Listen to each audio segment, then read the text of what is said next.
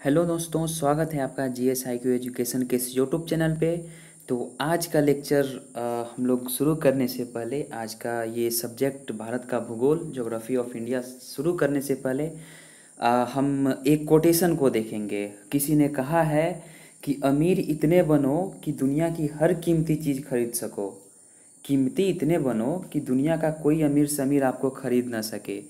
तो हमको अमीर भी इतना ही बनना है इतना बनना है कि दुनिया की कोई भी चीज़ जो है वो हमारे लिए वो मुश्किल ना लगे हमारे लिए वो अ, मतलब ये ना लगे कि वो महँगी है ठीक है? तो हर एक मतलब अमीर इतना बनना है कि दुनिया की हर एक कीमती चीज़ को हम खरीद सकें। और अपने आप को कीमती इतना बनाना है कि दुनिया का कोई अमीर से अमीर व्यक्ति भी आपको खरीद ना सके। और ये सब ऐसा करने के लिए क्या करना पड़ता है? इसके लिए मेहनत करना पड़ेगा, इसके लिए संघर्ष करना पड़ेगा, खुद से यहाँ पे एक जंग लड़ना पड़ेगा। और जैसे कि सोना तपता है, तभी वो सोना कहलाता है। सोना जितना तपेगा, वो उसकी पहचान होती है। सोना जो तपता है, वो उसकी पहचान होती है। ठीक है? तो चलिए जैसा कि आप लोगों को पता है कि एन सी टी सार संग्रह महेश कुमार बर्णवाल की एक बहुत ही अच्छी पुस्तक है सिक्स क्लास से ट्वेल्व क्लास तक। जैसे कि मैं हर एक लेक्चर में आप लोगों को बताता हूँ सिक्स से ट्वेल्व क्लास तक की इसमें सारी इन्फॉर्मेशन संकलित किया गया है। बहुत ही अच्छी पुस्तक है। अगर पुस्तक नहीं है तो आप लोग इसको परचेज कर सकते हैं। और चूँकि इस पुस्तक का डिमांड अभी ज़्यादा है, इसलिए मार्केट में अवेलेबल नहीं है। तो कुछ पैसेंस के साथ आप लोग रुके और फिर जब मार्केट में आ जाए तब खरीद लें। और हाँ तब तक मैं यहाँ पे उस चैप्टर का जो जो टॉपिक है, मैं यहाँ पे उसको पढ़ाने का और समझाने का कोशिश कर रहा हूँ। बस आप लोग इस वीडियो को एक से दो बार देखिए और भी सारे सब्जेक्ट का लेक्चर ऑलरेडी यहाँ पे अपलोड किया जा चुका है। जैसे कि इंडियन हिस्ट्री में आपको मिडिवल और मॉडर्न का लेक्चर अपलोड किया जा चुका है। उसके बाद से फिर आपको पोल, इंडियन पॉलिटी का भी किया जा चुका है। इंडियन ज्योग्राफी का ये आज अपलोड हो रहा है, फ़र्स्ट एपिसोड अपलोड होगा। उसके बाद से फिर इंडियन पॉलिटी हो गया, modern history, medieval history, science and tech का भी हुआ है इन्वायरमेंट एंड इकोलॉजी का हुआ है, फिजिक्स का अपलोड हो चुका है, केमिस्ट्री का अपलोड हो चुका है, बायोलॉजी का लगभग दो या तीन वीडियो अपलोड हो चुका है। तो आप लोग अगर उस वीडियो को देखना चाहते हैं, एक्सेस करना चाहते हैं तो नीचे जो लिंक दिया गया है, उस प्लेलिस्ट का लिंक दिया गया है, वहाँ से डिस्क्रिप्शन बॉक्स में जाइए, लिंक के थ्रू आप लोग उसको देख सकते हैं। और टेलीग्राम का भी लिंक दिया गया है, जिसको आप लोग ज्वाइन कर लीजिए। और एक गुजारिश है आप लोगों से कि अगर आप लोग इस चैनल पे नए हैं तो इस चैनल को सपोर्ट कीजिए, सब्सक्राइब कीजिए, लाइक कीजिए और अच्छा लगता है, तभी शेयर कीजिए। ठीक है? और वीडियो देखने के बाद में आप लोगों का मुश्किल से कितना? एक से दो सेकेंड लगेगा लाइक करने में और पंद्रह से बीस सेकेंड लगेगा आपको कमेंट करने में मतलब अपने सुझाव देने के लिए। आप अपना सुझाव वहाँ पे नीचे कमेंट बॉक्स में दे सकते हैं। ठीक है? और अगर आप लोग मुझसे सोशल मीडिया के थ्रू जुड़ना चाह रहे हैं तो नीचे उसका भी लिंक मैं डिस्क्रिप्शन बॉक्स में दे दूँगा। चलिए, आज आज का लेक्चर हम लोग चालू करते हैं। भारत का भूगोल ज्योग्राफी ऑफ़ इंडिया तो सबसे पहले इसमें हम देखेंगे सामान्य परिचय, ठीक है? मतलब इसका जनरल इंट्रोडक्शन जो है, उसका, उसको देखेंगे हम। तो सबसे पहला प्रश्न ये है कि भारत किस गोलार्ध, यानी कि किस हेमीस्फीयर्स में अवस्थित है? तो उत्तरी पूर्वी गोलार्ध में हमारा जो भारत देश है, वो अवस्थित है। अब इस मैप के थ्रू हम बहुत सारे प्रश्नों को अ, मतलब समझने की कोशिश करेंगे। और हाँ अगर ये आप लोगों को याद होता है तो अच्छी बात है नहीं याद होता है तो आप लोग इसको रट जाइएगा। क्योंकि जब तक इससे ना डेटा पूछे जाते हैं एग्ज़ाम में और ये चूँकि जटिल है कम्प्लेक्स है तो इसलिए ये फंसाने के लिए एग्ज़ाम में जो क्वेश्चन सेटर होते हैं वो डाल देते हैं ठीक है?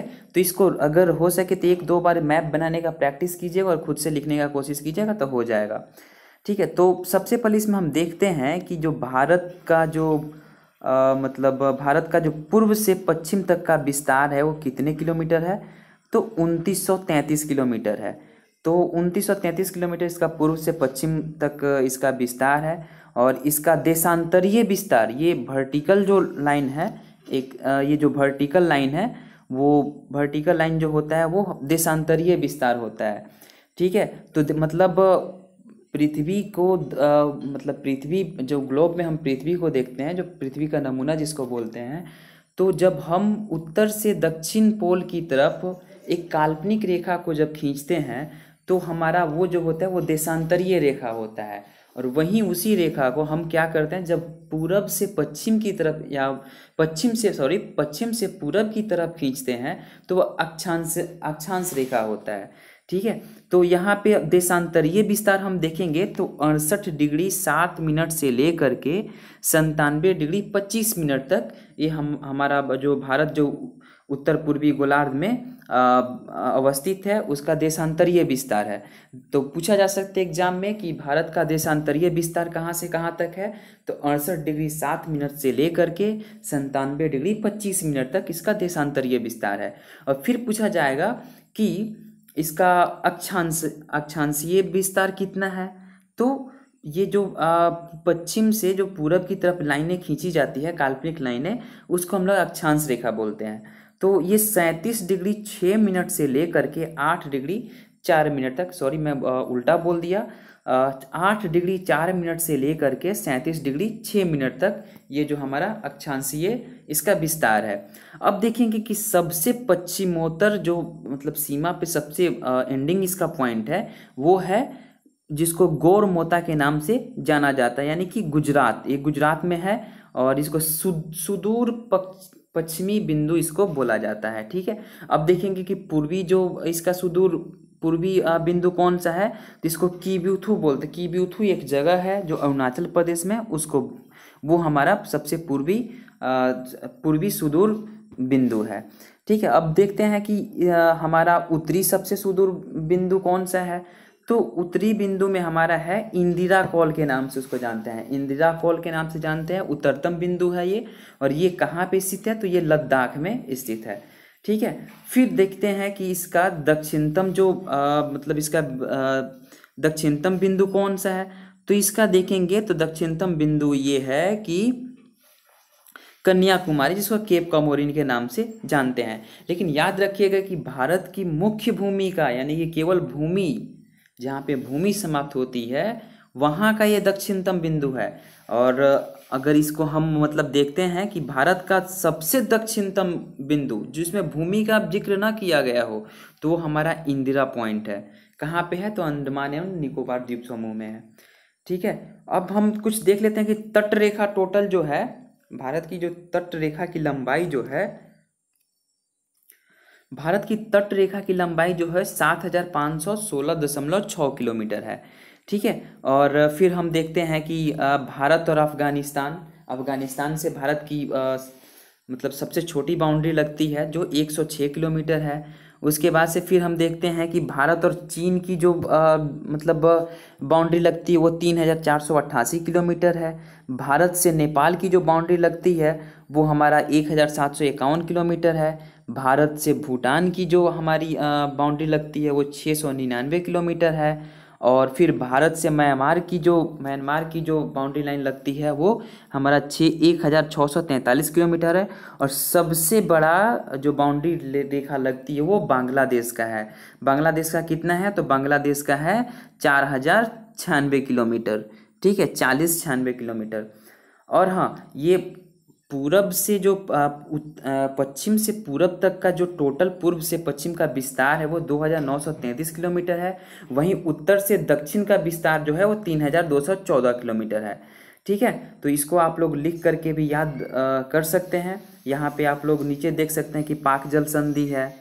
फिर यहाँ पे लेफ़्ट साइड में जो लक्षद्वीप समूह है राइट साइड में जो बंगाल की खाड़ी के नीचे जो है अंडमान एवं निकोबार द्वीप समूह है। ठीक है तो इसको आप लोग लिख करके भी याद कर सकते हैं और नहीं याद हो रहा है तो लिख करके याद करना ही होगा क्योंकि एग्ज़ाम में पूछे जाते हैं। नेक्स्ट क्वेश्चन देखते हैं कि क्षेत्रफल की दृष्टि से भारत का विश्व में कौन सा स्थान है? तो सातवां स्थान है। तो क्षेत्रफल की दृष्टि से भारत का विश्व में कौन सा स्थान है? तो सातवां स्थान है। प्रथम स्थान पे कौन है? आप लोग कमेंट सेक्शन में इसका जवाब लिखिए। नेक्स्ट देखते हैं कि भारतीय भूभाग का विस्तार जो है, वो पूर्व से पश्चिम पूर्व से पश्चिम 2933 किलोमीटर तथा उत्तर से जो दक्षिण है, वो 3214 किलोमीटर है। ठीक है नेक्स्ट देखते हैं कि भारत का क्षेत्रफल जो है, वो विश्व के कुल क्षेत्रफल का कितना है। भारत का क्षेत्रफल विश्व के कुल क्षेत्रफल का कितना भाग है तो दो दशमलव चार परसेंट है। भारत का अक्षांशीय विस्तार क्या है, यानी कि लैटिट्यूड लैटिट्यूड का मतलब वहीं आपको पश्चिम से पूरब की तरफ़, यानी कि ये जो रेखाएँ हैं, आप देखिएगा ग्लोब पे या फिर मैप में देखिएगा तो ये रेखाएँ लेटी हुई है, इसी का, इसीलिए ट्रिक हो गया लैटिट्यूड यानी कि लेटी हुई रेखाएँ जो है, वो क्या हो गया? वो वो आपका अक्षांशीय, अक्षांश रेखा हो गया। तो भारत का अक्षांशीय विस्तार क्या है? तो वो आठ डिग्री चार मिनट से ले करके सैंतीस डिग्री छः मिनट तक है, ठीक है? उत्तरी अक्षांश के मध्य है। और देशांतर रेखाएँ क्या है? निर्धारित करती है, वो समय एवं अवस्थिति को निर्धारित करती है। नेक्स्ट देखते हैं। कर्क रेखा भारत को कितने राज्य से होकर गुजरती है? तो आठ राज्यों से होकर गुजरती है। तो भारत के राज्य जिनसे कर्क रेखा होकर गुजरती है तो गुजरात है, गुजरात के बाद फिर राजस्थान आ जाता है। राजस्थान के बाद में आप लोग मैप को इमेजिन कीजिए, मन में मैप को इमेजिन कीजिए, तब ये समझ में आएगा और याद हो जाएगा हमेशा के लिए। तो एक बार फिर से मैं रिकॉल कर रहा हूँ, सबसे पहले गुजरात है, फिर राजस्थान है, फिर मध्य प्रदेश है, फिर उसके बाद छत्तीसगढ़ है, फिर उसके बाद से झारखंड आता है, तब पश्चिम बंगाल आता है, फिर उसके बाद से त्रिपुरा आता है, फिर मिजोरम आता है। यानी कि ये पश्चिम से पूरब की ओर हम लोग बढ़ रहे हैं। एक बार फिर से रिकॉल करेंगे कि गुजरात है, फिर राजस्थान है, फिर मध्य प्रदेश है, उसके बाद फिर छत्तीसगढ़ है, फिर झारखंड है, फिर पश्चिम बंगाल है, फिर त्रिपुरा है और लास्ट में क्या है? मिजोरम है। नेक्स्ट देखते हैं कि भारत को लगभग दो बराबर भागों में कौन सा अक्षांश विभाजित करता है? तो साढ़े तेईस डिग्री उत्तरी अक्षांश साढ़े तेईस डिग्री उत्तरी अक्षांश को हम लोग कर्क रेखा बोलते हैं, यानी कि इसको ट्रॉपिक ऑफ़ कैंसर के नाम से जाना जाता है। तो साढ़े तेईस डिग्री उत्तरी अक्षांश भारत को लगभग दो बराबर भागों में बांटता है, ठीक है? और एक चीज़ ये ये याद रखिएगा कि साढ़े तेईस डिग्री दक्षिणी अक्षांश को हम लोग मकर रेखा बोलते हैं, यानी कि उसको साढ़े तेईस डिग्री दक्षिणी अक्षांश को हम लोग मकर रेखा बोलते हैं, यानी कि ट्रॉपिक ऑफ़ कैप्रिकॉन बोलते हैं उसको अंग्रेज़ी में, ठीक है? नेक्स्ट देखते हैं कि भारत के सबसे पश्चिमी बिंदु जो गौरमोता, यानी कि जो गुजरात में है, पश्चिमी बिंदु कौन सा है भारत का? तो गौरमोता गुजरात है, तथा पूर्वी बिंदु कीबूथू, कीबीथू जो है, वो अरुणाचल प्रदेश के मध्य सूर्योदय एवं सूर्यास्त का लगभग कितने समय का, घंटे का अंतर होता है? तो दो घंटे का। मतलब कि सबसे पहले सूर्य भारत में दिखाई कहाँ देता देता है? तो सबसे पहले हमको सूर्य दिखाई देता है अरुणाचल प्रदेश में। तो अरुणाचल प्रदेश में अगर मान के चलिए कि छः बजे अगर सूर्य का उदय हो रहा है, मान के चलिए मैं सपोज़ डैट कि छः बजे अगर उदय हो रहा है तो वहीं आपको अगर सूर्योदय देखना है तो आपको गुजरात में कितने बजे होगा? आठ बजे होगा। आठ बजे सूर्योदय वहाँ पे होते हुए दिखाई प्रतीत होता है। तो ये दो घंटे का उसमें अंतर है। ठीक है?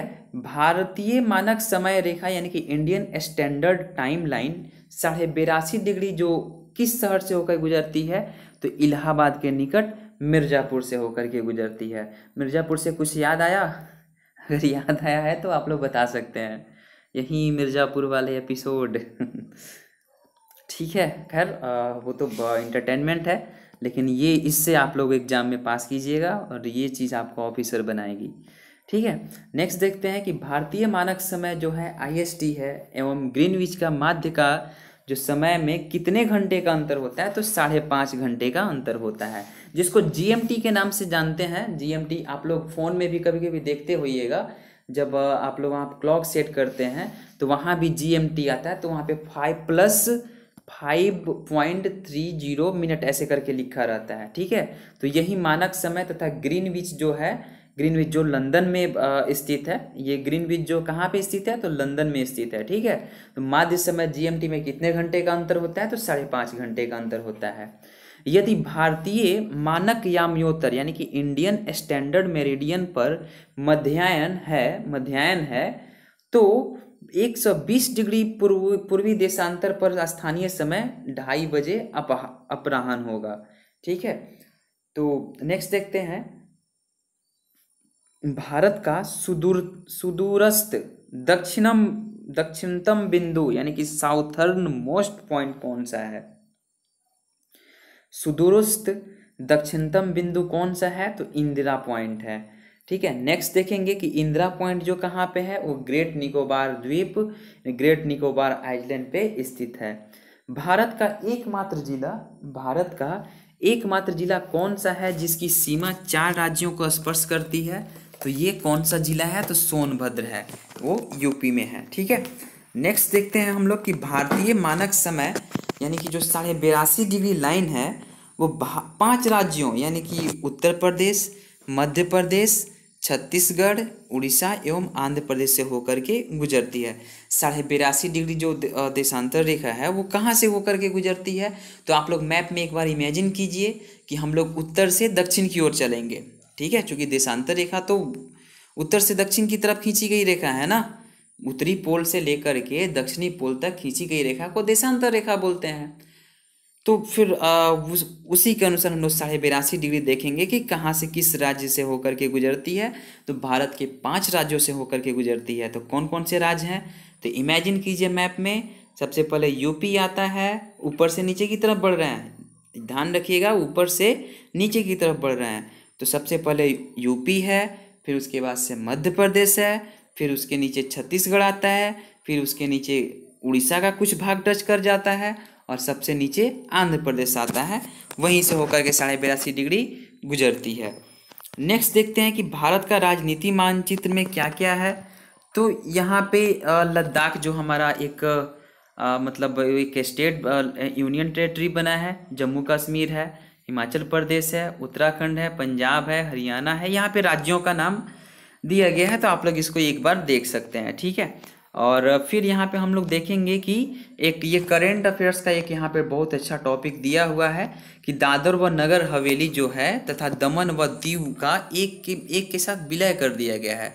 इसको संसद ने लोकसभा में 27 नवंबर 2019 को तथा राज्यसभा में 3 दिसंबर 2019 को पारित दादरा व नगर हवेली तथा दमन व दीव दोनों केंद्र शासित प्रदेशों का विलय। विधेयक जो था वो ऑर्डिनेंस था कितना 2019 के माध्यम से उपयुक्त दोनों केंद्र शासित प्रदेशों का विलय कर दिया है। यह पुनर्गठन 26 जनवरी 2020 से प्रभावी है मतलब कि अब तक तो लागू हो चुका है। अब यह नए केंद्र शासित प्रदेश का नाम दादरा व नगर हवेली तथा दमन एवं दीव होगा और इसकी राजधानी कहाँ होगी? तो दमन होगी। ठीक है? नेक्स्ट देखते हैं कि देश के चतुर्दिक अंतिम सीमा बिंदु मतलब वहीं आपको रिकॉल करने के लिए यहाँ पे दिया गया है। सबसे उत्तरतम बिंदु क्या है? तो इंदिरा कॉल है। कहाँ पे है? तो लद्दाख में है। दक्षिणतम बिंदु कौन सा है? तो इंदिरा पॉइंट है। ये कहाँ पे है? तो ग्रेट निकोबार द्वीप में है। पश्चिमी जो बिंदु पश्चिमी बिंदु जो है, वो गौर मोता या गुहार मोती के नाम से जानते हैं। ये कहाँ है? तो गुजरात में है। पूर्वी बिंदु अरुणाचल प्रदेश में है। जगह का नाम की है। मुख्य भूमि का दक्षिणतम बिंदु मुख्य भूमि का दक्षिणतम बिंदु कौन सा है? तो कन्याकुमारी में पड़ता है और कन्याकुमारी में वहीं आठ डिग्री चार मिनट उत्तरी अक्षांश, तमिलनाडु, ठीक है? नेक्स्ट देखते हैं कि हिमालय की कुछ जो पर्वत, प्रमुख पर्वत श्रेणियों का उत्तर से दक्षिण का क्रम है, यानी कि उत्तर से दक्षिण फिर इमेजिन करेंगे, उत्तर से दक्षिण की तरफ़ जो पर्वतों का मतलब श्रेणियों का जो क्रम है, वो क्या है? तो यहाँ पे देखेंगे तो काराकोरम है, लद्दाख है, जास्कर है फिर फिर पीर पंजाल है और फिर शिवालिक यानी कि सबसे दक्षिण में कौन है? तो शिवालिक है और सबसे उत्तर में कौन है? तो काराकोरम है। नेक्स्ट देखते हैं कि भारतीय मानक समय रेखा एवं कर्क रेखा एक दूसरे को छत्तीसगढ़ में काटती है। जो भारतीय मानक समय रेखा एवं कर्क रेखा जो है, वो एक वही मानक समय रेखा साढ़े बेरासी डिग्री तो साढ़े बेरासी डिग्री और एक कर्क रेखा यानी कि साढ़े तेईस डिग्री उत्तरी अक्षांश, ये दोनों कहाँ पे काटती है? तो छत्तीसगढ़ में काटती है। ठीक है? भारत की मुख्य भूमि की तटीय लंबाई कितना है? तो मुख्य भूमि का तटीय लंबाई जो है वो छः हज़ार एक सौ किलोमीटर है। म्यांमार की सर्वाधिक सीमा किस भारतीय राज्य को स्पर्श करती है? तो अरुणाचल प्रदेश को स्पर्श करती है। जनसंख्या की दृष्टि से भारत का विश्व में कौन सा स्थान है? तो जनसंख्या में भारत का जो स्थान है वो दूसरा है। और एक नंबर पे कौन है? प्रथम स्थान पे चाइना है। और ये भी एक रिपोर्ट के अनुसार ये बताया गया है कि 2027 तक चाइना को पीछे छोड़ करके भारत विश्व की सबसे आबादी वाला देश बन जाएगा। तो जनसंख्या पर नियंत्रण आवश्यक है। ठीक है? नेक्स्ट देखेंगे हम कि असम की सीमा कुल कितने राज्यों एवं केंद्र शासित प्रदेशों को स्पर्श करती है। तो सात राज्यों एवं केंद्र शासित प्रदेशों को स्पर्श करती है। एक और यहाँ पे करेंट का क्वेश्चन बहुत ही अच्छा क्वेश्चन है कि रॉस द्वीप नील द्वीप और हैवलॉक द्वीप का परिवर्तित नाम क्या है? तो रॉस द्वीप जो है वो नेताजी सुभाष चंद्र बोस है नील द्वीप जो है वो शहीद द्वीप है और हैवलॉक द्वीप जो है वो स्वराज द्वीप है। इसको याद करने का मैं एक छोटा सा मतलब कुछ भी टिक्रम करके इसको याद रखा जा सकता है। तो जैसे कि मैंने बनाया है, इसको याद रखने का तरीका रॉस बोस ऐसे एक निकल रहा है ना टोन रोस बोस यानी कि रोस द्वीप जो है वो बोस यानी कि नेताजी सुभाष चंद्र बोस है नील द्वीप। तो नील और नील द्वीप का जो नाम चेंज करके रखा गया तो शहीद द्वीप हो गया।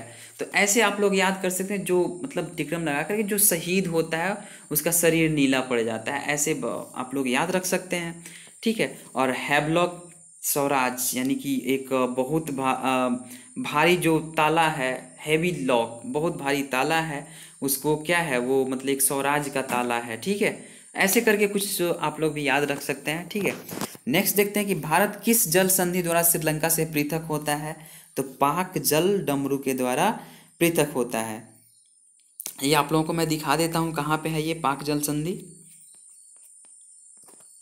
ये देखिए, मैं जूम कर रहा हूँ, यही है पाक जल संधि, ये श्रीलंका से अलग करता है, ठीक है? चलिए ये आप लोगों ने देख लिया। चलिए नेक्स्ट फिर चलते हैं। भारत के कौन आ, कौन से राज्य तीन ओर से अंतर्राष्ट्रीय सीमाओं से घिरे इसका तो आंसर नहीं दिया गया है। आप लोग कमेंट बॉक्स में बता बता सकते हैं लेकिन इसका आंसर होगा सिक्किम ठीक है? और नेक्स्ट देखते हैं यहाँ पे। नेक्स्ट है कि भारत के महत्वपूर्ण चैनल ठीक है, महत्वपूर्ण चैनल कौन कौन से है? तो नाइन डिग्री जो चैनल होता है, वो लक्षद्वीप और मिनी काय के मध्य होता है। एट डिग्री जो चैनल है, वो मालदीव और मिनी काय के मध्य का है। ग्रेट या महान चैनल जिसको बोलते हैं, वो सुमात्रा, यानी कि इंडोनेशिया और निकोबार के मध्य है। पाक स्टेट जो है, वो जल डमरू वो भारत और श्रीलंका के मध्य है। माहिम क्रीक जिसको निवेशिका के नाम से जानते हैं, एक पतली सी निवेशिका है, मुंबई। नेक्स्ट है कि कच्छ की जो खाड़ी है वो पश्चिमी गुजरात में है। खम्बात की खाड़ी पूर्वी गुजरात, नर्मदा और ताप्ती का मुहाना है। लक्षद्वीप सागर जो है वो लक्षद्वीप और मालाबार तट के मध्य है। मन्नार की जो खाड़ी है वो दक्षिण, पश्चिम तमिलनाडु और श्रीलंका के मध्य है। कोको स्टेट जल डमरू मध्य जो है वो कोको द्वीप म्यांमार और उत्तरी अंडमान के मध्य है। डंकन पास जो है वो दक्षिणी अंडमान और लघु अंडमान के मध्य है। दस डिग्री जो चैनल है वो अंडमान और निकोबार के मध्य है। नेक्स्ट देखते हैं कि विभिन्न देशों के साथ भारत की अंतर्राष्ट्रीय सीमा की लंबाई एवं संबंध राज्य एवं केंद्र शासित प्रदेश। इसको मैंने पहले भी एक थोड़ा बहुत ओवरऑल इसका रिकॉल मैंने आपको कराया है स्टार्टिंग में वीडियो के स्टार्टिंग में ही। लेकिन एक बार फिर से देख लेते हैं कि एक में है बांग्लादेश, जिसकी लंबाई जो भारत के साथ सीमा साझा करती है, वो चार हज़ार छानवे और सबसे बड़ी सीमा साझा हमारा देश जो है वो बांग्लादेश के साथ करता है। ठीक है? और बांग्लादेश का जो सीमा रेखा का जो निर्धारण करने वाली लाइन को क्या बोलते हैं? तो रेड क्लिफ बोलते हैं। और सीमा से संबंधित भारतीय राज्य केंद्र शासित प्रदेश एवं उनकी संख्या। जैसे कि ये बांग्लादेश से जो टच करता है तो पाँच राज्य बांग्लादेश से टच करता है। एक में है पश्चिम बंगाल, फिर मेघालय आता है, फिर मिजोरम आता है, फिर त्रिपुरा आता है और फिर असम आता है। दो में देखेंगे, चीन के साथ हमारी जो भारत की बाउंड्री लाइन है, वो तीन हज़ार चार सौ अट्ठासी किलोमीटर की सीमा साझा करती है और सीमा रेखा का जो निर्धारण जो करता है, वो मैक मोहन रेखा करता है। इससे भी पाँच हमारे राज्य और केंद्र शासित राज्य टच करते हैं, जैसे कि लद्दाख हो गया, हिमाचल प्रदेश हो गया, उत्तराखंड हो गया, सिक्किम हो गया और अरुणाचल प्रदेश हो गया। नेक्स्ट देखेंगे कि पाकिस्तान। तो पाकिस्तान के साथ हमारी जो बाउंड्री लाइन है वो तीन हज़ार तीन सौ तेईस किलोमीटर शेयर करती है और इस जो सीमा रेखा का जो निर्धारण है वो रेड क्लिप के नाम से जाना जाता है, ठीक है? तो ये भी सीमा पाँच राज्यों के साथ ये साझा होता है, जैसे कि गुज गुजरात है, राजस्थान है, पंजाब है जम्मू कश्मीर है और लद्दाख है। नेक्स्ट देखेंगे नेपाल के साथ सत्रह सौ इक्यावन, इसके बीच जो लाइनिंग का जो निर्धारण नहीं किया गया क्योंकि हिमालय पर्वत है और ने, और नेपाल से वैसे भी कोई हमारा डिस्प्यूट नहीं है, वो अब के, अभी तत्काल सीनोरियो में चल रहा है तो वो थोड़ा बहुत पॉलिटिक्स है तो उससे कोई मायने रखने वाली बात नहीं है। तो नेपाल के साथ हमारे पाँच राज्य जो है, नेपाल हमारे पड़ोसी देश के साथ पाँच राज्य, राज्यों की जो सीमा है, उसे टच करती है, जैसे यूपी बिहार, पश्चिम बंगाल, सिक्किम और उत्तराखंड। फिर म्यांमार की अगर हम बात करते हैं तो इसकी जो बाउंड्री लाइन है तो एक हज़ार छः सौ तैंतालीस किलोमीटर है भारत में और भारत के चार राज्य राज्यों की सीमा जो है इससे लगती है, जैसे अरुणाचल प्रदेश, नागालैंड, मिजोरम और मणिपुर। अब बात करें भूटान की तो भूटान में छः सौ निन्यानवे किलोमीटर का बाउंड्री लाइन टच करता है और यहाँ पे जो राज्य जो लाइनें टच करती है राज्य की, वो पश्चिम बंगाल है, सिक्किम है, अरुणाचल प्रदेश है, असम है। नेक्स्ट देखते हैं कि अफ़गानिस्तान। अफ़गानिस्तान की जो लाइनिंग टच करती है वो 106 किलोमीटर टच करती है। और अफ़गानिस्तान और भारत के बीच जो लाइन है उसको डूरन रेखा के नाम से जाना जाता है। और अफ़गानिस्तान के साथ मात्र एक ही हमारे देश का जो राज्य है वो केंद्र शासित राज्य है वो लद्दाख जो है वही टच करती है। जिसको हम लोग पीओ के आ, बोलते हैं यानी कि पाक पीओ के के नाम से जानते हैं, ठीक है? पाक ऑक्युपाइड कश्मीर, यानी कि पाक अधिकृत कश्मीर। अब मैकमोहन रेखा का थोड़ा सा इतिहास जान लेते हैं कि क्या है मैकमोहन रेखा। तो अंग्रेज़ों के शासन के दौरान भारत व चीन के मध्य उत्तर पूर्व में यह सीमा रेखा 27 अप्रैल 1914 को निर्धारित की गई थी, जिसे मैकमोहन रेखा कहा गया। इस नामाकरण में सर हेनरी मैकमोहन के नाम पर किया गया। वर्ष 1914 में हुए शिमला समझौते में इसे दोनों देशों ने सीमा रेखा के रूप में स्वीकार किया था। नेक्स्ट हम रेड क्लिफ की बात करते हैं। तो विभाजन के पश्चात 17 अगस्त उन्नीस को भारत व पाकिस्तान के मध्य निर्धारित की गई सीमा रेड क्लिफ के नाम से जानी जाती है। इस रेखा का निर्धारण बॉर्डर कमीशन द्वारा किया गया था। इस कमीशन के अध्यक्ष सर सिरिल रेड क्लिफ थे। इन्हीं के नाम पर इस सीमा का नाम रेड क्लिफ रखा गया था। नेक्स्ट देखते हैं कि काराकोरम श्रेणी को उच्च एशिया की रीढ़ यानी कि बैकबोन ऑफ़ हाई एशिया के नाम से जाना जाता है। यहाँ पे नेक्स्ट टॉपिक हम भारत एक दृष्टि में यानी कि भारत का जनरल इन्फॉर्मेशन हम फटाफट देख लेते हैं। तो आ, भारत तो देश का नाम क्या है? तो भारत है अन्य नाम इसका जैसे कि आर्यावर्त के भी नाम से इसको जाना जाता है जम्बू द्वीप के नाम से जाना जाता है, भारतवर्ष के नाम से जाना जाता है, हिंदुस्तान है और इंडिया के नाम से भी जाना जाता है। राजधानी जो है वो नई दिल्ली है। भौगोलिक स्थिति क्या है? तो ये उत्तरी गोलार्ध में स्थित है, यानी कि उत्तरी पूर्वी गोलार्ध में स्थित है। अक्षांशीय विस्तार जो है वो आठ डिग्री चार मिनट से लेकर के उत्तरी अक्षांश से लेकर के सैंतीस डिग्री छः मिनट उत्तरी अक्षांश तक ही है। अब समझ में आ गया अक्षांश रेखा क्या है? एक बार फिर से रिकॉल करवा दूँ? और ए अक्षांश रेखा जो है, वो पश्चिम से पूरब की तरह जो काल्पनिक रेखा खींची गई है, उसी को हम लोग अक्षांश रेखा के नाम से जानते हैं, ठीक है? देशांतरीय विस्तार जो है, उसका अड़सठ डिग्री साठ मिनट पूर्वी देशांतर से लेकर के संतानवे डिग्री पच्चीस मिनट पूर्वी देशांतर तक है। देशांतर रेखा किसे कहते हैं? फिर से रिकॉल करवा देता हूँ मैं क्योंकि इसमें बहुत कन्फ्यूज़न होता है, यानी यहाँ तक कि मेरे को भी कन्फ्यूज़न हो गया था। तो नॉर्थ पोल से साउथ पोल की तरफ़ खींची गई पृथ्वी पर वो काल्पनिक रेखाओं को देशांतरीय, देशांतर रेखा कहते हैं। और भारत की जो ज्यामितीय आकार की अगर बात करते हैं तो ये चतुष्कोणीय है, ठीक है? इसका मानक समय की अगर बात करें तो साढ़े बिरासी डिग्री पूर्वी देशांतर, इलाहाबाद के समीप, वहीं मिर्ज़ापुर का समय ग्रीनविच माध्य से साढ़े पाँच घंटा आगे है। और साढ़े तेईस, साढ़े, सॉरी, साढ़े बिरासी डिग्री जो है, पूर्वी देशांतर भारत के पाँच राज्यों यूपी, मध्य प्रदेश, छत्तीसगढ़, उड़ीसा एवं आंध्र प्रदेश से होकर गुजरती है और साढ़े बिरासी डिग्री पूर्वी देशांतर जो ग्रीनविच जो हमारा मतलब मानक समय है वो और हमारा कर्क रेखा कहाँ पे एक जगह मिलती है तो छत्तीसगढ़ में एक दूसरे को काटती है। ये भी याद रखने वाली बात है। भौगोलिक विस्तार की अगर हम बात करें तो लंबाई उत्तर से जो दक्षिण तक की लंबाई है वो बत्तीस किलोमीटर है और चौड़ाई की अगर हम बात करें तो पूर्व से पश्चिम की ओर जो चौड़ाई है, वो 2933 किलोमीटर है। स्थलीय सीमा की केवल बात करें हम तो स्थलीय सीमा पंद्रह हज़ार एक सौ छः पॉइंट सेवन किलोमीटर है और जलीय सीमा की बात करें तो पचहत्तर सौ सोलह दशमलव छः किलोमीटर है और प्रादेशिक जल सीमा की अगर बात करें तो समुद्र तट से 12 समुद्री मिल, यानी कि समुद्र तट से 12 12 नॉटिकल मिल के नाम से इसको जाना जाता है, वो प्रादेशिक जल सीमा है, ठीक है? नेक्स्ट देखते हैं कि संलग्न क्षेत्र जो है, वो प्रादेशिक जल सीमा से आगे 24 समुद्र, समुद्री मिल तक है। अनन्य आर्थिक क्षेत्र जिसको एस जेड के नाम से बना स्पेसिक स्पेसिफिक इकोनॉमिक जोन जिसको बोला जाता है एस जेड वो है संलग्न क्षेत्र से जो है वो आगे 200 समुद्री मील तक, ठीक है? और भारत की जलवायु जो है वो कैसी है? तो मानसूनी जलवायु है। क्षेत्रफल की दृष्टि से अगर देखें तो बत्तीस सतासी, बत्तीस लाख सतासी हज़ार चार सौ उनहत्तर वर्ग किलोमीटर है, जो 2015 में यह मापा गया है।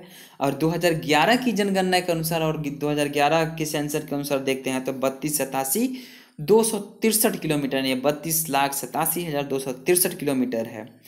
क्षेत्रफल की दृष्टि से विश्व में स्थान इसका है सातवां और कुल जनसंख्या जो है, वो विश्व की कुल जनसंख्या का सत्रह दशमलव पाँच परसेंट है और कुल जनसंख्या जो है एक अरब इक्कीस करोड़ आठ लाख चौवन हज़ार नौ सौ सतहत्तर है। ठीक है, यानी कि एक सौ इक्कीस करोड़ आप लोग ऐसे बोल सकते हैं। जनसंख्या की दृष्टि से विश्व में स्थान जो है, वो है द्वितीय और प्रथम स्थान पे अभी भी चीन बरकरार है। नेक्स्ट देखते हैं कि पुरुष जनसंख्या जो है वो तिरसठ करोड़ बत्तीस लाख सत्तर हज़ार दो सौ अंठावन है। महिला जनसंख्या की अगर हम बात करते हैं तो अंठावन करोड़ पचहत्तर लाख चौरासी हज़ार सात सौ उन्नीस है। और ग्रामीण जनसंख्या की बात करें चूँकि सबको पता है कि भारत की आत्मा कहाँ निवास करती है तो भारत की आत्मा गाँव में निवास करती है। किसने कहा था? तो आ, किसने कहा नहीं था? ये आ, एक सुमित्रा नंदन पंत जब आप हिंदी साहित्य अगर आपका ऑप्शनल होगा, आप पढ़ोगे, या फिर हिंदी से अगर रुझान रहा है तो उसमें सुमित्रा नंदन पंत ने एक बहुत ही अच्छी कविता लिखी थी कि भारत माता ग्रामवासिनी, यानी कि भारत माता की जो आत्मा है, वो कहाँ पे निवास करती है? तो गाँव में निवास करती है। चलिए, ये तो थोड़ा बहुत कुछ अलग हो गया, लेकिन चलिए यहाँ पे मेन टॉपिक पे आते हैं। तो ग्रामीण जनसंख्या जो है eighty three point three seven crore है, यानी कि टोटल जनसंख्या का sixty eight point eight crore sixty eight point eight percent है। और वहीं शहरी जनसंख्या की बात करें हम तो three thirty seven point seven one crore है, यानी कि सिक्सटी यानी कि ये जो परसेंटेज में अगर देखेंगे टोटल जनसंख्या का तो एक thirty one point one six percent है। दस की जनसंख्या वृद्धि दर जो है, वो सत्रह पॉइंट चौंसठ है, परसेंट है। ठीक है 2001 से लेकर ग्यारह तक के बीच। लिंगानुपात जो है, यानी कि सेक्स रेशियो जो है, वो नौ सौ तैंतालीस प्रति हज़ार पुरुषों पर है और शिशु लिंगानुपात है, वो नौ सौ अट्ठारह प्रति हज़ार पुरुषों पे है। जनसंख्या घनत्व की बात करें, यानी कि प्रति किलोमीटर में कितने, एक किलोमीटर में कितने लोग यहाँ पे रहते हैं तो तीन वर्ग किलोमीटर, तीन लोग रहते हैं एक किलोमीटर के अंतर्गत में, ठीक है? नेक्स्ट देखते हैं यहाँ पे कि कुल साक्षरता है seven four point zero four percent पुरुषों की साक्षरता जो है वो eighty two point one four percent महिला साक्षरता है sixty five point four six percent और अनुसूचित जाति की संख्या जो है वो बीस करोड़ तेरह लाख अठहत्तर हज़ार छियासी है, यानी कि कुल जनसंख्या का सिक्सटीन पॉइंट सिक्स परसेंट है। याद रखिएगा सिक्सटीन बोला हूँ सिक्सटीन यानी कि सोलह दशमलव छः किलो छः परसेंट है। अनुसूचित जनजाति की जनसंख्या की अगर बात करें तो दस करोड़ बयालीस लाख इक्यासी हज़ार चौंतीस जो लोग हैं, वो कुल जनसंख्या का आठ दशमलव छः परसेंट जो है वो अनुसूचित जनजाति में की संख्या है। राज्यों की संख्या की बात करें हम तो अट्ठाईस है, पहले उनतीस हुआ करता था। और केंद्र शासित प्रदेशों की बात करें अभी वर्तमान में तो केंद्र शासित प्रदेशों की संख्या जो है वो आठ है। पहले कितनी थी? तो पहले नौ थी। पर्वतीय क्षेत्र का अगर विस्तार का बात करें तो दस दशमलव सात परसेंट है। पहाड़ी क्षेत्र का विस्तार करें तो अठारह दशमलव छः परसेंट है और पठारी क्षेत्र का विस्तार करें तो सतासी सत्ताईस दशमलव सात परसेंट है। मैदानी क्षेत्र का विस्तार की बात करें तो तैंतालीस दशमलव तैंतालीस दशमलव शून्य परसेंट है। कर्क रेखा पर स्थित आठ राज्य, अब कर्क रेखा पर स्थित हम देखेंगे कि आठ राज्य कौन सा है? वहीं साढ़े तेईस डिग्री उत्तरी अक्षांश को हम लोग कर्क रेखा के नाम से जानते हैं। तो इसमें कौन कौन से राज्य शामिल है? तो गुजरात है, राजस्थान है, मध्य प्रदेश है, छत्तीसगढ़ है, झारखंड है, पश्चिम बंगाल है, त्रिपुरा है और मिजोरम है। द्वीपों की संख्या बारह सौ आठ है, निर्जन सहित। अंतर्राष्ट्रीय सीमा से संलग्न राज्य या केंद्र शासित प्रदेशों की संख्या अठारह है। तेल शोधन शोधनशालाओं की संख्या जो है वो तेईस है। राष्ट्रीय राजमार्गों की संख्या जो है वो दो सौ छियासठ है। बड़े बंदरगाहों की संख्या जो है वो तेरह है। राष्ट्रीय पशु यहाँ का बाघ है भारत का और इसका वैज्ञानिक नाम जो है वो पेंथेरा टाइग्रिस है। राष्ट्रीय विरासत पशु के रूप में हम हाथी को मानते हैं। राष्ट्रीय पक्षी के रूप में हम लोग मोर को जानते हैं। इसका मोर का वैज्ञानिक नाम है पावो किस्टेटस पावो किस्टेटस। राष्ट्रीय वृक्ष की बात करें तो बरगद है और वैज्ञानिक नाम है फाइकल बेंगालनिस। और राष्ट्रीय पुष्प की बात करें तो कमल वैज्ञानिक नाम है नीलोम्बो नुसिफेरा। राष्ट्रीय चिन्ह की बात करें तो अशोक स्तंभ है। राष्ट्रीय गान की बात करें तो जनगण मन है, जिसके रचयिता रविंद्रनाथ टैगोर हैं। और राष्ट्रीय गीत की बात करें तो वंदे मातरम है। रचयिता बंकिम चंद्र चटर्जी हैं। राजकीय भाषा की अगर बात करें तो हिंदी है। राष्ट्रीय लिपि की बात करें तो देवनागरी है। राष्ट्रीय वाक्य की बात करें तो सत्यमेव जयते है, जिसका स्रोत मुंडोको उपनिषद है। और राष्ट्रीय ध्वज की अगर बात करें तो तिरंगा है। राष्ट्रीय नदी जो है वह गंगा है। राष्ट्रीय जलीय जीव जो है गंगा डॉल्फिन प्लेटिनिस्टा गेंगेटिका है। ठीक है? नेक्स्ट देखते हैं कि पुदुचेरी का भौगोलिक विस्तार तमिलनाडु, कराईकल, केरल, माहे एवं आंध्र प्रदेश, यनम राज्यों में स्थित है। ठीक है? चलिए आज के लेक्चर में इतना ही, फिर मिलते हैं जल्द ही नेक्स्ट एपिसोड में। और आप लोगों ने अभी तक इस वीडियो को देखा है तो और नए हैं तो सब्सक्राइब कर लीजिए बेल आइकन को प्रेस कर दीजिए। और बहुत मेहनत लगता है वीडियो बनाने में, बस आप लोग थोड़ा सा सपोर्ट कर देंगे। तो हम मेरे लिए वहीं आपके आपके तरफ़ से रिवार्ड होगा।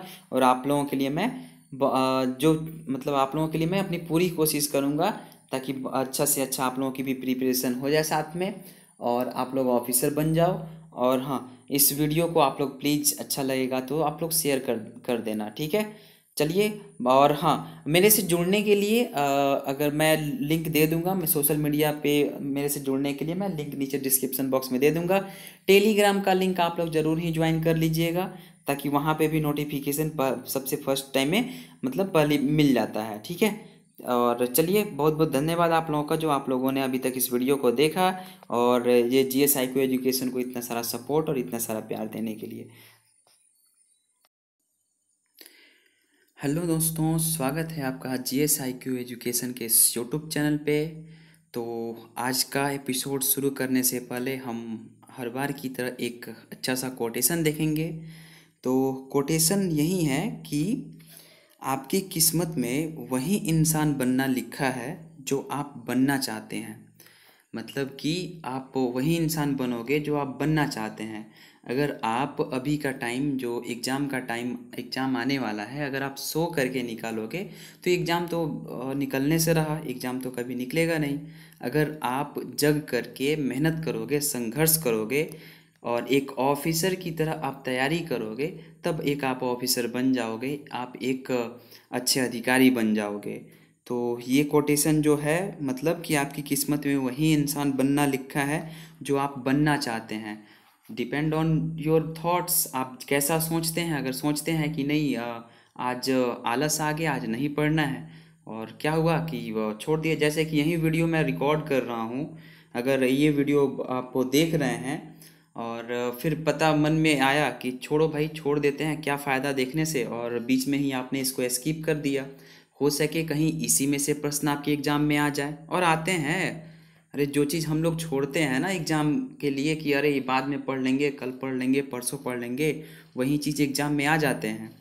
तो वही चीज़, वही किस्मत में भी लिखा जाता है जो आप बनना चाहते हैं। यानी कि ये आपके कर्म के ऊपर डिपेंड करता है कि आप कैसा कर्म करते हैं। अगर अच्छा कर्म कीजिएगा तो अच्छा बनिएगा और बुरे कर्म करने पे तो फिर वही उसका परिणाम क्या मिलेगा? वही बुरा मिलेगा। बोए पेड़ बबूल का आम कहाँ से पाए? तो वही वाली बात है। ठीक है? तो ये इस कोटेशन ये बहुत ही अच्छा कोटेशन था।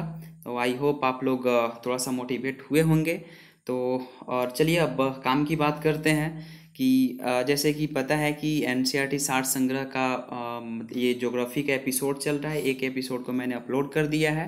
उसको अगर देखना चाहते हैं तो प्ले लिस्ट में जाइए या फिर डिस्क्रिप्सन बॉक्स में जो लिंक दिया गया है उसके थ्रू आप जा कर के देख सकते हैं। ये जो एन e का साठ संग्रह चल रहा है इसमें सिक्स क्लास से लेकर के ट्वेल्व क्लास तक के जो आ, मतलब जो भी इम्पोर्टेंट प्रश्न जो पूछे जाते हैं एग्ज़ाम में और जो एग्ज़ाम में पूछे जाने की संभावना है उन सारे प्रश्नों को इसमें कवर किया गया है। आ, ये तो जोग्राफ़ी इंडियन जोग्राफ़ी का ये सेक्शन चल रहा है इंडियन जोग्राफ़ी का ये एपिसोड चल रहा है। अगर और भी सब्जेक्ट का अगर आपको देखना है तो प्लेलिस्ट में बहुत जैसे कि इंडियन हिस्ट्री में मॉडर्न मेडिवल का भी अपलोड किया जा चुका है पॉलिटी का भी अपलोड किया जा चुका है। उसके बाद से इन्वायरमेंट एंड इकोलॉजी यानी कि लगभग हर एक सब्जेक्ट का वीडियो को अपलोड किया जा चुका है। आप लोग प्ले लिस्ट में जाइए और देख लीजिए। ज़्यादा टाइम नहीं लगेगा। मुश्किल से ये मेरा जो वीडियो होता है, मैं मास्टर वीडियो ये या और ज़्यादा बड़ा वीडियो बनाने में मैं विश्वास नहीं रखता। वो इसलिए कि ज़्यादा बड़ा वीडियो होगा तो मन उबने लगता है ना कि अरे कब ख़त्म होगा, कब ख़त्म होगा? और ज़्यादा वो समझ में भी नहीं आती, है ना?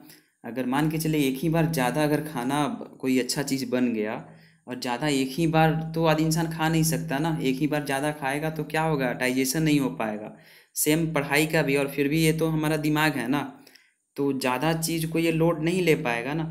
इसीलिए हम कोशिश करेंगे कि शॉर्ट वीडियो बनाए। बीस से पच्चीस मिनट का होगा। ज़्यादा से ज़्यादा तीस मिनट का हो सकता है। तो जिसमें एक या दो टॉपिक हम लोग कवर कर पाएँगे। ठीक है, उससे क्या होगा? आप उसको अच्छे से समझ पाइएगा। और हाँ एक और इंपॉर्टेंट बात वीडियो अगर आप लोग स्टार्ट कर रहे हैं देखना तो लास्ट तक ज़रूर देखिएगा हो सके इसी में से प्रश्न एग्ज़ाम में आ जाए। और मेरे से पर्सनली जुड़ने के लिए आप लोग सोशल मीडिया के थ्रू जुड़ सकते हैं जिसका मैं लिंक नीचे डिस्क्रिप्शन बॉक्स में दे दूँगा और कमेंट में भी उसको पिन कर दूँगा। ठीक है तो ये आ, इंडियन ज्योग्राफी का ये हमारा दूसरा टॉपिक है। पहले टॉपिक में हम लोग भारत का सामान्य परिचय और भारत का जो लगभग जनरल इंट्रोडक्शन है, जैसे कि भारत की जनसंख्या कितनी है, भारत का क्षेत्रफल कितना है, भारत में कितने राज्य हैं केंद्र कितने केंद्र शासित राज्य हैं, ये सब के बारे में पिछले वीडियो में बताया जा चुका है। तो आज का टॉपिक हम लोग शुरू करते हैं भौतिक विभाजन, यानी कि physical division of India Bharat का जो भौतिक विभाजन कैसे हुआ है, किस तरह से हुआ है, उसको देखेंगे। तो इससे महत्वपूर्ण प्रश्न जो भी हैं, उसको हम यहाँ पे पढ़ने की कोशिश करेंगे। और आप लोग इसको सुनिए, देखिए और एक से दो बार देखिएगा। कम से कम दो बार तो वीडियो देख लीजिएगा तो क्या होगा, हमेशा के लिए याद हो जाएगा। ठीक है? और ये आपके बीपीएससी जो छियासठवीं बीपीएससी का प्री में भी फ़ायदेमंद होगा यूपीएससी के एग्ज़ाम में भी ये फ़ायदेमंद हो सकता है एनटीपीसी का, रेलवे का उसके बाद से फिर आपका ESI enforcement sub inspector Bihar दरोगा, बिहार पुलिस। जितने भी एनी अदर कंपटीशन एग्जामिनेशन है, जिसमें जीएस पूछे जाते हैं, उसमें ये बेनिफिट साबित हो सकता है। चलिए चालू करते हैं आज भौतिक विभाजन फ़िज़िकल डिवीज़न में क्या है, कौन से महत्वपूर्ण प्रश्न है? तो पहला है कि भारतीय उपमहाद्वीप मूलतः किस भूखंड का भाग था? तो गोंडवाना लैंड का भाग था।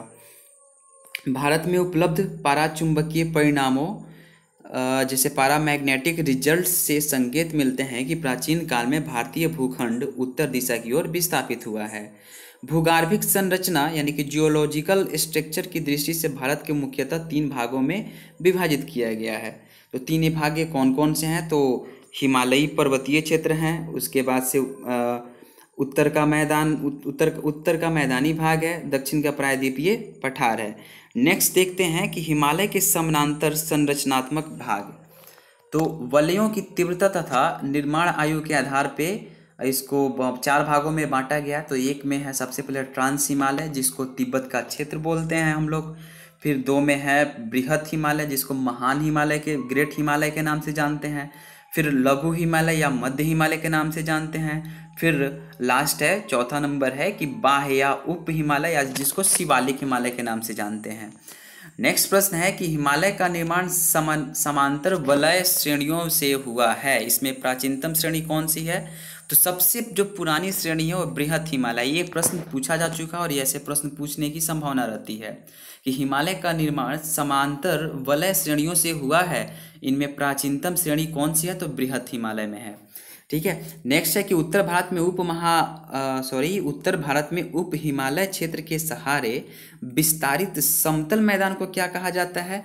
तो भाबर कहा जाता है। और एक और ये क्वेश्चन पूछेगा कि उत्तर भारत में उप हिमालयी क्षेत्र के सहारे विस्तारित जो सबसे पुरानी, जो मतलब पुरानी कछारी मिट्टी को क्या कहा जाता है तो उसको खादर बोला जाता है। तो ये बीपीएससी में पूछा हुआ प्रश्न है।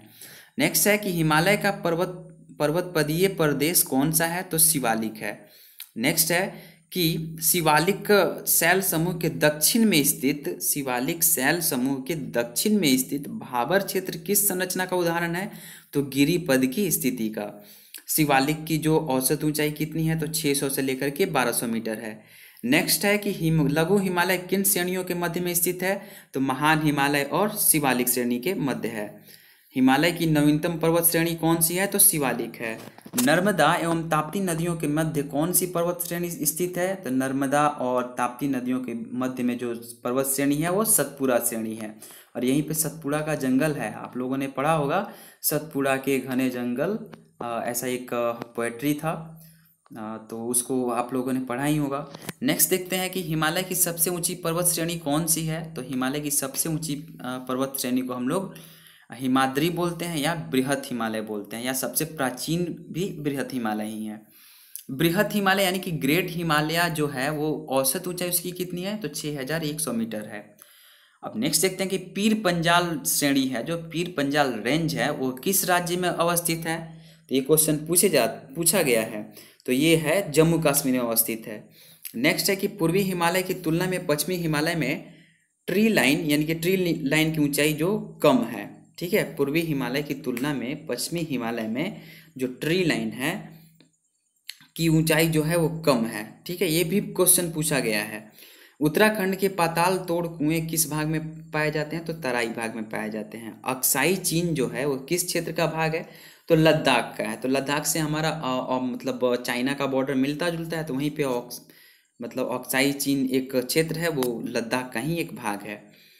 निम्न नेक्स्ट है कि पश्चिमी हिमालय यानी कि वेस्टर्न हिमालय प्रदेश के प्रमुख प्राकृतिक संसाधन क्या है? तो वन है। नेक्स्ट है कि भारत की प्राचीनतम पर्वत श्रृंखला कौन सी है? तो अरावली पर्वत श्रृंखला ये भी क्वेश्चन पूछा जा चुका है। अरावली श्रेणियों में की अनुमानित आयु कितनी है? तो 600 से लेकर के 570 मिलियन वर्ष इसको माना गया है। नेक्स्ट देखते हैं कि माउंट एवरेस्ट का को नेपाल में सागर माथा के नाम से जाना जाता है। एक बात याद रखिएगा कि माउंट एवरेस्ट है वो भारत में नहीं है। माउंट एवरेस्ट कहाँ है? वो नेपाल में है और नेपाल में उसको सागर माथा के नाम से जाना जाता है। विश्व की जो आ, सबसे लंबी चोटी माउंट एवरेस्ट है जिसकी ऊंचाई अगर मैं गलत नहीं हूँ तो आठ हज़ार आठ सौ अड़तालीस मीटर है। या अब तो आठ हज़ार आठ सौ पचास मीटर हो गई है। लेकिन भारत की सबसे ऊँची चोटी कौन सी है? क्या आप लोग कमेंट में बता सकते हैं? चलिए मैं ही बता देता हूँ, भारत की सबसे ऊँची जो चोटी है वो काराकोरम, जिसको केटू के नाम से जाना जाता है, ठीक है? नेक्स्ट देखते हैं कि अरावली किस प्रकार की पर्वत श्रेणी है। तो अरावली अवशिष्ट पर्वत श्रेणी है और सबसे पुरानी श्रेणी भी इसको बोला जाता है। दक्षिण भारत की सबसे ऊँची चोटी कौन सी है? तो अनाई मुड़ी है। दक्षिण भारत की सबसे ऊँची चोटी अनाई मुड़ी है, जो केरल में है और इसकी जो ऊंचाई है दो हज़ार छः सौ पंचानवे मीटर है। नेक्स्ट देखते हैं कि नीलगिरी पर्वतमाला का विस्तार किन राज्यों में है? तो तमिलनाडु एवं केरल में है। जो नीलगिरी पर्वतमाला का जो विस्तार है, वो तमिलनाडु और केरल राज्यों में है। महाराष्ट्र एवं कर्नाटक के मध्य स्थित पश्चिमी घाट को किस नाम से जाना जाता है? तो महाराष्ट्र एवं कर्नाटक के मध्य स्थित पश्चिमी घाट को हम लोग कोंकण तट के नाम से जानते हैं, जो इलायची की पहाड़ियाँ हैं, यानी कि कार्डमम की जो माउंटेन है, वो किन राज्यों के मध्य सीमा बनाती है?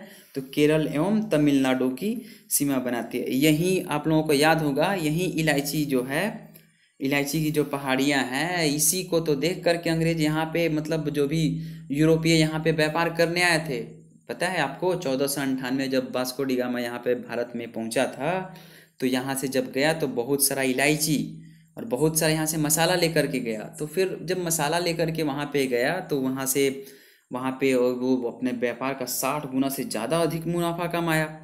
तो फिर यहीं से शुरू होता है, तब से ही फिर अंग्रेज़ आए। वो तो खैर हिस्ट्री का पोर्शन है, आपको मैं हिस्ट्री में बताऊँगा। और चलिए फिर नेक्स्ट देखते हैं कि सेवराय की पहाड़ियाँ जो है, सेवराय हिल्स वो किस राज्य में स्थित है? तो तमिलनाडु में स्थित है।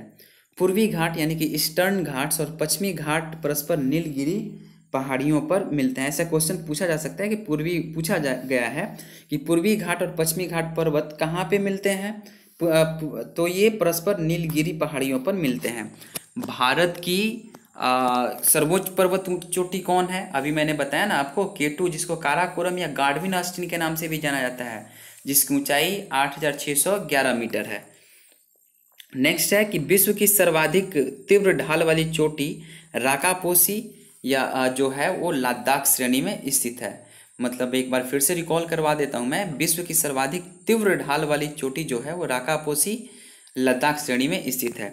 नेक्स्ट यहाँ पे भारत की जो भौतिक मतलब संरचना है, भौतिक विभाजन है, वहाँ पे दिया गया है। सबसे ऊपर आप लोग देख सकते हैं कि पामीर का पाट पठार है और उसके जस्ट बाएँ साइड में आप लोग मेरी आवाज़ पे गौर कीजिएगा कि जस्ट उसके बाएँ साइड में हिंदू कुश श्रेणी है और उसके नीचे के टू यानी कि आठ हज़ार छः सौ ग्यारह मीटर जो गार्डविन आस्टिन है। फिर उसके बाद से हम हम देखते हैं कि यहाँ पे जो है वो कुन कुनलून की श्रेणी है। फिर नीचे की तरफ़ आएँगे तो काराकोरम की श्रेणी है। फिर लद्दाख लद्दाख रेंज है। फिर जास्कर श्रेणी है। फिर नंदा देवी यहाँ नीचे है, मैं दिखा रहा हूँ। फिर यहाँ पे बाएँ साइड में देखेंगे कि नंगा पर्वत है, आठ हज़ार एक सौ छब्बीस मीटर इसकी ऊंचाई है। फिर वहाँ पे नीचे पीर पंजाल का आता है, फिर धौलाधर आता है। ठीक है जिसका लोकेशन यहाँ पे दिया गया है, कौन सा पर्वत कहाँ पे है। ठीक है, फिर यहाँ पे हम नंदा देवी देखेंगे, सात हज़ार आठ सौ सत्रह मीटर जो है। और फिर बृहद हिमालय का क्षेत्र यहाँ पे देखने को मिलता है, फिर धौलागिरी आता है नीचे।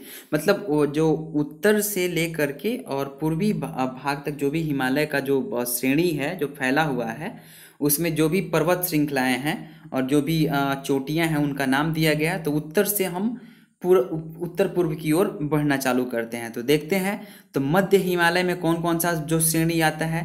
तो मध्य हिमालय में आता है धौलागिरी है जिसका ऊंचाई जो है आठ हज़ार एक सौ बहत्तर मीटर है। फिर मध्य हिमालय में अन्नापूर्णा आता है। फिर अन्नापूर्णा की जो ऊंचाई है वह आठ हज़ार अठहत्तर मीटर है। फिर माउंट एवरेस्ट आता है, आठ हज़ार आठ सौ अड़तालीस मीटर है। तो माउंट एवरेस्ट जो किसका भाग है? तो मध्य हिमालय का भाग है, ठीक है?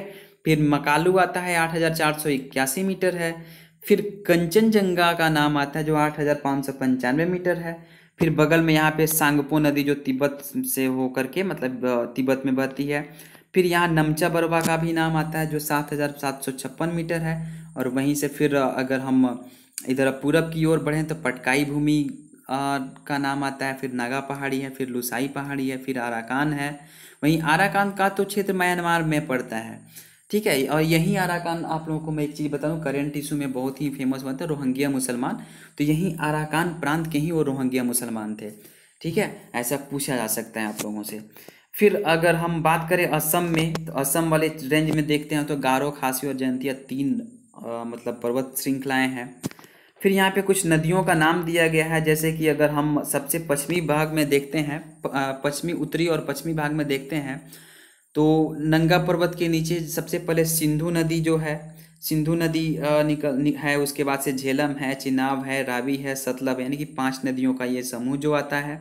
फिर ये आकर के यहाँ पे, और ये जा करके ये कच्छ का रण जो है नीचे है, गुरु शिखर है, एक हज़ार सात सौ बाईस मीटर है। अरावली की श्रृंखलाएँ हैं, फिर मध्य भारत है, मध्य का पठार है, चंबल नदी है, बेतवा है, कैमूर है, यमुना नदी भी है यहाँ पे, शिवालिक श्रेणी में, धौलाधर।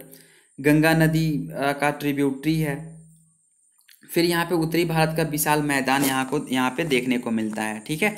घाघरा नदी है फिर से उत्तरी भारत का विशाल मैदान राजमहल की पहाड़ियाँ जो आ, वो उड़ीसा के क्षेत्र में पड़ती है। फिर देखेंगे छोटा नागपुर का पहाड़ है मलयगिरी है एक हज़ार आठ सौ सतासी मीटर। अगर बंगाल की खाड़ी की तरफ़ हम लोग बात करें तो उत्कल का मैदान है महेंद्रगिरी है 1501 मीटर। इसकी ऊंचाई है फिर तेलंगाना का पठार देखने को मिलता है, फिर उत्तरी सरकार एक, जो तट है, वो ओरोया कुंडा आंध्र मैदान नल्लाम मलाई हिल्स, जो आंध्र प्रदेश या तेलंग, तेलंगाना का भाग है। तो फिर देखें, जवादी है, कोरोमंडल तट है, सेवराय है, तमिलनाडु का मैदान है। फिर श्रीलंका, इधर आप लोग देख सकते हैं, महेंद्रगिरी का जो दक्षिणतम चोटी जो है, महेंद्रगिरी भारत का मुख्य भूमि की दक्षिण, दक्षिणतम चोटी है। काडमम की जो पहाड़ियाँ जो है, वो आपको मैंने अन्नामलाई में है पाल घाट है, फिर उसके ऊपर हम लोग कावेरी नदी देखते हैं, कर्नाटक का पठार देखेंगे, फिर पूर्वी घाट है, कर्नाटक का पठार।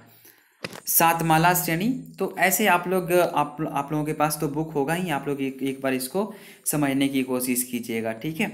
और फिर हम गिर का पर्व गिर का पर्वत जो पड़ता है वो वहीं गुजरात के क्षेत्र में पड़ता है, वहाँ कच्छ का रण है। ठीक है? यहाँ पे एशियाई बब्बर शेर की सबसे मात्रा पाई जाती है। ठीक है? फिर नेक्स्ट हम लोग देखते हैं। क्वेश्चन देखते हैं, ठीक है? ये आप लोग आप लोग मैप में एक बार क्या कीजिए कि वीडियो को पॉज कर लीजिए। ठीक है? और एक बार मैप को आप लोग समझने का कोशिश कीजिए, ठीक है? मैं कुछ देर के लिए इसको रोक देता हूँ और आप लोग इस वीडियो को पॉज कर लीजिए, स्क्रीनशॉट ले लीजिए और इसको आप लोग जूम करके देख सकते हैं। नेक्स्ट क्वेश्चन देखते हैं कि माना दर्रा उत्तराखंड को किससे जोड़ता है? तो तिब्बत से जोड़ता है। यानी कि तिब्बत जो है, वो तिब्बत उत्तराखंड को किससे जोड़ता है? तो माना दर्रा के द्वारा जुड़ता है। नंदा देवी शिखर जो है, वो किस राज्य में अवस्थित है? तो उत्तराखंड में अवस्थित है। अरावली श्रेणी का उच्चतम पर्वत शिखर कौन सा है? तो गुरु शिखर है। जिसकी ऊंचाई 1722 मीटर है, राजस्थान में अरावली ये पड़ता है। हिमालय पर्वत की एक श्रेणी जो, जिसका नाम आरा कान योमा किस देश में स्थित है तो म्यांमार में स्थित है। नेक्स्ट देखते हैं। नेक्स्ट है कि कुल्लू घाटी जो है, वो किन पर्वत श्रेणियों के मध्य स्थित है तो धौलाधर तथा पीर पंजाल के मध्य स्थित है। पालघाट दर्रा जो है, किन पहाड़ियों के मध्य स्थित है तो नीलगिरी और अन्नामलाई पहाड़ियों के मध्य स्थित है। नाथुला दर्रा ये क्वेश्चन पूछता है हमेशा। नाथुला दर्रा जो है वो किस राज्य में है? तो सिक्किम राज्य में है। फिर नेक्स्ट देखते हैं कि उत्तराखंड में कोणधारी वनों एवं छोटे छोटे घास के मैदानों को वुग्याल या पयार के नाम से जाना जाता है। नेक्स्ट देखते हैं कि लिपू लेक माने एवं नीति दर्रा जो है वो किस राज्य में अवस्थित है? तो उत्तराखंड में अवस्थित है। रोहतांग दर्रा जो है वो किस राज्य में अवस्थित है? तो हिमाचल प्रदेश में इस अवस्थित है। पूर्वी हिमालय में औसत हिम रेखा जो स्नो लाइन जो है वो 3,500 मीटर तथा पश्चिमी हिमालय में 2,500 मीटर ऊंचाई पर पाई जाती है। भारत का सबसे बड़ा जो हिमनद जो है ग्लेशियर है कौन सा है? तो सियाचिन है जो कहाँ पे पड़ता है? तो लद्दाख में पड़ता है और यही सियाचिन है जहाँ पे हमारे देश के वीर सिपाही दिन रात निगरानी में लगे रहते हैं। ठीक है? और यहाँ पे माइनस ऐसा मतलब माइनस चार डिग्री सेंटीग्रेड यहाँ का तापमान है। सबसे ऊंचाई पे है ना, इसी वजह से। चौराबाड़ी ग्लेशियर जो है वो कहाँ स्थित है? तो केदारनाथ मंदिर के उत्तर में है, जो उत्तराखंड में पड़ता है। मेघालय का पठार जो है वो, मेघालय प्लेट्यू जो है, किसका भाग है? तो प्रायद्वीपीय भारत का भाग है। भारत के प्रायद्वीपीय पर्वत किस काल में निर्मित हुए? तो पैलियोजोइक महाकल्प में प्रायद्वीपीय पर्वत निर्मित हुए हैं। अरावली एवं बिंद श्रृंखलाओं के मध्य कौन सा पठार स्थित है? तो मालवा का पठार स्थित है। दंडकारण्य वन जो दंडाकारण्य क्षेत्र जो है वो कहाँ अवस्थित है? तो छत्तीसगढ़ एवं उड़ीसा के मध्यवर्ती भाग में अवस्थित है। नेक्स्ट है कि लघु हिमालय एवं शिवालिक श्रेणी के मध्य में विस्तृत समतल संरचनात्मक स्थल को पूर्व में द्वार तथा पश्चिम में दून के नाम से जाना जाता है। ठीक है? जैसे कि आ, जो संरचनात्मक स्थल जैसे देहरादून का आप लोगों ने नाम सुना होगा तो पश्चिम में दून के नाम से उसको जाना जाता है। ठीक है? नेक्स्ट देखते हैं कि भारत का औसत समुद्र तल किस तट से मापा जाता है। तो भारत का औसत जो समुद्र तल है वो चेन्नई के तट से मापा जाता है। भारत की समुद्र रेखा की कुल भारत की समुद्र रेखा तट की कुल लंबाई कितनी है? तो वो आ, कुल लंबाई है लगभग सात हज़ार पाँच सौ सत्रह किलोमीटर है। भारत के तटीय राज्यों में किसकी सीमा सबसे लंबी है? तो गुजरात की। भारत के कितने राज्य समुद्री तट रेखा से संलग्न है? तो नौ। भारत के तटीय राज्य को हम लोग देख सकते हैं। तटीय मतलब कौन कौन से राज्य हैं? तो गुजरात है। नीचे से हम आ, मतलब मैप में इमेजिन कीजिए गुजरात क्षेत्र देख लीजिए जैसे पश्चिमी भाग में गुजरात है।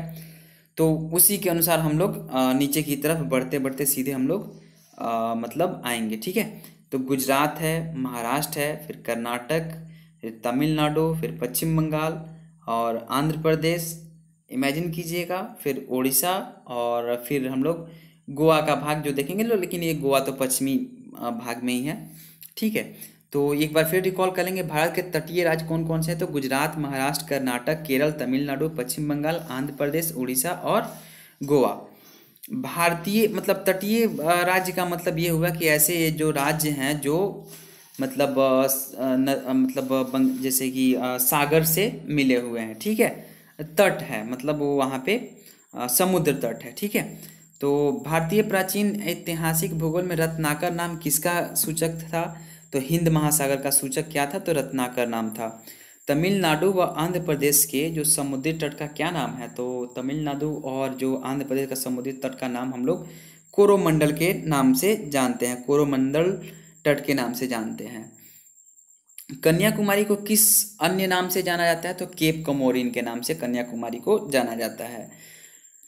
अंडमान और निकोबार द्वीप समूह में सबसे अधिक ऊंचाई वाली पीक कौन सी है? तो सैंडल पीक है, ठीक है? अंडमान और निकोबार द्वीप समूह में सबसे अधिक ऊंचाई वाली जो चोटी का नाम है वो सैडल पीक है, सैंडल पीक है। नेक्स्ट देखते हैं कि अंडमान व निकोबार द्वीप समूह में स्थित है। कहाँ है? तो अंडमान निकोबार जो है वो बंगाल की खाड़ी में है और वहीं अगर लक्षद्वीप की बात करें तो कहाँ पे स्थित है? तो वो अरब सागर में स्थित है। ठीक है तो नेक्स्ट देखते हैं कि अंडमान निकोबार द्वीप समूह में द्वीपों की संख्या कितनी है? ये क्वेश्चन पूछा जा सकता है तो पाँच सौ बहत्तर है। अंडमान निकोबार द्वीप समूह में द्वीपों की संख्या पाँच सौ बहत्तर है। दस डिग्री चैनल जो है वो किन दो द्वीपों को पृथक करता है? तो अंडमान को निकोबार से पृथक करता है। वहीं जो एट डिग्री है, वो लक्षद्वीप को मिनी को ऐसे करता है। ठीक है? नेक्स्ट देखते हैं कि बैरन द्वीप जो है बैरन द्वीप जो अवस्थित है, कहाँ पे है? तो बंगाल की खाड़ी में है। श्रीहरिकोटा जो द्वीप है, कहाँ अवस्थित है? तो पुलिकट झील के समीप। यहीं श्रीहरिकोटा है, जहाँ से हमारा स्पेस जो लॉन्च जो होता है सैटेलाइट लॉन्च यहीं से किया जाता है रॉकेट को लॉन्च किया जाता है श्रीहरिकोटा से। ठीक है?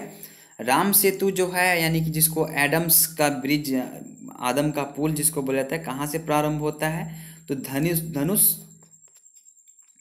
तो धनुष कोटि से, ठीक है, धनुष कोटि से। लक्षद्वीप कहाँ पे स्थित है? तो लक्षद्वीप भी है। सॉरी मैंने वहाँ पे आप लोग को अरब सागर बताया, लेकिन लक्षद्वीप जो है वो सॉरी सही बताया था मैंने, मैं मिस कर गया, ठीक है टंग स्लिप कर गया मेरा। लक्षद्वीप जो है वो अरब सागर में है, और अंडमान निकोबार कहाँ है? तो अंडमान निकोबार बंगाल की खाड़ी में। एक बार और फिर से रिकॉल कर लीजिए, अंडमान निकोबार जो है वो वो जो अंडमान निकोबार है, वो आपका बंगाल की खाड़ी में है और लक्षद्वीप जो है वो अरब सागर में है।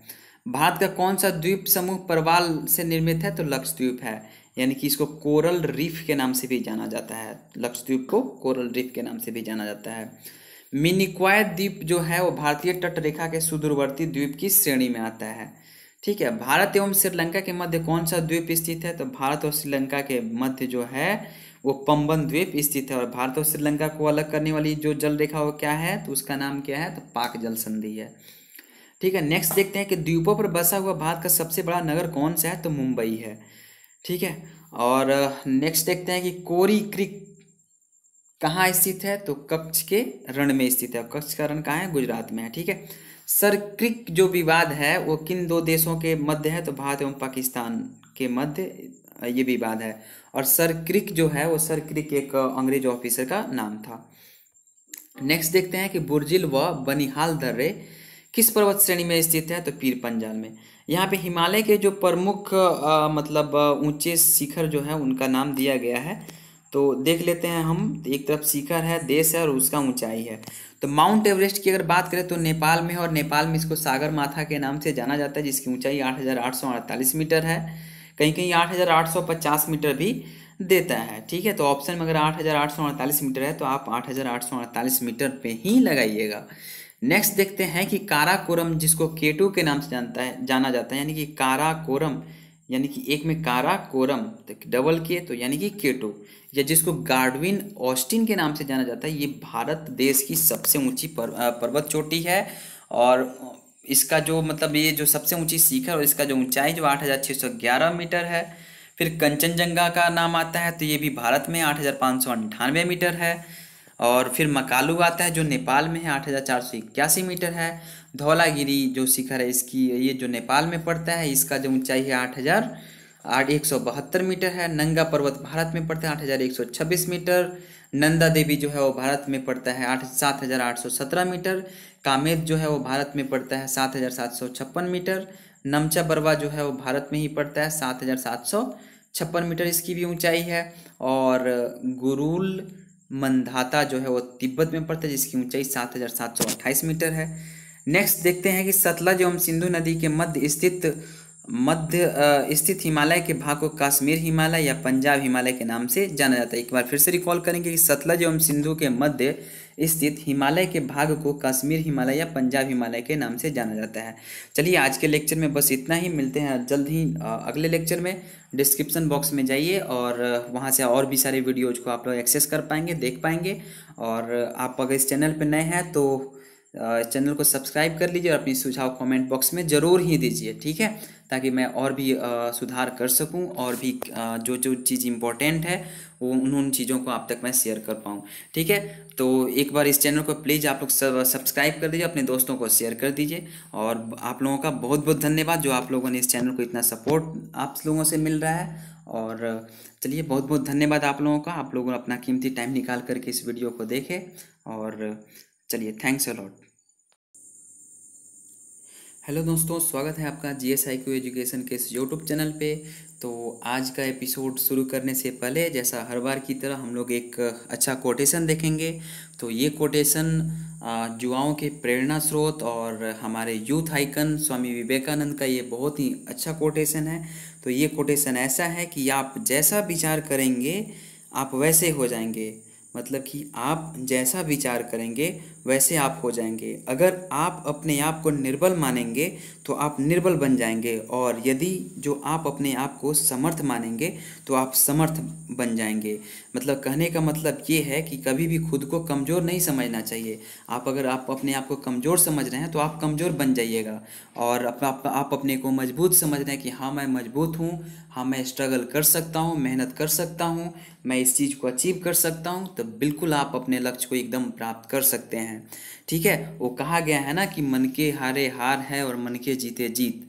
ठीक है? तो ये स्वामी विवेकानंद का बहुत ही अच्छा कोटेशन था और आई होप कि ये कोटेशन आप लोगों को अच्छा लगा होगा।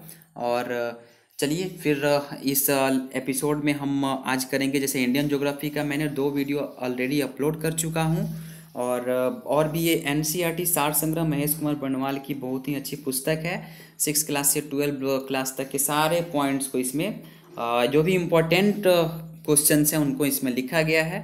लेकिन एक चीज़ और भी मैं आप लोगों को ये बताना चाहूँगा कि केवल एन सी सार संग्रह के भरोसे ही आप बी या फिर आ, कोई भी पीसीएस के एग्ज़ाम आप इस केवल इस बुक के भरोसे आप लोग नहीं निकाल सकते।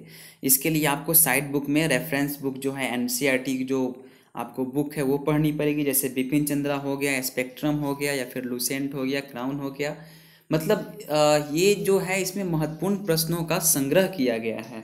लेकिन और भी चूँकि जीएस तो अथाह समुद्र है ना तो फिर उसके लिए आपको अलग से और भी चीज़, चीज़ें को पढ़ना पड़ेगा, ठीक है?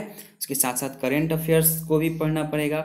हो सके एक या दो रोज़ में मैं करेंट अफेयर्स का भी सिलेक्टेड चीज़ जो एग्ज़ाम में पूछे जाने लायक है तो अगर आप लोगों की अगर सहमति होगी, आप लोग अगर कमेंट में बताएँगे तो हो सके तो करेंट अफेयर्स का भी मैं आ, मतलब कमेंट में आप लोग बताइए कि आप लोग करंट अफेयर्स का वीडियो चाहते हैं जो इम्पोर्टेंट जो एग्ज़ाम के पॉइंट ऑफ़ व्यू से इम्पोर्टेंट हो वैसा सीरीज़ लेकर के जाऊँ। और एक चीज़ और ये बताइए कि बिहार स्पेशल जो है बिहार स्पेशल से जो क्वेश्चन पूछे जाते हैं बीपीएससी में या बीपीएससी में पूछे जाते हैं फिर से ई का जो फॉर्म है ई का जो फॉर्म फिलअप हुआ है उसमें भी पूछे जाएँगे। बिहार ई का ऐसा ही सब इंस्पेक्टर में भी पूछे जाने की संभावना है। तो क्या आप लोग चाहते हैं कि बिहार स्पेशल पे भी कुछ वीडियो बनाया जाए? तो अगर आप लोग चाहते हैं तो यहाँ पे कमेंट सेक्शन आपके लिए खुला हुआ है। आप लोग कमेंट करके वहाँ पे बताइए। तो इंडियन ज्योग्राफी का हम लोगों ने आ, मतलब दो एपिसोड हम लोग कर चुके हैं ठीक है? तो एक में हम लोगों ने भौतिक विभाजन पढ़ा था और शुरू वाले फ़र्स्ट वीडियो में हम लोगों ने पढ़ा था कि भारत का एक जनरल इंट्रोडक्शन पढ़ा था ठीक है? तो अगर उस वीडियो को नहीं देखे हैं तो इसके डिस्क्रिप्शन बॉक्स में जाइए नीचे मिल जाएगा लिंक और और भी सारे सब्जेक्ट यहाँ पे वीडियो अपलोड किया जा चुका है, उसको भी आप लोग देखिए। चलिए, बिना देरी किए हुए शुरू करते हैं। आज का ये भौतिक सॉरी आज ये जो इंडियन ज्योग्राफी है, उसमें हम लोग एक टॉपिक चालू कर रहे हैं क्लाइमेट यानी कि जलवायु। ठीक है? तो इसका जो महत्वपूर्ण प्रश्न हम लोग देखेंगे कि किसी क्षेत्र की जलवायु को निर्धारित करने वाला मुख्य कारक कौन सा है? तो अक्षांशीय अवस्थिति होता है। किसी क्षेत्र की जलवायु को निर्धारित करने वाला जो मुख्य कारक कौन सा होता है तो अक्षांशीय स्थिति होता है, ठीक है? जलवायु को नियंत्रित करने वाले कारकों से संबंधित कुछ यहाँ पे शब्द दिए गए हैं तो उसको हम लोग देखेंगे। जैसे कि जलवायु को नियंत्रित करने वाले कारकों के लिए एक शब्द, यानी कि लैंड फॉर्म्स का प्रयोग किया जाता है, जो जलवायु को प्रभावित करते हैं, ठीक है? जैसे एल फॉर लैटिट्यूड होता है, यानी कि अक्षांश रेखाएँ होती है, अक्षांश रेखाएँ कहते किसको हैं? मैंने आप लोगों को पहले भी इसके पहले वाले लेक्चर में फ़र्स्ट लेक्चर में ही बताया था। अगर, आप लोगों को नहीं पता है तो उस लेक्चर को देख लीजिए और अगर पता है तो आप लोग कमेंट में बताइए, ठीक है? ए से होता है एल्टीट्यूड यानी कि ऊंचाई एन से होता है नियरनेस फ्रॉम सी यानी कि समुद्र से निकटता होता है डी से होता है डायरेक्शन ऑफ़ वाइंड मतलब डायरेक्शन ऑफ़ विंड होता है यानी कि पवन की दिशा होती है एफ़ से फॉरेस्ट ओ से ओशियन करेंट्स यानी कि समुद्री जल धाराएँ आर से रेनफॉल होता है, यानी कि रेनफॉल होता है मतलब वर्षा होता है एम से माउंटेन यानी कि पहाड़ या पर्वत एस से सॉयल यानी कि मिट्टी। नेक्स्ट क्वेश्चन देखते हैं कि भारत में ग्रीष्मकालीन मानसून के प्रवाह की सामान्य दिशा क्या होती है? तो दक्षिण, पश्चिम से उत्तर पूर्व, यानी कि जो ग्रीष्मकालीन मानसून जो होती है मानसून कहाँ से प्रवेश करता है? तो दक्षिण, पश्चिम, यानी कि दक्षिण, पश्चिम, यानी कि केरल के तट से हम बोल सकते हैं ना? केरल के तट से और कब मानसून प्रवेश करता है, ये आप लोग कमेंट बॉक्स में बताइए। मैं आ, आप लोग कमेंट बॉक्स में बताइए कि मानसून भारत में कब प्रवेश करता है। ठीक है आप लोगों का भी रिकॉल होगा देखिए आंसर लिखिए जो मैं यहाँ पे कुछ पूछ रहा हूँ तो उसका आप लोग आंसर लिखिएगा ना। तो अगर नहीं भी पता होगा तो आप उसको या तो गूगल कीजिएगा नहीं तो बुक पलटिएगा। और इसी बहाने तो आपको तीन चार फैक्ट्स तो भी तो पता हो जाएँगे ना। इसी वजह से आप लोग आंसर लिखने का कोशिश कीजिए। ठीक है जो अगर मैं यहाँ पर पूछ रहा हूँ उसको कॉमेंट सेक्शन में लिखने का कोशिश कीजिए। ठीक है तो भारत में ग्रीष्मकालीन मानसून के प्रवाह की सामान्य दिशा क्या होती है? तो दक्षिण पश्चिम से उत्तर पूर्व होती है, ठीक है? नेक्स्ट है कि भारत के उत्तरी पश्चिमी यानी कि भारत के उत्तरी पश्चिमी मैदान में शीत ऋतु में किसके प्रभाव से वर्षा होती है? तो पश्चिमी विक्षोभों के प्रभाव से वर्षा होती है। भारत के किन राज्यों में शरद ऋतु में वर्षा होती है? तो पंजाब एवं तमिलनाडु में होती है। भारत में औसत वार्षिक वर्षा कितनी है? तो लगभग 125 सेंटीमीटर है। और ये औसत वार्षिक वर्षा जो मापने की जो मशीन होती है, यानी कि जो मीटर होता है, यंत्र होता है, उसका नाम क्या है? आप लोग बता सकते हैं? तो उसको हम लोग रेनगेज के नाम से जानते हैं। किसके नाम से जानते हैं? तो रेनगेज के नाम से जानते हैं। ठीक है नेक्स्ट है कि भारत में सर्वाधिक वर्षा किन क्षेत्रों में होती है? तो भारत में सर्वाधिक जो वर्षा होती है, वो पश्चिमी घाट में होती है, हिमालय तथा मेघालय में होती है। ठीक है, मेघालय में मानसिन राम है और चेरापूंजी है जो वहाँ पे सबसे ज़्यादा मतलब बारिश होती है, ठीक है। नेक्स्ट है कि भारत में उष्ण कटिबंधीय मानसूनी जलवायु पाई जाती है तथा यहाँ सर्वाधिक वर्षा दक्षिणी, दक्षिण पश्चिम मानसून मानसून द्वारा होती है। जलवायु को मानसूनी जलवायु कहा जाता है।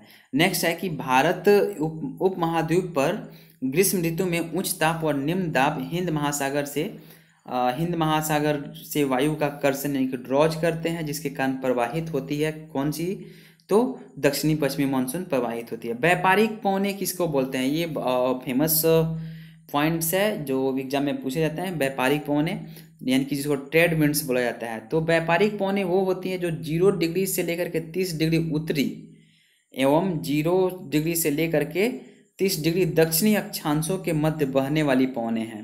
मतलब कि साढ़े तेईस डिग्री तक तो हम मतलब साढ़े तेईस डिग्री उत्तरी अक्षांश को हम कर्क रेखा के नाम से जानते हैं और साढ़े तेईस डिग्री दक्षिणी अक्षांश को हम लोग मकर रेखा के नाम से जानते हैं। तो यहाँ पे साढ़े तेईस डिग्री नहीं है, यानी कि तीस डिग्री उत्तरी है और तीस डिग्री ज़ीरो से तीस डिग्री, यानी कि इक्वेटर से तीस डिग्री दक्षिणी अक्षांश के मध्य जो बहने वाली जो पौने हैं, वो व्यापारिक पौने कहलाती है। ये जो पौने होती है उपोष्ण, यानी कि उपोष्ण उच्च वायु दाब कटिबंधों, यानी कि पैंतीस डिग्री एनएस से विश्वतीय नॉर्थ साउथ से, एनएस का मतलब यहाँ पे नॉर्थ साउथ हुआ। नॉर्थ साउथ से विश्वतीय निम्न वायुदाब कटिबंधों ज़ीरो डिग्री से पाँच डिग्री नॉर्थ साउथ की ओर बढ़ती है।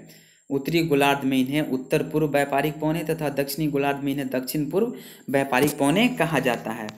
नेक्स्ट देखते हैं कि नेक्स्ट है कि पश्चिम बंगाल और असम में ग्रीष्म ऋतु में चलने वाली पौनों का स्थानीय भाषा में क्या कहते हैं? तो काल बैसाखी तथा चाय वर्षा कहते हैं। मतलब पश्चिम बंगाल और असम में ग्रीष्म ऋतु में जो चलने वाली जो पवन होती है उसको स्थानीय भाषा में काल बैसाखी या चाय वर्षा के नाम से जाना जाता है। भारत में सबसे कम वर्षा वाला स्थान कौन सा है? तो लेह है।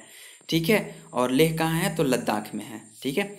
कोपेन जो है कोपेन ने वर्ष उन्नीस में विश्व जलवायु को कितने वर्गों में विभाजित किया था? तो पाँच वर्गों में विभाजित किया था। तो जलवायु निर्धारण के आधार पर आ, मतलब ये है, एक में है वार्षिक एवं मासिक औसत तापमान, वार्षिक एवं मासिक वर्षा और वनस्पति। तो कोपेन जो है, वो कोपेन की योजना के अनुसार भारत के जलवायु प्रदेश कौन कौन से हैं? तो देखते हैं कि लघु शुष्क ऋतुवाची जो होता है मानसूनी जलवायु, जिसका वर्ण संकेत ए एम डब्ल्यू है तो इसका क्षेत्र जो है, वो गोवा के दक्षिण में है, भारत का पश्चिमी तट पे है। शुष्क ग्रीष्म जो ऋतु है, जिसको ए एस के नाम से जाना जाता है एस मतलब उसका वर्ण संकेत है तो तमिलनाडु का कोरोमंडल है। ये एग्ज़ाम में पूछे जाते हैं।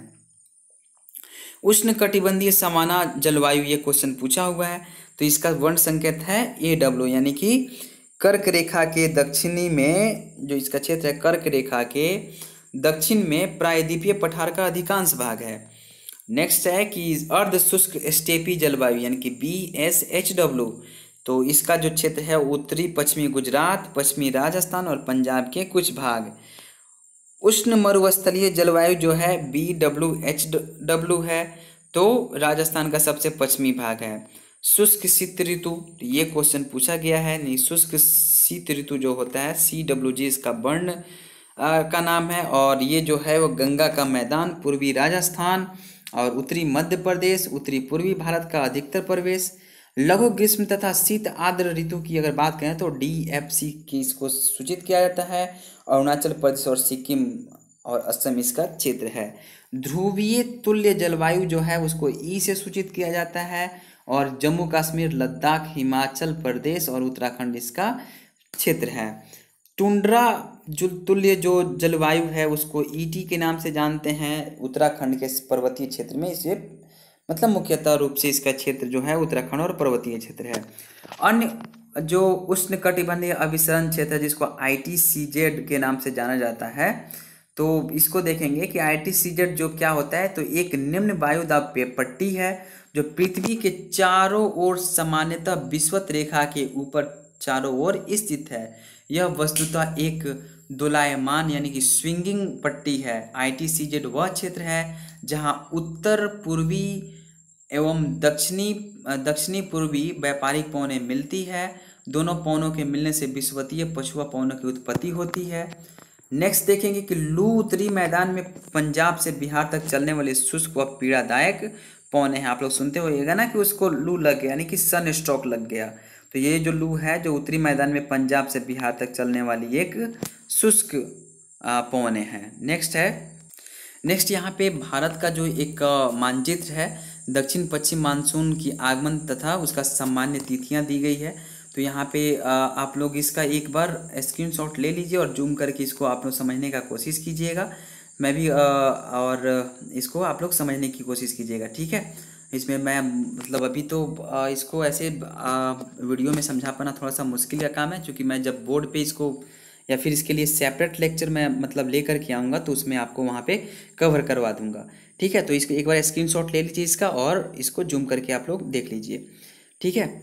और इसमें यही बताया गया है कि दक्षिण पश्चिम मानसून जो होता है, उसकी आगमन की सामान्य तिथियाँ दक्षिण पश्चिम मानसून जो, यानी कि दक्षिण दिशा से और पश्चिम, यानी कि अरब सागर से जो आ, मतलब प्रवेश करती है जो दक्षिण पश्चिम मानसून तो उसका दिशा क्या है? जैसे कि यहाँ पे आपको मैं बता दूँ पाँच जून में केरल के तट पे प्रवेश करती है दस जून को मुंबई के तट पे प्रवेश करती है एक जून को तिरुवनंतपुरम के मतलब वहाँ प्रवेश करती है ठीक है? तो आ, उसके बाद से फिर हम एक जुलाई को प्रवेश करती है वहाँ गुजरात के कक्षीय रण में प्रवेश करती है। ठीक है और यही मतलब धीरे धीरे ये जो मानसून जो है वो धीरे धीरे आगे की तरफ़ बढ़ते जाती है।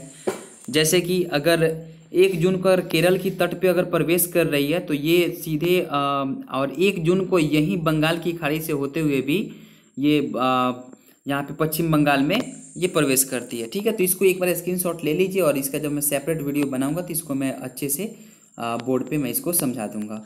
ठीक है? नेक्स्ट हम लोग बस यहाँ पे प्रश्न को हम लोगों को करना है तो हम लोग प्रश्न देखते हैं कि कॉफ़ी वर्षा एवं चेरी ब्लॉसम का संबंध है किससे है तो ग्रीष्म ऋतु के खत्म होते ही पूर्व मानसून की बौछार से, यानी कि कर्नाटक। कर्नाटक जो है, कर्नाटक में जैसे कि पाँच जून को मानसून प्रवेश करती है ना? तो जैसे ही मानसून प्रवेश करती है और बौछार जो होती है, उसको कॉफ़ी वर्षा एवं चेरी ब्लॉसम का, उस चेरी ब्लॉसम उसको बोला जाता है। आम्र वर्षा जो है वो किस राज्य से संबंधित है? तो केरल एवं तटीय कर्नाटक से संबंधित है। जैसे ही वो केरल राज्य में एक जून को जैसे ही मानसून प्रवेश करती है तो वहाँ पे जो बौछार होती है, उसको हम लोग मैंगो सॉवर, यानी कि आम्र वर्षा के नाम से, आम्र वर्षा के नाम से हम लोग जानते हैं। नेक्स्ट देखते हैं हम। यहाँ पे नेक्स्ट है कि भारत में दक्षिण पश्चिमी मानसून का समय सामान्यतः कब से कब होता है? तो दक्षिणी पश्चिमी मानसून का समय सामान्यतः होता है वो जून से सितंबर तक होता है। भारत में मानसून का आगमन सबसे पहले किस राज्य में होता है? तो केरल में होता है। भारत में नॉर्वेस्टर की उत्पत्ति कहाँ से होती है? तो छोटा नागपुर के पठार से होती है। नेक्स्ट है कि तमिलनाडु में मानसून के सामान्यतः महीने कौन से होते हैं? तो नवंबर और दिसंबर होते हैं। भारतीय मानसून को प्रभावित करने वाले घटक कौन से हैं? तो तिब्बत का पठार है, जेट स्ट्रीम एलनिनो एवं लानिनो इत्यादि है। उत्तरी पूर्वी मानसून से सबसे अधिक वर्षा प्राप्त करने वाला राज्य कौन सा है? तो तमिलनाडु है। नेक्स्ट देखेंगे यहाँ पे कि भारत के किन क्षेत्रों में औसत वर्षा औसत वार्षिक वर्षा 200 मिलीमीटर mm होती है तो जम्मू कश्मीर व पश्चिमी राजस्थान में होती है। अमृतसर एवं शिमला लगभग एक ही अक्षांश पे स्थित है, किंतु उनकी जलवायु में भिन्नता का मुख्य कारण उनकी ऊंचाई में भिन्नता है, ये क्वेश्चन बीपीएससी के द्वारा पूछा जा चुका है। नेक्स्ट है कि भारत में सर्वाधिक दैनिक तापांतर किस स्थान पर पाया जाता है तो राजस्थान के मरुस्थलीय क्षेत्रों में पाया जाता है। दैनिक तापांतर मतलब वहीं राजस्थान के मरुस्थलीय क्षेत्र में होता क्या है कि दिन में शुष्क और रात को वहाँ की रातें जो होती है, वो ठंडी होती है। भारत में मानसून के प्रस्फोट के लिए किसे किसे उत्तरदायी माना जाता है तो पूर्वी जेट प्रभाव को माना जाता है। यहाँ पे हम लोग देखेंगे टॉपिक की, एक टॉपिक के रूप में ही समझ लेते हैं कि भारत में वर्षा का वितरण, यानी कि distribution of rainfall in India. तो भारत में औसत वार्षिक वर्षा लगभग 111 सेंटीमीटर होती है, परंतु इसमें क्षेत्रीय भिन्नता पाई जाती है, जो निम्नमत है। अधिक वर्षा वाले क्षेत्र जो कौन कौन से हैं तो अधिक वर्षा वाले क्षेत्र वहीं कौन से होंगे? तो पश्चिमी घाट, जहाँ पे मानसून का प्रवेश होता है। तो पश्चिमी घाट होंगे। उसके बाद से उत्तर पूर्व के जो उत्तर पूर्व आप लोग इमेजिन कीजिएगा उत्तर पूर्व। उत्तर पूर्व के उप हिमालयी क्षेत्र तथा मेघालय की पहाड़ियों पर अधिक वर्षा होती है। यहाँ वर्षा 200 सेंटीमीटर से अधिक होती है। खासी और जयंतिया पहाड़ियों के कुछ भागों में 1000 सेंटीमीटर से भी अधिक वर्षा होती है। ब्रह्मपुत्र की जो घाटी एवं निकटवर निकटवर्ती पहाड़ियों पर 200 सेंटीमीटर से कम वर्षा होती है।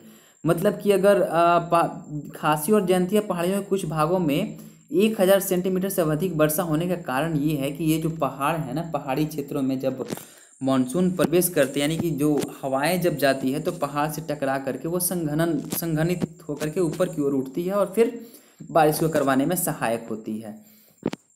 ठीक है? नेक्स्ट देखते हैं कि मध्यम वर्षा के जो क्षेत्र हैं तो मध्यम वर्षा के क्षेत्र गुजरात के दक्षिणी भाग। गुजरात के दक्षिणी भाग, जैसे पूर्वी तमिलनाडु, फिर हम उड़ीसा सहित उत्तर पूर्वी प्रायद्वीप, झारखंड, बिहार, पूर्वी मध्य प्रदेश, उप हिमालय के साथ लगा हुआ गंगा का उत्तरी मैदान, कछार घाटी और कछार घाटी और मणिपुर में सौ से दो सौ सेंटीमीटर के बीच वर्षा होती है। न्यून वर्षा के क्षेत्र को हम लोग देखेंगे तो पश्चिमी उत्तर प्रदेश, दिल्ली, हरियाणा, पंजाब, जम्मू व कश्मीर, पूर्वी राजस्थान, गुजरात तथा दक्कन के पठार पर वर्षा 50 से 100 सेंटीमीटर के बीच होती है। अत्यल्प वर्षा के क्षेत्र जो है वो प्रायद्वीपीय भारत के कुछ भागों में विशेष रूप से आंध्र प्रदेश, कर्नाटक और महाराष्ट्र की वृष्टि छाया प्रदेश, यानी कि रैंड शेडो रीजन व लद्दाख के पश्चिमी राजस्थान के अधिकतर भागों में 50 सेंटीमीटर से कम वर्षा होती है। जेट स्ट्रीम जो होता है वो छो मंडल के मध्य अंशांशों में अक्षांशों में धरातल से 12 किलोमीटर ऊपर, पश्चिम से पूर्व दिशा में चलने वाले एक प्रवाह का नाम है। तो चलिए आज के लेक्चर में इतना ही। फिर मिलते हैं हम लोग नेक्स्ट एपिसोड में। और आपने इस चैनल को अगर नए हैं, चैनल को सब्सक्राइब नहीं किया तो चैनल को सब्सक्राइब कर लीजिए। और भी बहुत सारे वीडियोज़ हैं, जिसका लिंक डिस्क्रिप्सन बॉक्स में मिल जाएगा। और फिर आप इसका प्लेलिस्ट भी चेक कर सकते हैं। अपनी सुझाव एक कमेंट के माध्यम से दीजिए और लाइक करने में दोस्तों कुछ नहीं जाता है, बस दो से तीन सेकेंड लगेंगे। आप वीडियो को लाइक कर सकते हैं, अपना सुझाव अच्छा सुझाव दे सकते हैं कि और भी हमको किस तरह से बेहतर रूप से इसको प्रेजेंट किया जाए और भी किन किन चीज़ों पे वीडियो बनाया जाए। जैसे कि मैंने वीडियो के स्टार्टिंग में ही बोला था कि मैं सोच रहा था कि अगर आप लोग सजेस्ट सजेशन देंगे तो फिर मैं सेपरेट वीडियो एक बिहार स्पेशल पे मैं वीडियो बनाना चालू करूँ और करेंट अफेयर्स का एक जो इम्पोर्टेंट क्वेश्चन जो है, उसको मैं लाने की कोशिश कर सकता हूँ। अगर आप लोग अपना सजेशन दे, देते हैं तो तो चलिए और दोस्तों को शेयर कर दीजिए और बहुत बहुत धन्यवाद आप लोगों का, जो आप लोगों ने इस जी एस आई एजुकेशन को आप लोगों ने इतना सपोर्ट और इतना इतना सारा प्यार आप लोग दे रहे हैं। बहुत बहुत धन्यवाद आप लोगों का। मिलते हैं फिर नेक्स्ट एपिसोड में। हेलो दोस्तों, स्वागत है आपका G S I Q education के इस यूट्यूब चैनल पे। एन सी आर टी सार संग्रह का ये एपिसोड चल रहा है, जिसमें ऑलरेडी सारे सब्जेक्ट्स के, लगभग सारे सब्जेक्ट्स के एपिसोड को अपलोड किए जा चुके हैं। अगर आप लोगों ने उस वीडियो को नहीं देखा है तो जा कर के आप लोग उसको देख सकते हैं। और, आज के एपिसोड में हम इंडियन जोग्राफ़ी का ये बहुत ही शानदार टॉपिक मृदा, यानी कि सॉयल इसके, इससे इम्पोर्टेंट प्रश्नों को देखेंगे। आप लोगों को बताते चले कि ये एन का साठ संग्रह है, जो महेश कुमार वर्णवाल की बहुत ही अच्छी पुस्तक है, जिसमें सिक्स क्लास से लेकर के ट्वेल्व क्लास तक के सब, सभी इम्पोर्टेंट जो भी क्वेश्चंस हैं, जो एग्ज़ाम में पूछे जाते हैं या एग्ज़ाम में पूछे जाने की संभावना है, उसको इसमें संकलित किया गया है। तो अगर आप लोगों ने इंडियन जोग्राफी का पिछला लेक्चर नहीं देखा है तो उसको भी जा कर के आप लोग देख सकते हैं। और और भी सब्जेक्ट्स का जो जैसे इंडियन हिस्ट्री होगा जिसमें मेडिबल और मॉडर्न इंडिया फिर से फिजिक्स केमिस्ट्री बायोलॉजी का भी एपिसोड ऑलरेडी अपलोड किया जा चुका है तो उसको भी जा कर के देखिए। और चैनल पे नए हैं तो चैनल को सब्सक्राइब कर लीजिए। और फिर टेलीग्राम का लिंक नीचे डिस्क्रिप्शन बॉक्स में मिल जाएगा। वहाँ से आप टेलीग्राम को ज्वाइन कर लीजिए ताकि जो भी नए चीज़ अपडेट मैं करता रहूँगा नए नए चीज़ों को लेकर के आता रहूँगा तो आपके पास सबसे पहले नोटिफिकेशन मिल जाए। तो चलिए बिना देरी किए हुए शुरू करते हैं। आज इंडियन ज्योग्राफी का एक बहुत ही शानदार टॉपिक मृदा। तो देखते हैं कि भारत की मृदाओं का वर्गीकरण जो है वो उत्पत्ति, रंग और संयोजन तथा अवस्थिति के आधार पर कितने भागों में किया गया है तो इसको देख लेते हैं। ठीक है तो आठ भागों में किया गया है। तो एक में है जलोढ़ मृदा, काली मृदा और लाल और पीली मृदा, लेटराइट मृदा, शुष्क मृदा लवणीय मृदा पीट मृदा और वन मृदा। ठीक है, और नेक्स्ट देखते हैं कि मृदा शब्द जो है मतलब सॉइल जिसको मिट्टी के भी नाम से भी हम लोग जानते हैं, शब्द की जो उत्पत्ति है, लैटिन भाषा के शब्द सोलम से हुई है। लैटिन भाषा के शब्द सोलम से हुई है मतलब S O L U M solum से हुई है, जिसका शाब्दिक अर्थ होता है फर्श, यानी कि फ्लोर, फर्श होता है, ठीक है? नेक्स्ट देखते हैं कि भारत के सर्वाधिक क्षेत्र में कौन सी मृदा पाई जाती है? तो जलोड यानी कि एलुवियल, या जलोड को ही कछारी मृदा के नाम से जाना जाता है, ठीक है? नेक्स्ट देखते हैं कि रेगुर मृदा जो होती है, रेगुर मृदा को किस अन्य नाम से जाना जाता है? तो रेगुर मृदा को हम लोग काली मिट्टी के नाम से जानते हैं, यानी काली मृदा के नाम से जानते हैं। रेगुर मृदा का सर्वाधिक विस्तार किस राज्य में पाया जाता है? तो रेगुर मृदा का सर्वाधिक विस्तार जो है, महाराष्ट्र में पाया जाता है। और यही कारण है कि काली मृदा जो होती है, यानी दक्कनी क्षेत्रों में जो पाया जाता है, काली मृदा पे कपास की जो खेती होती है ना, वो बहुत मतलब उपयुक्त मानी जाती है, ठीक है? नेक्स्ट देखते हैं कि मालवा का जो पठार है, किस मृदा की अधिकता है? तो मालवा का पठार जो है, वो काली मृदा की पठार है। तो नेक्स्ट पॉइंट देखते हैं कि काली मृदा को स्वतः जुताई वाली मृदा भी कहा जाता है, जिसमें सिंचाई की कम आवश्यकता पड़ती है। यह मृदा जो है, कपास की खेती के लिए उपयुक्त मानी जाती है, जैसे कि मैंने अभी ऊपर आप लोगों को बताया। पीला रंग फेरिक ऑक्साइड के कारण होती है, जबकि लाल रंग लोहे के ऑक्साइड के कारण होती है। लाल रंग की जो मिट्टी पाई जाती है ना तो वो जो होती है वो लोहे के ऑक्साइड के कारण, और पीला रंग जो पाया जाता है, वो फेरिक ऑक्साइड के कारण होती है। ठीक है? नेक्स्ट देखते हैं कि लेटेराइट मृदा जो है लेटेराइट सॉइल जो है, मुख्यतः किन राज्यों में पाई जाती है? तो लेटेराइट सॉइल जो है, वो केरल, कर्नाटक एवं महाराष्ट्र में पाई जाती है। ठीक है? नेक्स्ट देखते हैं कि लोहे की मात्रा अधिक होने के कारण कौन सी मृदा दिनों दिन अनुर्वर, यानी कि इनफर्टाइल होते जा रही है तो लेटेराइट मिट्टी इनफर्टाइल होते जा रही है। नेक्स्ट देखेंगे कि मृदा की क्षारियता को कम करने के लिए जिप्सम का प्रयोग किया जाता है। ठीक है? नेक्स्ट है कि लेटेराइट मृदा भारत में मुख्यतः कहाँ पाई जाती पाई जाने वाली प्रमुख क्षेत्र कौन से है? तो मालाबार तटीय प्रदेश है। सबसे कम जल धारण क्षमता किस प्रकार की मृदा में होती है? तो बलुई और दोमत मृदा में होती है। पौधों को सबसे अधिक जल किस प्रकार की मृदा से प्राप्त होती है? तो चिकनी मृदा से प्राप्त होती है। मृदा की उर्वरता बढ़ाने के लिए कौन सी फ़सलें उगाई जाती है? तो दलहनी फ़सलें उगाई जाती है। नेक्स्ट यहाँ पे देखते हैं कि चंबल घाटी जो है, चंबल घाटी का निर्माण किस भौगोलिक प्रक्रिया से हुआ है? तो अवनालिका यानी कि गोली इरोसियन से हुआ है। गली इरोसियन से हुआ है। अवनालिका अपर्दन से हुआ है। चाय बागानों के लिए कौन सी मिट्टी उपयुक्त है? तो लेटेराइट मिट्टी उपयुक्त है। दोमट मृदा, जिसको एलोवियल सॉयल बोला जाता है, में कौन कौन से कण पाए जाते हैं? तो गाद, मृतिका व रेत पाए जाते हैं, यानी कि silt, clay and sand. Bharat की मृदाओं में किस सूक्ष्म तत्व की सर्वाधिक कमी है? तो जस्ता। गंगा के मैदान की पुरानी जलोढ़ मृदा क्या कहलाती है? तो बांगर कहलाती है। और कछारी मिट्टी को वही वही खादर के नाम से जानते हैं, ठीक है? नेक्स्ट है कि अम्लीय यानी कि एसिडिक मृदा को कृषि योग्य बनाने हेतु किस खनिज का प्रयोग किया जाता है? तो लाइम या चूना। उसका उसमें मिट्टी में उसको डाल दिया जाता है, जिससे वो क्या हो जाता है? वो कृषि योग्य बन जाता है। ठीक है? नेक्स्ट है कि भारत में सर्वाधिक क्षारीय मृदा किस राज्य में पाई जाती है? तो यूपी में पाई जाती है। लवणीय मृदा में नाइट्रोजन व चूने की अल्पता पाई जाती है। जैव मृदा जो होती है, यानी कि ऑर्गेनिक सॉइल जो होती है, उसका रंग नीला क्यों होता है? तो रंग जो उसका नीला होता है, अम्लीय व फेरस आयरन के कारण। पश्चिमी राजस्थान की मृदा में किस खनिज की अधिकता पाई जाती है? तो पश्चिमी राजस्थान की मृदा में कैल्शियम की अधिकता पाई जाती है। मरुस्थलीय मृदा जो होते हैं, यानी कि डेजर्ट सॉइल में किस पोषक तत्व का अभाव पाया जाता है? तो नाइट्रोजन का। मृदा अपर्दन जो होता है, यानी कि सॉयल इरोज, इरोजन होता है, वो किस प्रकार से रोका जा सकता है? तो वनारोपण यानी कि वन को लगा करके उसको रोका जा सकता है। वो इसलिए रोका जा सकता है कैसे? तो चलिए मैं बता देता हूँ कि जैसे कि पेड़ पौधे हम लगाएँगे तो पेड़ की जो जड़ें जो होती है ना, वो मिट्टी को जकड़े रहती है, उसको बहने नहीं देती, उसका कटाव को रोकती है। इसीलिए वो मतलब मृदा अपर्दन को रोकने के लिए वनारोपण का प्रयोग करते हैं। पीएच मान के अनुसार मृदा की प्रकृति क्या होती है? अगर एक से छः तक मतलब पीएच मान रहे किसी मृद, मिट्टी का तो मिट्टी की प्रकृति क्या होगी? तो अम्लीय मिट्टी होती है, यानी एसिडिक सॉइल होती है। अगर सात रहे तो आप लोगों को पता है कि पीएच पे पीएच स्केल पे सेवन जो होता है उदासीन होता है। तो अगर सात रहे तो उदासीन मिट्टी होगी, यानी कि न्यूट्रल सॉइल होगी, और आठ से चौदह अगर है तो क्षारीय मिट्टी, यानी कि अल एल्काइलिन सॉइल होगी, ठीक है? नेक्स्ट देखते हैं कि लाल और पीली मृदा जो होती है, अम्लीय प्रकृति की होती है। लाल और पीली मृदा वहीं एक फेरिक ऑक्साइड जो होता है और आयरन ऑक्साइड की मात्रा जो होती है, वहीं लाल और पीली मृदा होती है। तो अम्लीय प्रकृति की होती है, जिसमें नाइट्रोजन फास्फोरस एवं ह्यूमस मतलब जैव पदार्थ की कमी होती है। ह्यूमस कहाँ से बनता है? तो आप लोग केचुआ का नाम सुने होइएगा। केचुआ यानी वर्मी कंपोस्ट जिससे वो उसको देते हैं। तो क्या होता है ना कि धरती में ह्यूमस की मात्रा बढ़ती है। वो, ठीक है? नेक्स्ट देखते हैं कि अब नेक्स्ट टॉपिक हम लोग देखेंगे। कि प्राकृतिक वनस्पतियाँ प्राकृतिक वनस्पतियों को यहाँ पे न्यूज़ नेचुरल वेजिटेशन ठीक है? यहाँ पे देखेंगे कौन कौन से है। जैसे समूह एक से लेकर के समूह यहाँ पे चौदह पंद्रह और सोलह समूह सोलह तक बांटा गया है। तो इसमें प्रतिशत देखेंगे कि आ, मतलब कितना प्रतिशत है ठीक है? तो एक समूह एक में है उष्ण कटिबंधीय आर्द्र सदाबहार वन यानी कि ट्रॉपिकल वेट एवरग्रीन फॉरेस्ट ये जो प्रतिशत है वो दो दशमलव नौ दो परसेंट है। फिर उष्ण कटिबंधीय अर्ध सदाबहार वन यानी कि ट्रॉपिकल सेमी एवरग्रीन फॉरेस्ट जो है, वो थर्टीन पॉइंट सेवन नाइन है। उष्ण कटिबंधीय नम पर्णपाती वन जो है, वो ट्रॉपिकल मॉइस्ट डिस्यूडियस फॉरेस्ट है उन्नीस दशमलव सात तीन परसेंट है।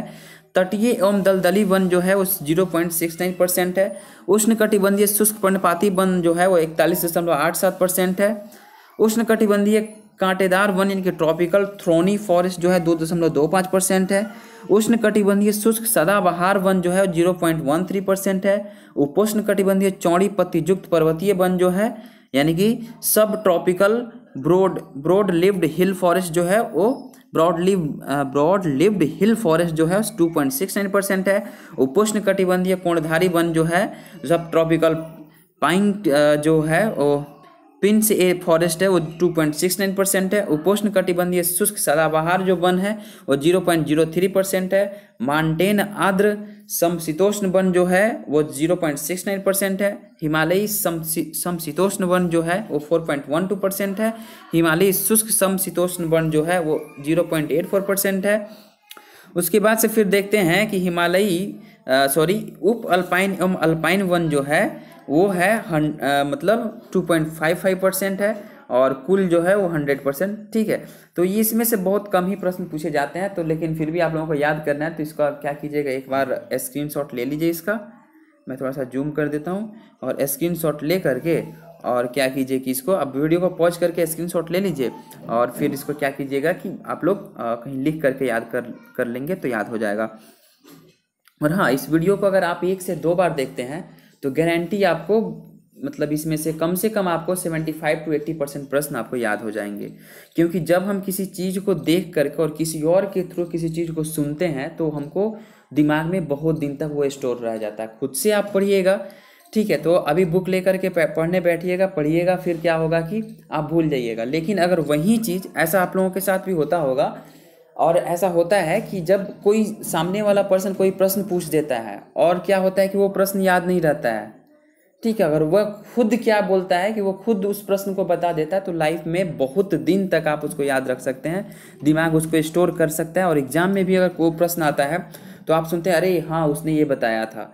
ठीक है तो ऐसा होता है विजुअल इफ़ेक्ट ये होता है विजुअल और ऑडिबल इफ़ेक्ट ये होता है, किसी और के थ्रू ठीक है तो आप इस वीडियो को एक से दो बार देखिएगा तो आपको याद हो जाएगा। ठीक है? चलिए नेक्स्ट देखते हैं कि भारत के सर्वाधिक बृहद क्षेत्र में किस प्रकार के वन पाए जाते हैं तो उष्ण कटिबंधीय शुष्क पर्णपाती वन पाए जाते हैं। उष्णकटिबंधीय सदाबहार वन क्षेत्रों में औसत वर्षा कितनी होती है तो 200 सेंटीमीटर से अधिक होती है। भारतीय वनस्पति सर्वेक्षण, यानी कि बीएसआई के संस्थापक सर जॉर्ज किंग थे, तथा इसकी स्थापना 13 फरवरी 1890 को हुई थी। भारत में जो सिनकोना वृक्ष कहाँ पाया जाता है? सिनकोना दार्जिलिंग में पाया था ये यही सिनकोना है।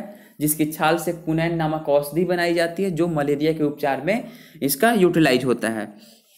नेक्स्ट देखते हैं, कत्था बनाने हेतु तो किस वृक्ष की लकड़ी का प्रयोग होता है? तो खैर, वही कत्था जो पान में मिला करके खाते हैं ना, वही कत्था होता है। ठीक है? खैर, अब सामाजिक उसका लकड़ी जो किस वृक्ष का है तो वो खैर है। सामाजिक वानिकी में प्रयुक्त बहुउद्देशीय वृक्ष का उदाहरण कौन सा है? तो खेजड़ी या खेजड़ी ठीक है? भारत में वन संरक्षण अधिनियम किस वर्ष पारित किया गया था? उन्नीस सौ अस्सी में ये क्वेश्चन पूछा गया है और पूछा जाता है वन संरक्षण अधिनियम फॉरेस्ट कंजर्वेशन एक्ट जो लागू किया गया, वो अठारह, उन्नीस सौ अस्सी में लागू किया गया। सागौन यानी कि टीक तथा साल के वृक्ष किस प्रकार के वनों में पाए जाते हैं? तो उष्ण कटिबंधीय आर्द्र पर्णपाती वनों में पाए जाते हैं। पश्चिमी हिमालय की शीतोष्ण पेटी यानी कि टेम्परेचर जोन में देवदार वृक्षों का बाहुल्य है। बाँस जो होता है, बाँस की कौन सी प्रजाति छत्तीसगढ़ में सर्वाधिक पाई जाती है? तो लाठी बाँस की प्रजाति सबसे अधिक पाई जाती है। और बाँस को, अभी एक रिपोर्ट के अनुसार बाँस को, बाँस एक कोई पौधा नहीं है, वो एक झाड़ी है। झाड़ी में ही उसको रखा गया है। नेक्स्ट देखते हैं। लंबी जड़ों व नुकीले कांटों अथवा सूर्ययुक्त झाड़ियों और लघु वृक्षों वाले वन सामान्यतः पाए जाते हैं। तो राजस्थान में देखिए, जो भी मरुस्थलीय एरिया होगा वहाँ के जो भी मतलब पौधे होंगे या मतलब पेड़ होंगे, वो क्या होते हैं? तो उसके जो पत्ते होते हैं ना, वो गद्देदार होते हैं। पत्ते जो होते हैं, गद्देदार होंगे और उसमें ना क्या, नुकीले कांटों वाले जो होते हैं, उसमें कांटे हो जाती है, ठीक है? और लघु वृक्ष होते हैं, कोई ज़्यादा बड़े नहीं होते हैं तो वो कहाँ पाए जाते हैं? तो राजस्थान यानी मरुस्थलीय क्षेत्रों में पाए जाते हैं। संयुक्त राष्ट्र, खाद्य एवं कृषि संगठन की नवीन रिपोर्ट के अनुसार वार्षिक स्तर पर वन क्षेत्रों में सबसे ज़्यादा वृद्धि में भारत को विश्व का कौन सा स्थान प्राप्त है? तो आठवां स्थान प्राप्त है। भोजपत्र, जिसको भुर्ज वृक्ष ये जो वृक्ष होता है, वो कहाँ पाया जाता है? तो हिमालय में पाया जाता है। पलास यानी कि ब्यूटिया मोनोस्पेरमा के वृक्ष को जंगल की आग भी कहा जाता है फ्लेम ऑफ़ द फॉरेस्ट भी कहा जाता है। भारत के किस राज्य में सागौन के वन सबसे अधिक पाए जाते हैं? तो मध्य प्रदेश में पाए जाते हैं। समुद्र तल से सर्वाधिक ऊंचाई पर पाया जाने वाला वृक्ष कौन सा है? तो देवदार है। चिपको आंदोलन एक हुआ था कि प्रणेता कौन थे? सुंदरलाल बहुगुणा बहुगुणा थे। ये उत्तराखंड से संबंधित थे। वहाँ पे क्या हुआ? जब पेड़ों की अनियमित कटाई हो रही थी तो लोगों ने वहाँ पे क्या हुआ कि पेड़ से चिपक जाते थे। जो भी अधिकारी पेड़ काटने के लिए आते थे, जो भी तो वहाँ पे क्या होता था, वो लोग पेड़ से चिपक जाते थे। वहीं सुंदरलाल बहुगुणा के नेतृत्व में यह आंदोलन चलाया गया था कि हम इस पेड़ को नहीं काटने देंगे, ठीक है? तो इसी को चिपको आंदोलन के नाम से जाना जाता है। भारतीय वन सर्वेक्षण यानी कि एफ़ एस आई ये एफ़ एस आई की जो स्थापना कब हुई तो एक जून उन्नीस सौ इक्यासी को हुई थी। भारत में मैंग्रोव वनस्पति कितने क्षेत्रफल में विस्तृत है तो चार हज़ार नौ सौ पचहत्तर वर्ग किलोमीटर में विस्तृत है। नेक्स्ट देखते हैं कि भारतीय वन प्रबंधन जो संस्थान है India Institute of Forest Management IIFM की स्थापना वर्ष उन्नीस में भोपाल में की गई थी। नेक्स्ट नेक्स्ट देख लेते हैं कि भारत के आठ वनस्पति क्षेत्र कौन कौन से हैं? तो आठ वनस्पति क्षेत्र हैं, पश्चिमी हिमालयी क्षेत्र, पूर्वी हिमालयी क्षेत्र, असम क्षेत्र, सिंधु का मैदानी क्षेत्र, गंगा का मैदानी क्षेत्र, दक्कन क्षेत्र, मालाबार क्षेत्र, अंडमान क्षेत्र। तो पश्चिमी हिमालय क्षेत्र का जो विस्तार है वो कश्मीर से कुमायूं तक है। इसमें वनस्पति का वितरण जो किया गया, वो शीतोष्ण कटिबंधीय भाग में कौन कौन से वनस्पति पाए थे? तो चीड़, देवदार, शंकुधारी वृक्ष, जिसको कैनिफर्स के नाम से जाना जाता है, वह चौड़ी पत्ती वाले शीतोष्ण वृक्ष पाए जाते हैं। दो में है अल्पाइन क्षेत्र, यानी कि शीतोष्ण से ऊपरी सीमा, श्वेत देवदार, श्वेत भोज वृक्ष व सदाबहार वृक्ष पाए जाते हैं। पूर्वी हिमालय का जो विस्तार है, वो सिक्किम से दार्जिलिंग तक है, जिसमें शीतोष्ण वन में शीतोष्ण वन पाए जाते हैं। ओक, जायफल, द्विफल, बड़े फूलों वाले सदाबहार वृक्ष एवं छोटी बेंत के जंगल पाए जाते हैं। असम क्षेत्र का जो विस्तार है ब्रह्मपुत्र व ब्रह्मपुत्र व सुरमा घाटियों में पाई जाती है, जो इसका जो वितरण क्षेत्र है, उसमें इस सदाबहार वन और बीच बीच में घने बांसों तथा लंबी घासों के झुरमुट पाए जाते हैं। सिंधु का मैदानी क्षेत्र का विस्तार जो है वो पंजाब, पश्चिमी राजस्थान और उत्तरी गुजरात के मैदान है। यह क्षेत्र जो होता है वो शुष्क व गर्म है, इसमें कटीले वन व झाड़ियाँ मिलती है। गंगा का मैदानी क्षेत्र की बात करें तो इसका जो विस्तार है वो कच्छारी मैदान में है। इसमें गेहूँ, चावल और गन्ने की खेती होती है। दक्कन क्षेत्र की अगर बात करें तो इसका विस्तार जो है भारतीय प्रायद्वीप समग्र भूमि में है। भारतीय प्रायद्वीप समग्र भूमि में है। इसमें पतझड़ वाले वृक्षों के जंगल, जंगलों से लेकर तरह तरह की जंगली झाड़ियों के वन है। मालाबार क्षेत्र जो है, वो प्रायद्वीपीय तट का, में इसका विस्तार है और घने जंगलों के अतिरिक्त व्यापारिक फ़सलें पाई जाती है, जैसे कि नारियल, सुपारी, काली मिर्च, कॉफ़ी, चाय, रबड़ और काजू आदि। अगर अंडमान क्षेत्र का विस्तार देखें तो अंडमान द्वीप में ही है। इसमें सदाबहार, अर्ध सदाबहार, कच्छ वनस्पति समुद्र तटीय व अल्पावी अपलावी जंगलों की अधिकता है। ठीक है? और नेक्स्ट देखते हैं कि भारत के प्रमुख वानिकी शोध संस्थान कब है तो शोध संस्थान कौन है, उनकी स्थापना वर्ष क्या है, उसका क्षेत्र क्या है और राज्य कौन सा है। तो फॉरेस्ट रिसर्च इंस्टीट्यूट जिसकी स्थापना 1906 में हुई थी तो इसका क्षेत्र जो है वो देहरादून है और राज्य जो है उत्तराखंड है। एरिड फॉरेस्ट रिसर्च इंस्टीट्यूट जो है उन्नीस सौ पचासी में स्थापना हुई थी, क्षेत्र जो है जोधपुर है राजस्थान इसका जो राज्य है राजस्थान है। Institute of Wood Science and Technology की स्थापना उन्नीस सौ अड़तीस ईस्वी में की गई थी, क्षेत्र जो है बेंगलुरु है और राज्य जो है कर्नाटक है। रेन फॉरेस्ट रिसर्च इंस्टीट्यूट जो उन्नीस में स्थापना हुई थी। जोरहाट जो है इसका क्षेत्र है और राज्य जो है वो तमिलनाडु है। Institute of Forest Genetics and Tree Breeding जो है उन्नीस सौ अट्ठासी में स्थापना हुई थी। क्षेत्र कोयम्बटूर है और राज्य जो है तमिलनाडु है। Centre of Social Forestry and Eco Rehabilitation जो है उन्नीस सौ बानवे में स्थापित हुई थी और इसका क्षेत्र जो प्रयागराज है और राज्य जो है उत्तर प्रदेश है। हिमालयन फॉरेस्ट रिसर्च इंस्टीट्यूट जो है उसकी स्थापना उन्नीस सौ सतहत्तर में हुई थी, जो क्षेत्र इसका शिमला है और राज्य जो है हिमाचल प्रदेश है। नेक्स्ट देखते हैं कि Advance Centre for Biotechnology and Mangrove Forest उन्नीस में इसकी स्थापना हुई थी। हैदराबाद में इसका क्षेत्र है और तेलंगाना जो है वो इसका राज्य मतलब तेलंगाना राज्य में है। अब देखते हैं नीचे की ट्रॉपिकल फॉरेस्ट रिसर्च इंस्टीट्यूट जो है उन्नीस सौ अट्ठासी में इसकी स्थापना की गई थी। जबलपुर में इसका क्षेत्र है और मध्य प्रदेश राज्य है। Institute of Forestry Research and Human Resource Development जो है उन्नीस सौ पंचानवे में इसकी स्थापना हुई थी। छिंदवाड़ा इसका क्षेत्र है और मध्य प्रदेश ये राज्य में पड़ता है। इंस्टीट्यूट ऑफ़ फॉरेस्ट प्रोडक्टिविटी जो है उन्नीस सौ तिरानवे में इसकी स्थापना की गई थी। रांची इसका क्षेत्र और झारखंड राज्य में ये अवस्थित है। Indian Plywood Industries Research and Training Institute जो है वो उन्नीस सौ बासठ में स्थापित हुई थी। बेंगलुरु इसका क्षेत्र है। कर्नाटक राज्य में स्थित है। नेक्स्ट देखते हैं कि Indian Institute of Forest Management जो है उन्नीस में इसकी स्थापना हुई थी। भोपाल इसका क्षेत्र है और राज्य जो है वो मध्य प्रदेश है। और नेक्स्ट देखते हैं कि जीबी पंत हिमालयी पर्यावरण एवं विकास संस्थान है। उन्नीस सौ अट्ठासी में इसकी स्थापना हुई थी। अल्मोड़ा इसका क्षेत्र और उत्तराखंड राज्य है। नेक्स्ट देखते हैं कि उष्ण कटिबंधीय वनस्पति उद्यान और अनुसंधान केंद्र जो है उन्नीस में इसकी स्थापना हुई थी। तिरुवनंतपुरम इसका क्षेत्र है और केरल इसका राज्य है। नेक्स्ट देखते हैं कि वृक्षों को बचाने के लिए चिपका आंदोलन की शुरुआत उत्तराखंड के टिहरी गढ़वाल जनपद से की गई थी, जैसे कि मैंने आपको ऊपर बताया है। तो ये क्या कीजिएगा भारत के प्रमुख वानिकी शोध संस्थान, एक बार इसको क्या कीजिए कि स्क्रीनशॉट वीडियो को पॉज करके स्क्रीनशॉट ले लीजिए और इसको याद कर लीजिएगा, इसमें से क्वेश्चन पूछे जाते हैं, ठीक है? और चलिए आज के लेक्चर में वो इतना ही, और लेक्चर कैसा लगा आप लोग कमेंट बॉक्स में बताइएगा कोई सुझाव हो तो उसको भी दीजिएगा। और अभी चैनल पे आप नए हैं तो जाने से पहले वीडियो को मतलब ख़त्म करने से पहले आप एक बार इसको सब्सक्राइब कर लीजिए, बेल आइकन को प्रेस कर दीजिए नीचे टेलीग्राम का है उसको ज्वाइन कर लीजिए ताकि नेक्स्ट एपिसोड जैसे ही आएगा आप लोगों के पास नोटिफिकेशन सबसे पहले मिल जाएगा। चलिए बहुत बहुत धन्यवाद इतना प्यार देने के लिए जी एस आई एजुकेशन के साथ जुड़े रहने के लिए। हेलो दोस्तों, स्वागत है आपका जे आई एजुकेशन के इस यूट्यूब चैनल पे। ये भारत का भूगोल का एन सी आर टी सार संग्रह जो महेश कुमार बनवाल की पुस्तक है, इसमें हम लोग कर रहे हैं भारत का भूगोल, जिसमें से ऑलरेडी मैंने पाँच एपिसोड को अपलोड किया है। ज़्यादा देर का वीडियो नहीं होता है, आप लोग उसको अगर नहीं देखें तो जा कर के आप लोग उसको देख सकते हैं। आज हम लोग इस एपिसोड में करेंगे अपवाह तंत्र, यानी कि ड्रेनेज सिस्टम ऑफ़ इंडिया यानी कि भारत की इसमें नदियों के बारे में देखेंगे कि कौन सी नदी कहाँ निकलती है और कहाँ से निकलती है। ठीक है, और कौन मतलब नदियों के जो इम्पोर्टेंस है, वो क्या क्या है? ठीक है कौन कौन से प्रश्न एग्ज़ाम में आएँगे और आने की संभावना है और आए हुए हैं। ठीक है उसको देखेंगे हम इसमें ठीक है? तो अगर पिछला वीडियो भी मैंने अपलोड किया है, जैसे लास्ट वीडियो मैंने जैव विविधता का अपलोड किया था, उसको अगर नहीं देखे हैं तो जा करके देख लीजिए प्ले लिस्ट में चैनल पे नए तो सब्सक्राइब ज़रूर कर लीजिएगा। चलिए, ठीक है चालू करते हैं हम अफवाह तंत्र, यानी कि ड्रेनेज सिस्टम ठीक है? भारत की नदियाँ, इस देखते हैं महत्वपूर्ण प्रश्न कौन कौन से हैं। तो पहला प्रश्न जो है, ये है कि किसी नदी एवं उसकी सहायक नदियों के अपवाहित क्षेत्र को क्या कहते हैं? तपवाह तंत्र कहते हैं, ड्रेनेज सिस्टम कहते हैं, भारत की सबसे बड़ी तथा लंबी नदी कौन सी है? तो गंगा है। ब्रह्मपुत्र नदी को किस प्रकार के अपवाह तंत्र को का, अपवाह तंत्र का उदाहरण है? तो पूर्ववर्ती अपवाह तंत्र का उदाहरण है। मानस किसकी सहायक है? ट्रिब्यूटरी किसकी है? तो मानस जो है ब्रह्मपुत्र की है।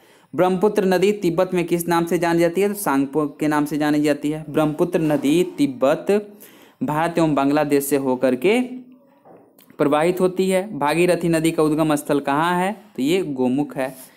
नेक्स्ट देखते हैं कि लेह जो है, सिंधु नदी के किस तट पे अवस्थित है? तो लेह जो है, दाएँ तट पे अवस्थित है।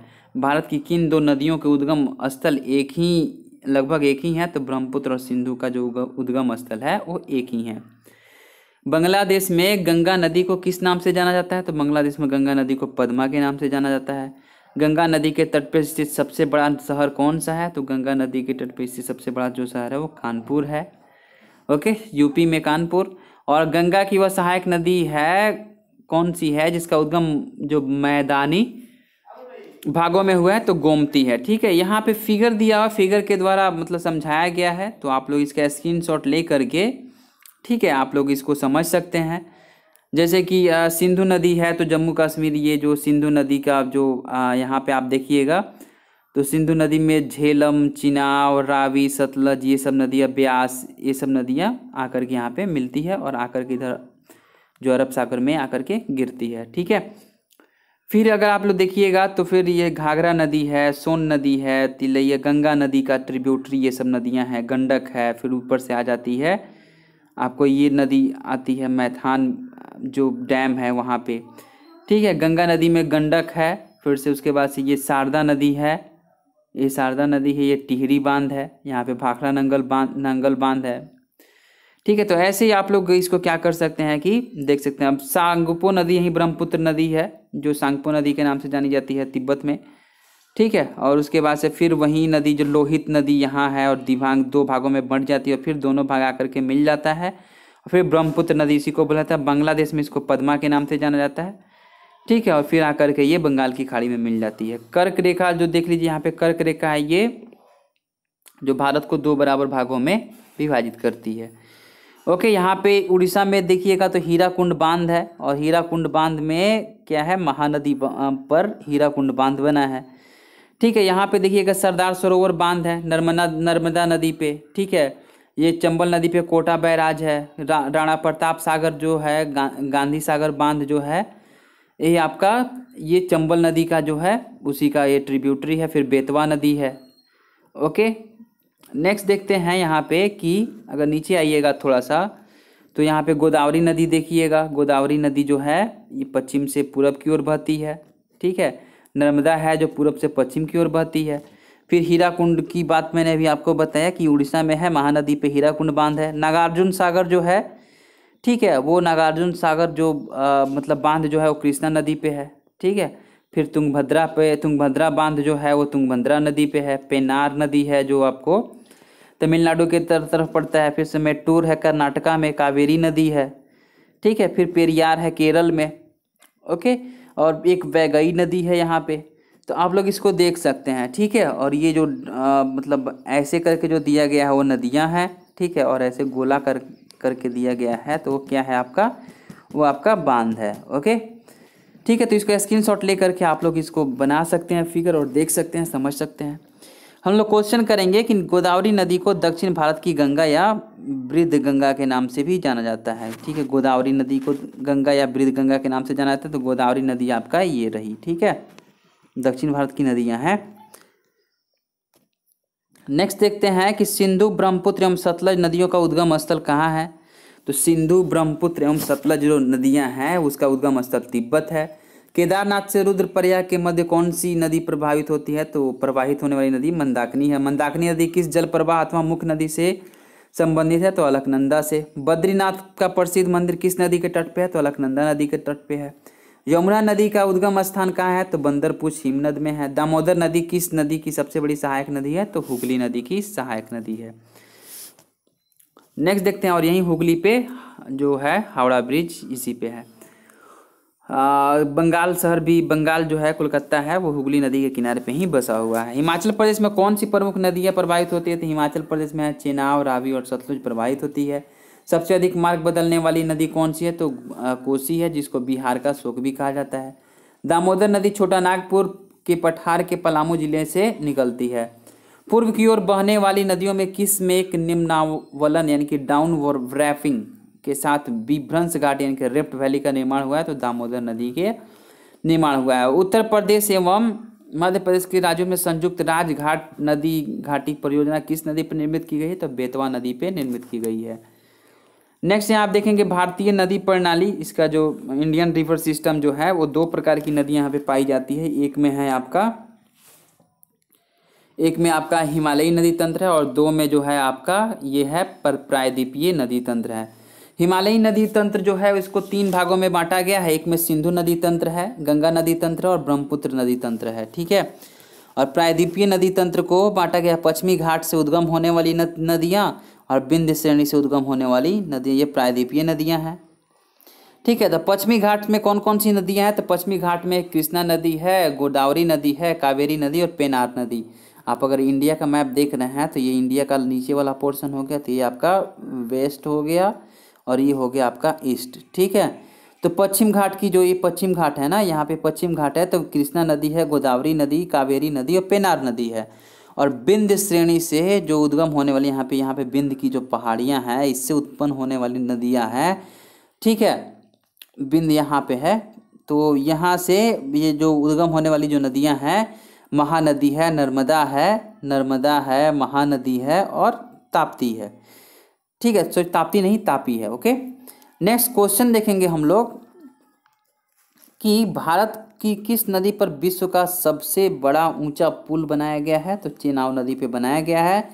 नर्मदा एवं ताप्ती नदियाँ समुद्र में गिरते समय किस संरचना का निर्माण करती है? तो ज्वारा, ज्वारन, ज्वारनद ज्वार नद मुख यानी कि एस्चुरी का निर्माण करती है। भ्रंश घाटी जो है, रिफ्ट वैली से प्रवाहित होने वाली दो मुख्य नदियाँ कौन सी है? तो नर्मदा एवं ताप्ती हैं। पश्चिम वाहिनी नदी नर्मदा उत्तर उत्तर में विंध्यन पर्वत तथा दक्षिण में सतपुड़ा मध्य के भ्रंश सतपुड़ा पर्वत के मध्य भ्रंश घाटी से होकर प्रवाहित होती है। अरब सागर में गिरने वाली दो प्रमुख नदियाँ कौन सी है? तो नर्मदा और ताप्ती जो नदी है, वो अरब सागर में गिरती है। सोन तथा नर्मदा का उत्पन्न उद्गम स्थल क्या कहाँ है? तो सोन और नर्मदा जो है, वो है अमरकंटक है। नर्मदा नदी किस दिशा की ओर प्रवाहित होती है? तो नर्मदा जो है, वो अमरकंटक से निकलती है और ये पश्चिम दिशा की ओर प्रवाहित होती है। ठीक है, ऐसे पश्चिम भूमि बंधित या अंतरवाही नदी कौन सी है? तो लूनी नदी है। बिहार में त्रिवेणी नहर किस नदी बिहार में निर्मित त्रिवेणी नहर में किस नदी से पानी आता है? तो गंडक नदी से पानी आता है। नेक्स्ट देखेंगे कि कपिला नदी किस नदी की सहायक है? तो कपिला नदी जो है, वो कावेरी की सहायक है। नदियों की लंबाई का अवरोही क्रम, यानी कि सबसे बड़ा, उससे छोटा उससे छोटा उससे छोटा। तो सबसे बड़ा गोदावरी है लंबाई में, फिर महानदी है। फिर नर्मदा है एवं ताप्ती है, ठीक है? गोदावरी जो है वो चौदह सौ पैंसठ किलोमीटर है। नर्मदा जो है तेरह से बारह किलोमीटर, महानदी जो है वो आठ सौ इक्यावन किलोमीटर और ताप्ती है सात सौ चौबीस किलोमीटर। दक्षिण भारत की नदियों में किसका जल ग्रहण जो है सबसे अधिक है? तो जल ग्रहण क्षेत्र जो है वो गोदावरी का सबसे अधिक है। प्रायद्वीपीय भारत की नदियों में से कौन सी नदी सबसे लंबी नदी है? तो प्रायद्वीपीय भारत की नदियों में से गोदावरी नदी सबसे अधिक है। प्रायद्वीपीय उसको बोलते हैं, यानी कि पेनिनसुलर उसको बोलते हैं, जो तीन तरफ़ से पानियों से घिरा हुआ हो। तो इधर से अरब सागर है, इधर से बंगाल की खाड़ी है और नीचे हिंद महासागर है। ठीक है? ये तीन तरफ़ से पानियों से घिरा हुआ इसी को पेनिसुलर या फिर हमको, हम उसको प्रायद्वीपीय बोलते हैं। तो सबसे बड़ी जो नदी है, वो गोदावरी नदी यहाँ पे है। ठीक है? हंगारी नदी जो है, वो हगारी नदी किस नदी की सहायक नदी है? तो तुंगभद्रा की है। और तुंगभद्रा नदी पे ही तुंगभद्रा बाँध भी है। श्रीरंगपट्टनम शिव समुद्रम और श्रीरंगम नामक द्वीपों का निर्माण कौन सी नदी करती है? तो ये जो है मतलब कर्नाटका के करीब में है तो कावेरी नदी। ठीक है, तमिलनाडु और कर्नाटका के बीच इसी पे विवाद है। नेक्स्ट देखते हैं कि कावेरी नदी का उद्गम स्थल कहाँ है? तो कावेरी नदी ब्रह्मगिरी की पहाड़ियों से उत्पन्न होती है। कावेरी नदी जो है कर्नाटक, केरल, तमिलनाडु एवं पुदुचेरी राज्यों से होकर प्रवाहित होती है। मंदाकिनी नदी चौराबाड़ी ताल नामक झील से निकलती है तथा सोन प्रयाग में बासुकी गंगा से मिलते हुए आगे बढ़ जाती है मंदाकिनी नदी जो है। ठीक है, आगे देखते हैं। भारत की कुछ प्रमुख नदियाँ हैं तो इनकी जो नदी हैं, उसके उद्गम स्थल स्थल है। अरब नदी मतलब अन्य नदी संगम स्थल है। ठीक है, और सहायक नदियाँ कौन कौन सी है? सिंधु नदी की अगर बात करें हम तो तिब्बत में मानसरोवर झील यानी कैलाश पर्वत से निकलती है। इसकी जो सागर से संगम स्थल है, कराची, पाकिस्तान के निकट जाकर के ये सागर में मिल जाती है। सहायक नदियाँ में है कि सतलज, ब्यास, रावी, चिनाव, झीलम, सिंगी, जास्कर, गरवग चू श्योक सिगार, गिलगित। सतलज नदी की बात करें तो सतलज जो नदी है, वो मानसरोवर झील के राकसताल झील से निकलती है। और ये मिलती है कहाँ? कपूरथाला के दक्षिण पश्चिम सिरे पर ब्यास नदी में तथा मिठान कोट के निकट सिंधु नदी में जाकर के मिल जाती है। सहायक नदियों में सिप्ती, वप्सा और ब्यास है। नेक्स्ट देखेंगे, झेलम नदी की बात करें तो कश्मीर के वेरी नाग झरने से निकलती है और त्रिमो के निकट चिनाव नदी में मिल जाती है। किशन गंगा, लिदार, करवेश और पूछ में इसकी सहायक नदियाँ हैं। चिनाव नदी में देखेंगे तो लाहौल में बारह लाच, लाचला दर्रे के विपरीत दिशा में चंद्रा प्लस चंद्रा प्लस भागा में इसका उद्गम स्थल है। त्रिमो के निकट झेलम नदी में जाकर के मिलती है। रावी, चंद्रा और भागा जो है इसकी सहायक नदियाँ हैं। रावी नदी की बात करें तो कांगड़ा ज़िले के हिमाचल प्रदेश में हिमालय के रोहतांग दर्रे से निकलती है। झांग ज़िले के सीमा पर चिनाव नदी में जाकर के मिल जाती है और चिनाव इसकी सहायक नदियाँ हैं। ब्यास नदी जो है, रोहतांग दर्रे से निकलती है। हरिके के पास सतलज नदी में जाके मिलती है। और पार्वती, सैंज, तीर्थन और उहुल जो है, इसकी सहायक नदियाँ हैं। गंगा नदी की बात करें तो केदारनाथ चोटी के उत्तरे में गोमुख नामक स्थान से निकलती है, गंगोत्री जिसको बोला जाता है। ठीक है? और ये जो है, इसकी जो मिलती है, ग्वालंदों के निकट ब्रह्मपुत्र के साथ मिल करके बंगाल की खाड़ी में जाकर के गिर जाती है। इसकी सहायक नदियों में हम बात करें तो अलकनंदा है, भागीरथी है, रामगंगा है, यमुना है, गोमती है, घाघरा है, गंडक है और कोसी है। यमुना नदी जो है, वो बंदर पुछ में पश्चिमी ढाल पर स्थित जमुनोत्री हिमानी से निकलती है। इलाहाबाद में गंगा नदी में मिलती है और ये जो है, गिरी, असम, चंबल, बेतवा, केन एवं टोंस जो है, इसकी सहायक नदियाँ हैं। गोमती नदी की बात करें तो उत्तर प्रदेश के पीलीभीत जनपद से निकलती है, गाजीपुर के निकट गंगा नदी में मिल जाती है और सई, जोमकाई, वरना, गच्छई, चूहा, इसकी जो है सहायक नदियाँ हैं। घाघरा नदी की बात करें तो तिब्बत के माप चाचुंगो हिमनद से निकलती है, छपरा के निकट गंगा में मिल जाती है। राप्ती, शारदा एवं छोटी गंडक इसकी सहायक नदियाँ हैं। गंडक नदी की बात करें तो तिब्बत, नेपाल की सीमा पर धौलागिरी पर्वत से निकलती है। पटना के समीप सोनपुर नदी में मिलती है और काली गंडक, त्रिशूली गंगा, इसकी सहायक नदियाँ हैं। नेक्स्ट बात करते हैं हम कोसी नदी की। तो कोसी नदी प्रवाह की सात धाराओं में से मुख्य धारा जो है अरुण नाम से माउंट एवरेस्ट के पास गोसाई थान चोटी से निकलती है। भागलपुर जनपद में काढ़ा गोला के दक्षिण पश्चिम में गंगा नदी में जाके मिल जाती है। सन कोसी, तामू कोसी लिक्षु कोसी, ल... उसके बाद से है तलखू, दूध कोसी, अरुण, तामुर कोसी, इसकी सहायक नदियाँ हैं। चंबल नदी की बात करें तो मध्य प्रदेश में महू के निकट विंध्य पर्वतमाला की जन, जनापाव पहाड़ी से निकलती है। इटावा के पास जमुना नदी में मिल जाती है। काली सिंध, तिस्ता, पार्वती, बनास, नेवाज और छिप्रा जो है छिपरा और दूधी नदी जो इसकी सहायक नदी है ओके बेतवा नदी की बात करें तो रायसेन जो मध्य प्रदेश के कुमरा गाँव के निकट विंध्य पर्वतमाला से निकलती है। हमीरपुर के निकट जमुना नदी में जाकर के मिल जाती है और धसान बीना जो है इसकी सहायक नदियाँ हैं। केन नदी की बात करें तो सतवा जनपद मध्य प्रदेश में कैमूर की पहाड़ियों से निकलती है। चिला बांदा में यमुना नदी में जाकर के मिल जाती है और कयार, सोनार, उर्मिल इसकी सहायक नदियाँ हैं।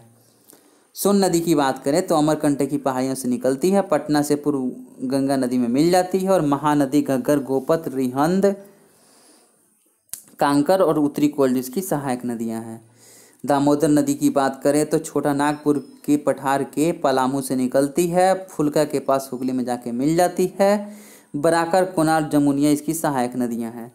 ब्रह्मपुत्र नदी की बात करें तो मानसरोवर झील के निकट चोमायुंग हिमनद से निकलती है। ग्वालंदों के निकट पद्मा गंगा नदी में मिल जाती है और दिबांग, लोहित, सुबनसिरी, धनसिरी, कुलसी, मानस संकोच धारला, तिस्ता, बुरही, दिहांग और दिशांग इसकी सहायक नदियाँ हैं।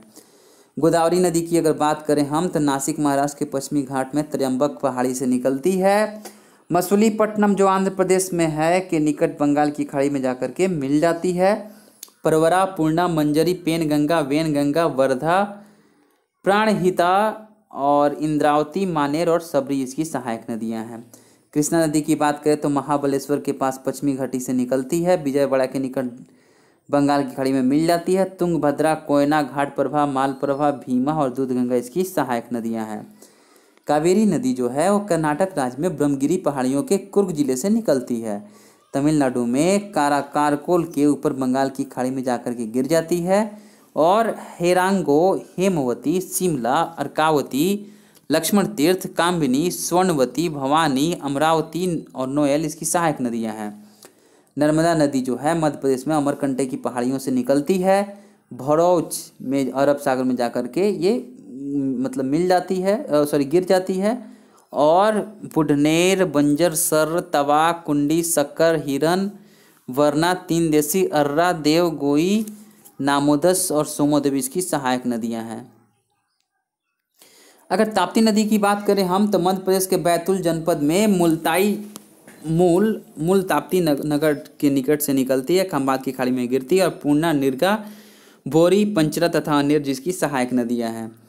महानदी जो है मध्य प्रदेश के रायपुर जनपद में सिहावा के निकट से निकलती है। कटक के निकट नरज नामक स्थान पर कटजूरी तथा बिरूपा नाम की दो धाराओं में बढ़कर बंगाल की खाड़ी में गिर जाती है। शिवनाथ, हंसदो, मांड, ईब, जोंक, कोयाली, शंख, ओंग, तेल, ब्राह्मण, ब्राह्मणी लीलागर मनियारी, सुरही, अमनेर, इसकी सहायक नदियाँ हैं। साबरमती नदी का उद्गम स्थल अरावली पर्वत राजस्थान से होता है तथा यह आगे बढ़कर खंबात की खड़ी में मिल जाती है ओके नेक्स्ट क्वेश्चन देखेंगे भारत की कौन सी नदी कर्क रेखा को दो बार काटती है? तो माही नदी काटती है। अधिकांशतः लौड़ीय मृदा, यानी कि सैल, सैलाइन रिवर किस अपवाह तंत्र का अंग है तो बंगाल की खाड़ी का अंग है। गंगा नदी पर निर्मित महात्मा गांधी सेतु मतलब किस राज्य में है? तो बिहार में स्थित है। बिहार क्या है तो पता होगा ही। माही नदी जो है मध्य प्रदेश से निकलकर खंभात की खाड़ी में गिरती है। विश्वासघाती नदी नदी की संज्ञा किस नदी को दी जाती है? तो हुगली नदी को दी जाती है। संकोच नदी किन दो राज्यों के मध्य सीमा बनाती है? तो असम एवं अरुणाचल प्रदेश के बीच सतलज, ब्यास, रावी, चिनाव और झेलम को किस नाम से जाना जाता है? तो पंचनद नाम से जाना जाता है। झेलम नदी का उद्गम स्थान जो होता है, किस स्थान से होता है? तो कश्मीर के वेरी नाग झरने से होता है। हिमालयी नदियाँ बारहमासी होती है, जबकि प्रायद्वीपीय नदियाँ का प्रवाह मौसमी होता है। एडन नहर किस नदी से निकाली गई है? तो दामोदर नदी से निकाली गई है। नदियों के किनारे कुछ प्रमुख नगर हैं इससे भी प्रश्न आते हैं तो इसको भी देख लेते हैं। तो लेह जो है वो सिंधु नदी के किनारे हैं कानपुर गंगा नदी के श्रावस्ती राप्ती कोटा चंबल पटना गंगा वाराणसी गंगा गया जो है फाल्गु तेलु दिल्ली जो है वो यमुना फर्रुखाबाद जो है गंगा बैतुल जो है ताप्ती बद्रीनाथ अलकनंदा विजयवाड़ा कृष्ण क्रिस्न, कृष्णा नदी कुर्नूल तुंगभद्रा मथुरा यमुना, डिब्रूगढ़ ब्रह्मपुत्र, पुणे जो है मुलामुथा। ठीक है, चेन्नई जो है अड़ियार है, कोलकाता है हुगली नदी, श्रीरंगपट्टनम कावेरी नदी, गुवाहाटी ब्रह्मपुत्र पंडरपुर जो है भीमा, होशंगाबाद नर्मदा, नेल्लौर जो है पोन्नेरू तंजावुर जो है कावेरी नदी के तट पे, संबलपुर है ब्रह्मपुत्र नदी के तट पे। नेक्स्ट देखते हैं कि हैदराबाद जो है वो मूसी नदी के तट पे है, नासिक जो है गोदावरी, फतेहपुर गंगा सूरत ताप्ती, तिलैया बराकर, कटक महानदी, गोरखपुर ताप्ती, इटावा जो है जमुना नदी के तट पे है, मंगलोर नेत्रवती नदी, विदिशा बेतवा नदी, प्रयागराज गंगा व जमुना रुद्रप्रयाग जो है, मंदाकिनी व अलकनंदा देव प्रयाग जो भागीरथी व अलकनंदा, जो जमशेदपुर जो है स्वर्ण रेखा एवं खर, खरकई, ओरछा जो है बेतवा नदी के नाम भरूच जो है नर्मदा, अयोध्या जो है सरजू यानी कि घाघरा नदी जिसको बोला जाता है।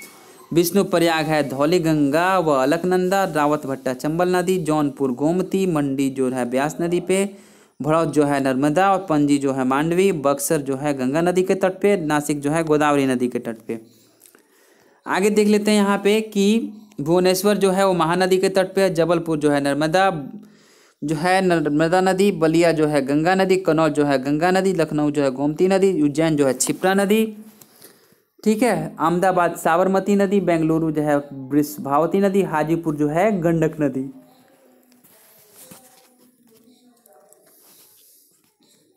नेक्स्ट देखते हैं, आगरा जो है, यमुना नदी, भागलपुर गंगा नदी, धुबरी जो है, ब्रह्मपुत्र, सांची जो है, बेतवा, मुंगेर गंगा, ग्वालियर चंबल, श्रीनगर झेलम, मुरादाबाद रामगंगा, तिरुचिरापल्ली जो है, कावेरी, हरिद्वार जो है, गंगा और चंबा जो है, रावी नदी। ठीक है नेक्स्ट देखते हैं कि गांधीनगर जो है, वो साबरमती आश्रम के, साबरमती नदी के किनारे है, नांदेड़ जो है, गोदावरी नदी, मदुरई जो है, वैगई नदी, हावड़ा जो है, हुगली नदी और अजमेर जो है, लूनी नदी। एक और इम्पोर्टेंट पॉइंट देखेंगे, फतेहपुर, इलाहाबाद व कानपुर। फतेहपुर, इलाहाबाद, कानपुर, वाराणसी, पटना, भागलपुर आदि गंगा नदी के तट पर स्थित प्रमुख स्थित प्रमुख नगर है। चलिए आज के इस वीडियो में इतना ही। मिलते हैं फिर नेक्स्ट अगले एपिसोड में हम लोग जल प्रपात और झीलों को करेंगे।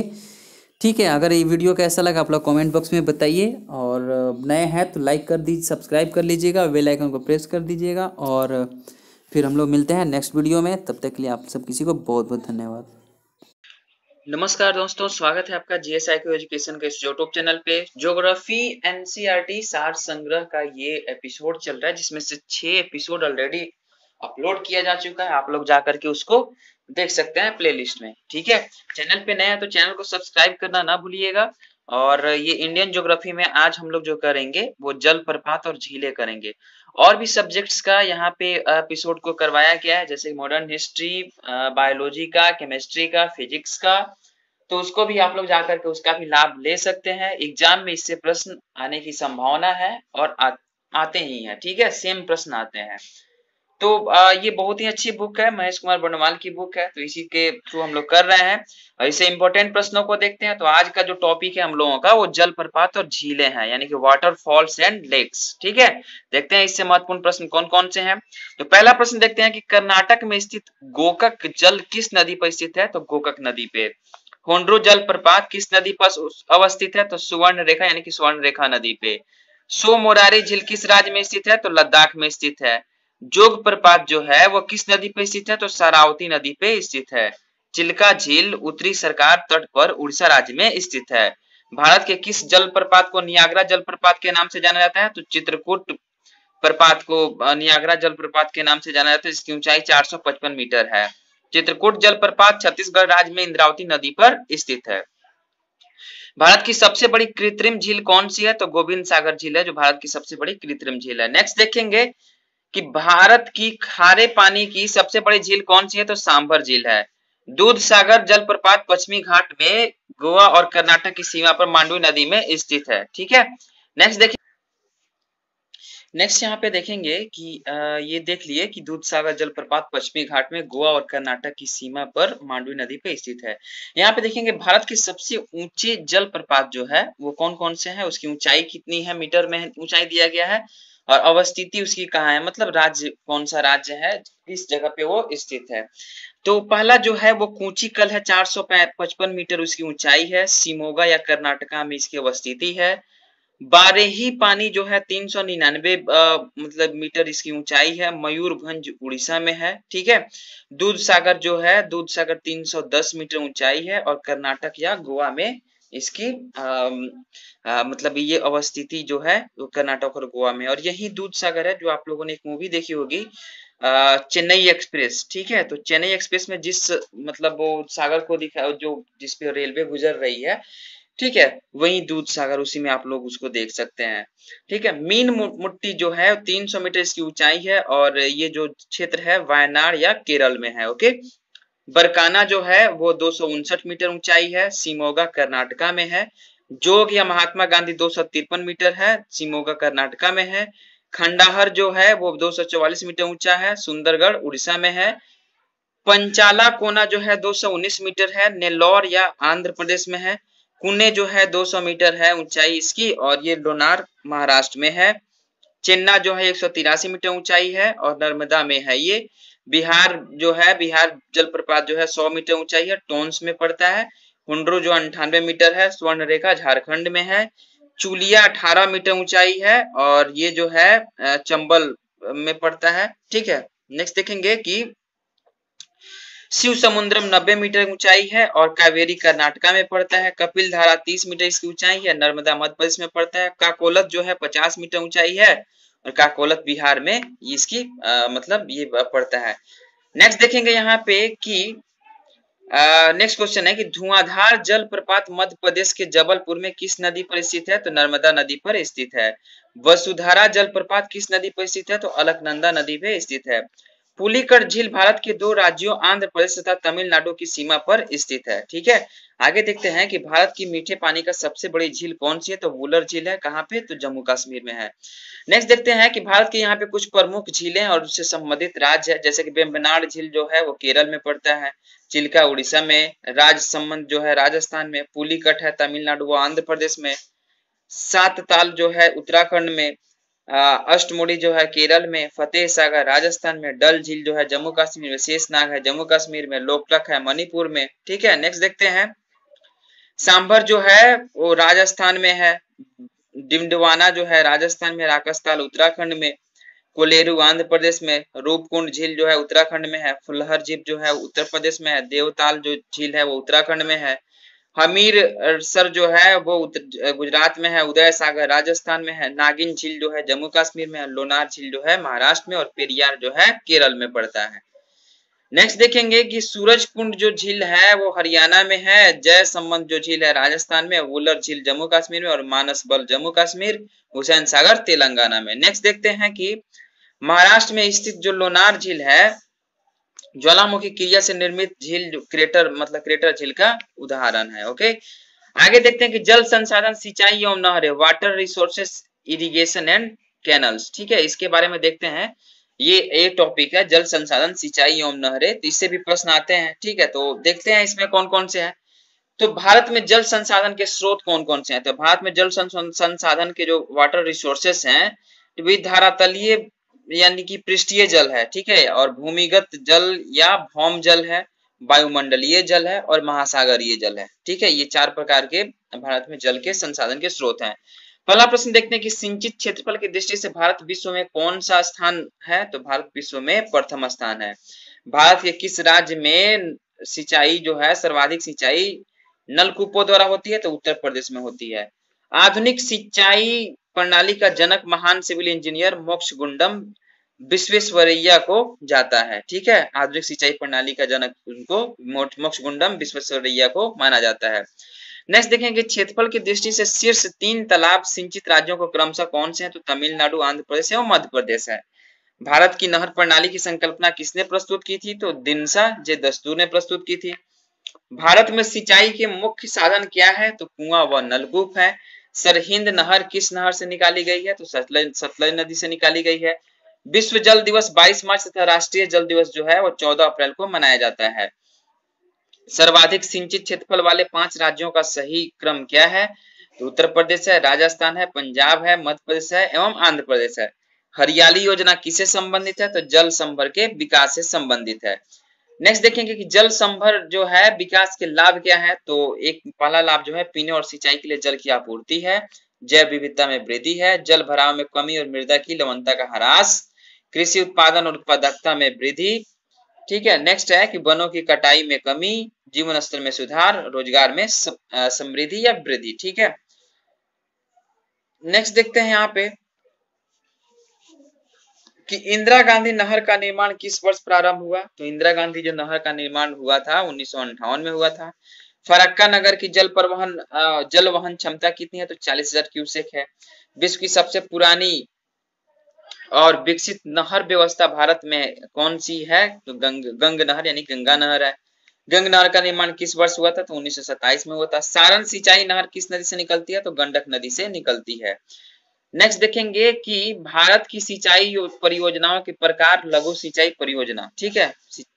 भारत की सिंचाई परियोजनाओं के प्रकार में हम देखेंगे कि लघु सिंचाई परियोजना में कौन कौन से तो इस सिंचाई परियोजना के अंतर्गत 2000 हेक्टेयर से कम क्षेत्र की सिंचाई होती है।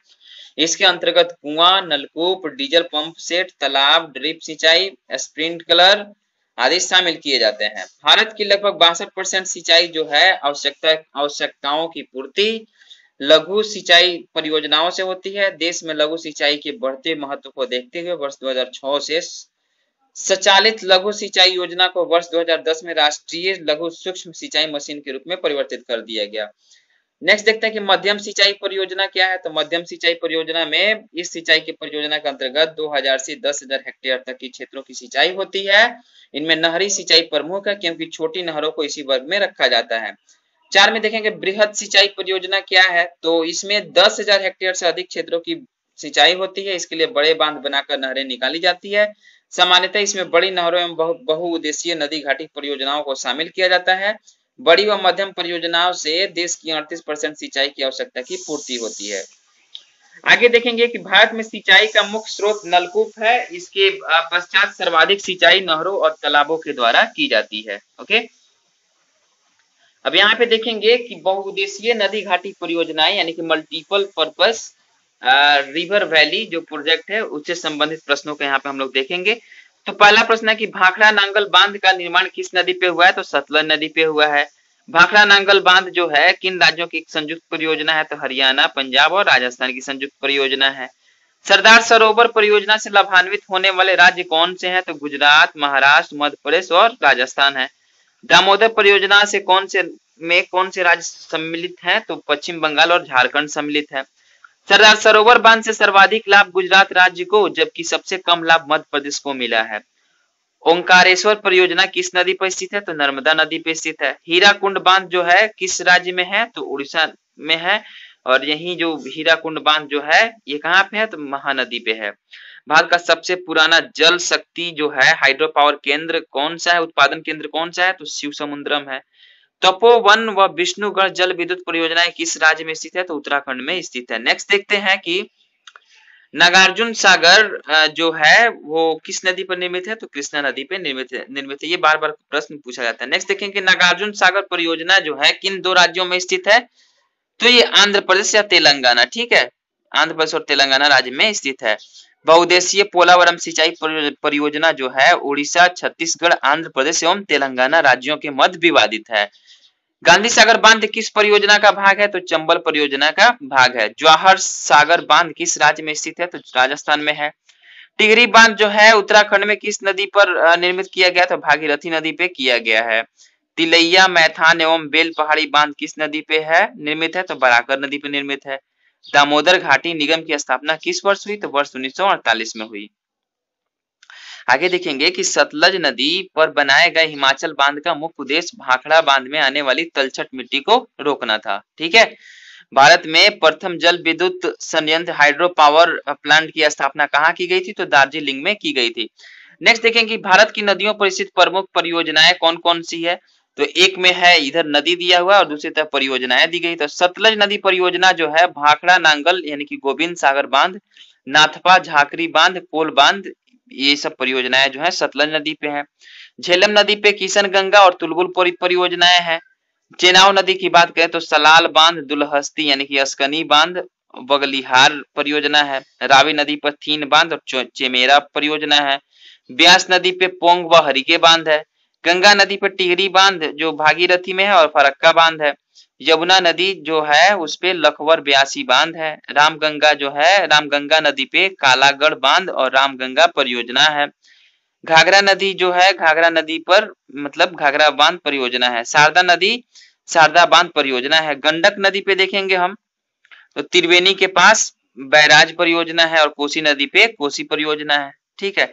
आगे देखते हैं कि यहाँ पे चंबल नदी पे जो है वो गांधी सागर महाराणा प्रताप राणा प्रताप सागर एवं जवाहर सागर बाँध राजस्थान में जो है वो परियोजनाएँ हैं। बेतवा नदी पे मा, माता टीला बाँध और राजघाट बाँध है। सोन नदी पे है डेहरी में सिंचाई बरास बाण सागर बाँध है। दामोदर नदी पे पंचेत हिल तिलैया कोनार अय्यर वर्गमो बाँध और मैथान है। गोदावरी नदी पे राजमुंद्री के निकट एनिकट बाँध है। कृष्णा नदी पे श्री सैलम और नागार्जुन बाँध सागर बाँध है तुंगभद्रा पे मल्लपुरम के निकट तुंगभद्रा बाँध है कावेरी नदी पर मेटूर बाँध है नर्मदा नदी पे महेश्वर बाँध और इंदिरा सागर बाँध है अंकलेश्वर बाँध और सरदार सरोवर बाँध भी है। ताप्ती नदी पे का, काकरापाड़ा बाँध और उकाई बाँध है महानदी पे हीराकुंड और तिरकपाड़ा और बरोज बाँध है ठीक है? नेक्स्ट देखते हैं कि माही नदी पे है माही नदी पे है वन कावेरी है बाँध और कदाना बाँध है। यहाँ पे फैक्ट दिया हुआ कि पंच पंचेश्वर परियोजना भारत नेपाल की संयुक्त उपक्रम है। यह उत्तराखंड के पिथौरागढ़ ज़िले में काली नदी पर निर्मित की जाएगी ओके आगे देखते हैं यहाँ पे कि भारत एवं उसके पड़ोसी देशों के बीच प्रमुख नदी समझौते कौन कौन से हुए हैं?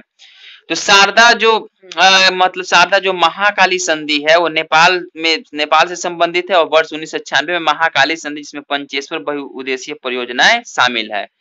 ठीक है, कोसी नदी जो है वो नेपाल से संबंधित है और ये जो नेपाल में कोसी बैराज के निर्माण के संबंध में वर्ष उन्नीस सौ चौवन का समझौता उन्नीस सौ छियासठ में संशोधित किया गया है। गंडक नदी जो है नेपाल में है और नेपाल में गंडक बैराज बाँध के निर्माण में वर्ष उन्नीस सौ उनसठ का समझौता किया गया। गंगा नदी जो है बांग्लादेश से संबंधित है, फरक्का में गंगा जल की भागीदारी के संबंध में वर्ष उन्नीस सौ छियानबे की बांग्लादेश भारत बांग्लादेश संधि है। सिंधु नदी तंत्र में देखते हैं, सिंधु नदी तंत्र में झेलम नदी आता है, चिनाव, रावी, ब्यास, सतलुज, व इनकी सहायक नदियाँ आती है। तो ये जो संबंधित है, पाकिस्तान से संबंधित है और सिंधु नदी जल तंत्र के सार्थक एवं संतोषजनक उपयोग के लिए सिंधु नदी जल 1960 का समझौता किया गया था। प्रश्न यहाँ पे देखेंगे कि जल ढाका जो है चुखा है, ताला है, मांग, देहू आदि जल विद्युत परियोजनाएँ कहाँ स्थित है? तो भूटान में है और भारत के सहयोग से ये निर्मित की गई है।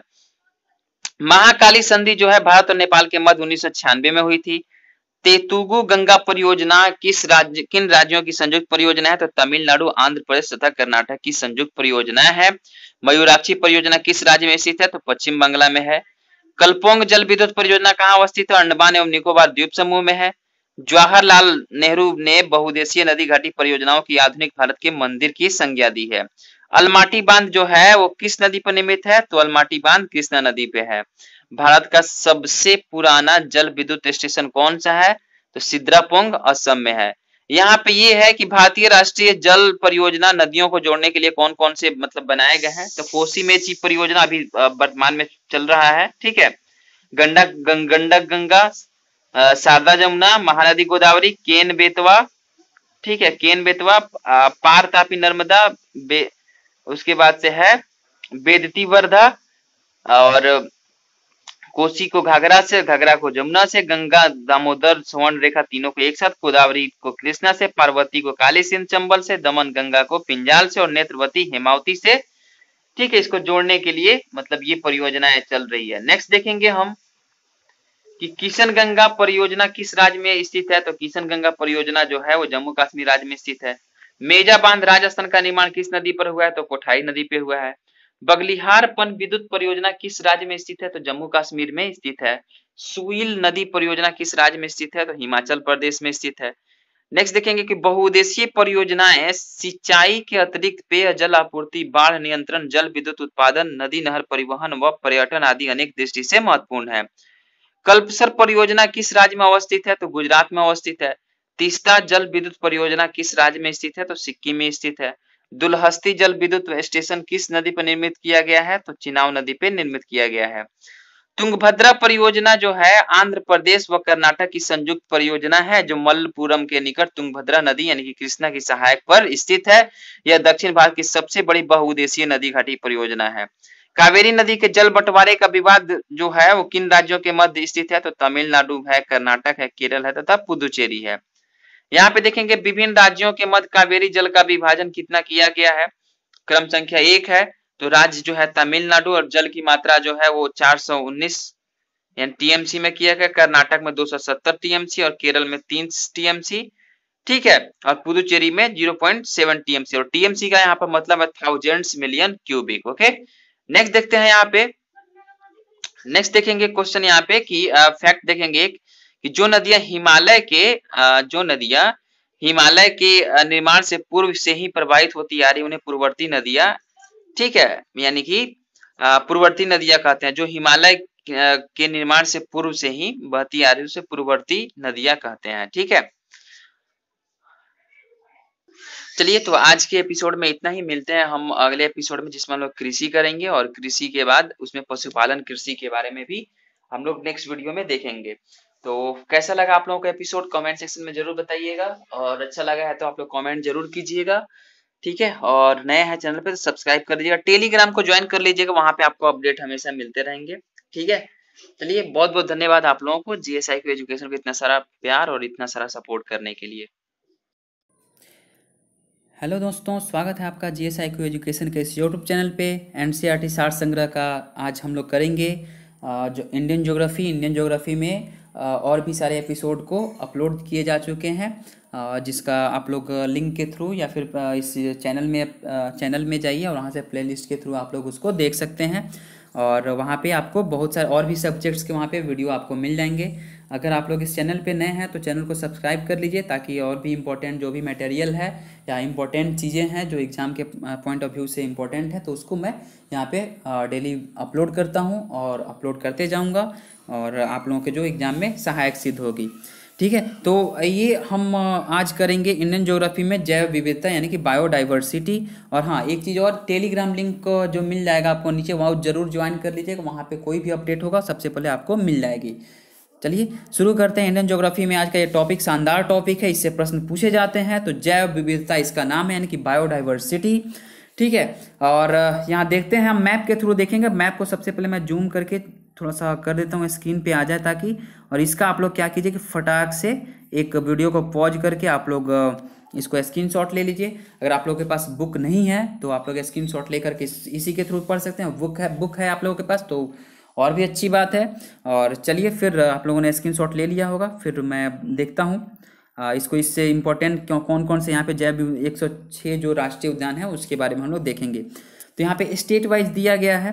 तो जैसे कि हम चलिए शुरू करते हैं। भारत की एक सौ छः राष्ट्रीय उद्यान, जिसमें सबसे पहले हम लद्दाख में बात करते हैं। तो लद्दाख में हमारा एक ही राष्ट्रीय उद्यान है, हेमिस, ठीक है? एक ही हमारा राष्ट्रीय उद्यान, हेमिस है। जम्मू कश्मीर की बात करें तो तीन है, सिटी फॉरेस्ट, सलीम अली जिसको बोला जाता है, दाचीगम है और किश्तवाड़ है। हिमाचल प्रदेश की बात करें तो बृहद हिमालय इंदर किला खीर गंगा पीन घाटी सिम्बाला बरा उत्तराखंड की बात करें तो जिम कार्बेट गंगोत्री है, गोविंद पशु विहार है, नंदा देवी है, राजा जी है, फूलों की घाटी यानी कि फ्लावर्स वैली है और साइलेंट वैली जो आएगी फूलों की घाटी ये आपको उत्तराखंड में है और साइलेंट वैली जो आएगी वो केरल में मिलेगी आपको, ठीक है? नेक्स्ट देखते हैं सिक्किम। सिक्किम सिक्किम में कौन सा है? तो सिक्किम में एक ही है, कंचनजंगा है। फिर अगर हम बात करते हैं हरियाणा, हम ऊपर से ही देखते हुए चल रहे हैं तो हरियाणा में देखेंगे तो कालेश्वर है, सुल्तानपुर है। राजस्थान की बात करें तो मुकुंदरा हिल्स है, मरुस्थलीय है केवला देव घाना केवला देव है, घाना है रणथम्भौर है, सरिस्का है। फिर अगर उत्तर प्रदेश की बात करें तो दुधवा टाइगर रिज़र्व, इसी को दुधवा टाइगर रिज़र्व राष्ट्रीय उद्यान भी है। नेक्स्ट देखते हैं कि अगर बिहार में तो बिहार में एक ही है, वाल्मीकि नगर है, वाल्मीकि नगर में पड़ता है, ये बिहार में ही है, ठीक पश्चिम चंपारण में पड़ता है। ठीक है नेक्स्ट देखते हैं कि मेघालय में है तो बाल पक्रम है नौकरेक रीज है और नौकरेक हमेशा पूछा जाता है तो मेघालय में है। अरुणाचल प्रदेश की बात करें तो माउलिंग है नामदफा है। अगर असम की बात करें तो डिब्रू सैकवा है काजीरंगा है मानस है नामेरी है ओरांग है। नागालैंड की बात करें तो नागालैंड में एक ही है जो है इटांकी है मणिपुर में दो है काबो लामजाओ और सिरोढ़ी है। फिर अगर त्रिपुरा की बात करें तो त्रिपुरा त्रिपुरा में दो है क्ला, क्लाउडेड लेपर्ड है और और ये जो है बिसोन है और क्लाउ क्लाउडेड लेपर्ड जो है, वो कहाँ का राष्ट्र राजकीय पशु है तो वो है आपको उत्तराखंड का। ठीक है नेक्स्ट देखते हैं। त्रिपुरा में है क्लाउडेड लेपर्ड है, विसोन है, मणिपुर में आप लोगों को मैं बताया कि कायबुल और लामजाओ है, सिरोही है। मिजोरम में मुरलेन है, फवंगपुई नीला पर्वत है, और हाँ ये क्लाउडेड लेपर्ड जो राजकीय पशु है, जो यानी कि स्टेट एनिमल है वो उत्तराखंड का नहीं है आ, वो है वो आपका मेघालय का है ठीक है? तो एक बार आप उसको मतलब सुधार कर लीजिएगा। मैंने गलती से बता दिया कि उत्तराखंड का है तो उत्तराखंड का नहीं है। उत्तराखंड का है एलन मस्क जो है वो है यहाँ वहाँ का ठीक है? और ये जो क्लाउडेड लेपर्ट है वो मेघालय का है ठीक है? नेक्स्ट देखते हैं कि पश्चिम बंगाल में छः है तो बक्सा है। पश्चिम बंगाल में छः राष्ट्रीय उद्यान है। Buxa Gorumara no, no Neora valley Neora valley Singalila Sundarban और जल्लापारा। उड़ीसा की बात करें हम तो उड़ीसा में भीतरकनिका सिमलीपाल है झारखंड में एक ही है बेतला है। मध्य प्रदेश में अगर बात करें तो मध्य प्रदेश में आपका टोटल दस है। तो कौन कौन सा है? मध्य प्रदेश में दस है तो बांधवगढ़ है फौसिल है कान्हा है माधव है पेंच पन्ना संजय सतपुड़ा वन विहार डायनासोर और कूनो। नेक्स्ट देखते हैं, गुजरात की अगर बात करें तो गुजरात में चार है, वंशदा है, ब्लैक बक है, गिर है, मैरोन है मैरीन जो है वो कच्छ की खाड़ी में है। महाराष्ट्र की अगर बात करें तो महाराष्ट्र में छः है, चांदोली है, संजय गांधी है, बोरीवली है, गोगामल है, टडोबा है, नवे नवे गाँव है, पेंच है। फिर उड़ीसा में दो है, भीतरकनिका और मगरमच्छ के लिए सबसे उपयुक्त मानी जाती है। मगरमच्छ वहाँ पे पाए जाते हैं तो भीतरकनिका है और सिमलीपाल है, ठीक है? छत्तीसगढ़ की अगर बात करें हम तो छत्तीसगढ़ में तीन है, इंद्रावती है, जो कुटरू के नाम से भी कुटरू में पड़ता है, और कागिर कांगेर घाटी है, और गुरु घासीदास टाइ मतलब टाइगर रिज़र्व भी है, और ये पूछा जाता है, छत्तीसगढ़ में है, ठीक है? छत्तीसगढ़ में टोटल तीन है। तेलंगाना की बात करें तो तेलंगाना में भी तीन है तो केसी बर्मानंद रेड्डी है, महावीर हरीना वंश थली है, और मुर्गावनी है। गोवा की बात करें तो गोवा में एक ही है तो महावीर, जिसको मोलम मोलम में है महावीर, ठीक है? कर्नाटक की बात करें तो कर्नाटक में पाँच है कर्नाटक में पाँच है कौन कौन सा है? तो अंसी है बांदीपुर है बनेरघट्टा है कुदेरमुख है और राजीव गांधी जो नागरहोल ठीक है? उसी को नागरहोल के ना, भी नाम से जाना जाता है। अगर हम बात करें आंध्र प्रदेश की तो आंध्र प्रदेश में तीन है पापीकोंडा है राजीव गांधी है रामेश्वरम में जो है और श्री वेंकटेश्वर है। अगर बात करें हम तमिलनाडु में पाँच है तो तमिलनाडु में कौन कौन से है? तो पाँच है तो गिंडी है मन्नार मैरीन है इंदिरा गांधी जो अन्ना मलाई में पड़ता है। मुदुमलाई है, मुकुर्ती है, केरल में छः है, अन्नामुड़ी है, इराविकुलम है, मथिक मथिक तत्न सोला है, पराविकुलम है, पराम्बिकुलम है, पेरियार है, साइलेंट वैली यानी कि शांत घाटी है। अंडमान और निकोबार में टोटल नौ है तो कैंप बेल है गलाथिया है, महात्मा गांधी मैरीन है, मध्य बटन द्वीप है, माउंट हेरियट है, उत्तरी बटन द्वीप है, रानी झांसी मैदान, सैंडल पीक और साउथ बटन द्वीप है। बहुत ही अच्छा पॉइंट देखते हैं कि विलुप्त हो रहे जीवों तथा पेड़ पौधों को जीने के संरक्षण के लिए नॉर्वे द्वारा अंतर्राष्ट्रीय जीन बैंक की स्थापना की जा रही है। नेक्स्ट क्वेश्चन देखते हैं कि भारत का सबसे बड़ा वनस्पतिक उद्यान की बोटेनिकल गार्डन कहाँ स्थित है? तो कोलकाता में स्थित है। काजीरंगा राष्ट्रीय उद्यान जो असम में है, किसके लिए प्रसिद्ध है? तो एक सिंग वाले गेंडे के लिए। महात्मा गांधी मरीन राष्ट्रीय उद्यान किस राज्य में अवस्थित है? तो अंडमान और निकोबार द्वीप समूह में स्थित है। जीवाश्म जो होता है, जिसको फॉसिल्स बोलते हैं अंग्रेज़ी में नेशनल पार्क अवस्थित कहाँ है? जीवाश्म नेशनल पार्क जो अवस्थित है, वो मंडला मध्य प्रदेश में है। ऐसे प्रश्न पूछे जाते हैं। नेक्स्ट है कि कान्हा। कान्हा राष्ट्रीय उद्यान किसके लिए प्रसिद्ध है? तो कान्हा जो है, कान्हा कहाँ पे है? तो मध्य प्रदेश में है। तो वो किसके लिए है? तो रॉयल बंगाल टाइगर में रॉयल बंगाल टाइगर के लिए प्रसिद्ध है। वर्ष उन्नीस सौ चौहत्तर में स्थापित नामदफा, जो राष्ट्रीय उद्यान किस ज़िले में स्थित है? तो अरुणाचल प्रदेश में नामदफा है। बांदीपुर जो है, राष्ट्रीय उद्यान जो कर्नाटक में पड़ता है, किस वर्ष स्थापित किया गया था? तो उन्नीस सौ चौहत्तर में स्थापित किया गया था। राजीव गांधी राष्ट्रीय उद्यान जो है वो सॉरी, राजीव गांधी भी उसको बोला जाता है मैंने आंसर ही बता दिया। नागर होल राष्ट्रीय उद्यान कर्नाटक का परिवर्तित नाम क्या है? तो राजीव गांधी राष्ट्रीय उद्यान है। नौकरिक जैव मंडल जो क्षेत्र किस राज्य में अवस्थित है? तो मेघालय में है। भारत का प्रथम राष्ट्रीय उद्यान जो है, फ़र्स्ट नेशनल पार्क कौन सा है? तो जिम कार्बेट राष्ट्रीय उद्यान उत्तराखंड है। ठीक है? नेक्स्ट देखते हैं, और सबसे बड़ा कौन सा है राष्ट्रीय उद्यान? तो वो आता है हेमिस। हेमिस का नाम आता है, और हेमिस कहाँ पे तो असम में है। ठीक है नेक्स्ट देखते हैं, हेमिस। हेमिस जो है, वो है आपका लद्दाख में है, जो सबसे बड़ा नेशनल पार्क है। ठीक है? और जो सबसे पुराना जो है, वही सबसे पुराना या सबसे पहला जो था, जो सबसे पहला है, वही तो सबसे पुराना होगा ना? तो ये है जिम कार्बेट राष्ट्रीय उद्यान कहाँ पे? उत्तराखंड में। रणथम भौर वन्य जीव विहार जो है, वो किस राज्य में स्थित है? तो वो स्थित है आपको राजस्थान में। नेक्स्ट यहाँ पे देखते हैं कि वन्य जीव अभ्यारण्य जो वाइल्ड लाइफ सेंचुरी है, ठीक है कौन कौन से राज्य में कौन कौन सा है? और उसको देखेंगे तो आंध्र प्रदेश में कोरिंगा, कोलेरू, पुल्लीकट, नागार्जुन सागर, श्रीशैलम, प्राणहिता। तेलंगाना में है नागार्जुन सागर श्रीशैलम प्राणहिता किन्नेरसानी बिहार में है बरेला झील, वर्तमान में सलीम अली, जुब्बा सहनी, पक्षी बिहार ये बीपीएससी में पिछली बार पूछा गया था। तो देख लीजिएगा, भीम बाँध, गौतम बुद्ध, कांवर झील, और उसके बाद से कैमूर, और वाल्मीकि, विक्रमशिला, गंगा डॉल्फिन। चंडीगढ़ में सुखना झील है, छत्तीसगढ़ में अचानक मार, सीता नदी, गोवा में भगवान महावीर, मुल्लेम के नाम से भी जाना जाता है, गुजरात में ग्रेट इंडियन बस्टर्ड, गी गिर, कच्छ की खाड़ी, मोरीन, नल सरोवर, नारायण सरोवर, जिसमें चिंकारा के लिए है, पूर्णा, जंगली गद्दा यानी कि वाइल्ड अस के लिए भी है। हिमाचल प्रदेश में चंद्रताल, पोंग डैम, झील, रेणुका है, जम्मू कश्मीर में चांगथाल शीत मरुस्थल, होके, होकेरसर मरुस्थल, उसके बाद से होकेरसर, उसके बाद सुरिनसर, मानसर, झारखंड में है, डलमा, गौतम डालमा है गौतम बुद्ध, हजारीबाग, पारसनाथ, पलामू, तोपचंची। कर्नाटक में बात करें तो डांडेली घाट प्रभा चिंचोली, तालकावेरी, केरल में थडेक्कर इदुक्की, नैयार, पराम्बिकुलम, मालाबार, पेरियार, वायनाड और कुमाराकम। नेक्स्ट देखते हैं कि मध्य प्रदेश में है बोरी, गांधी गांधी सागर राष्ट्रीय चंबल, पन्ना, तातापानी, सोन, घड़ियाल।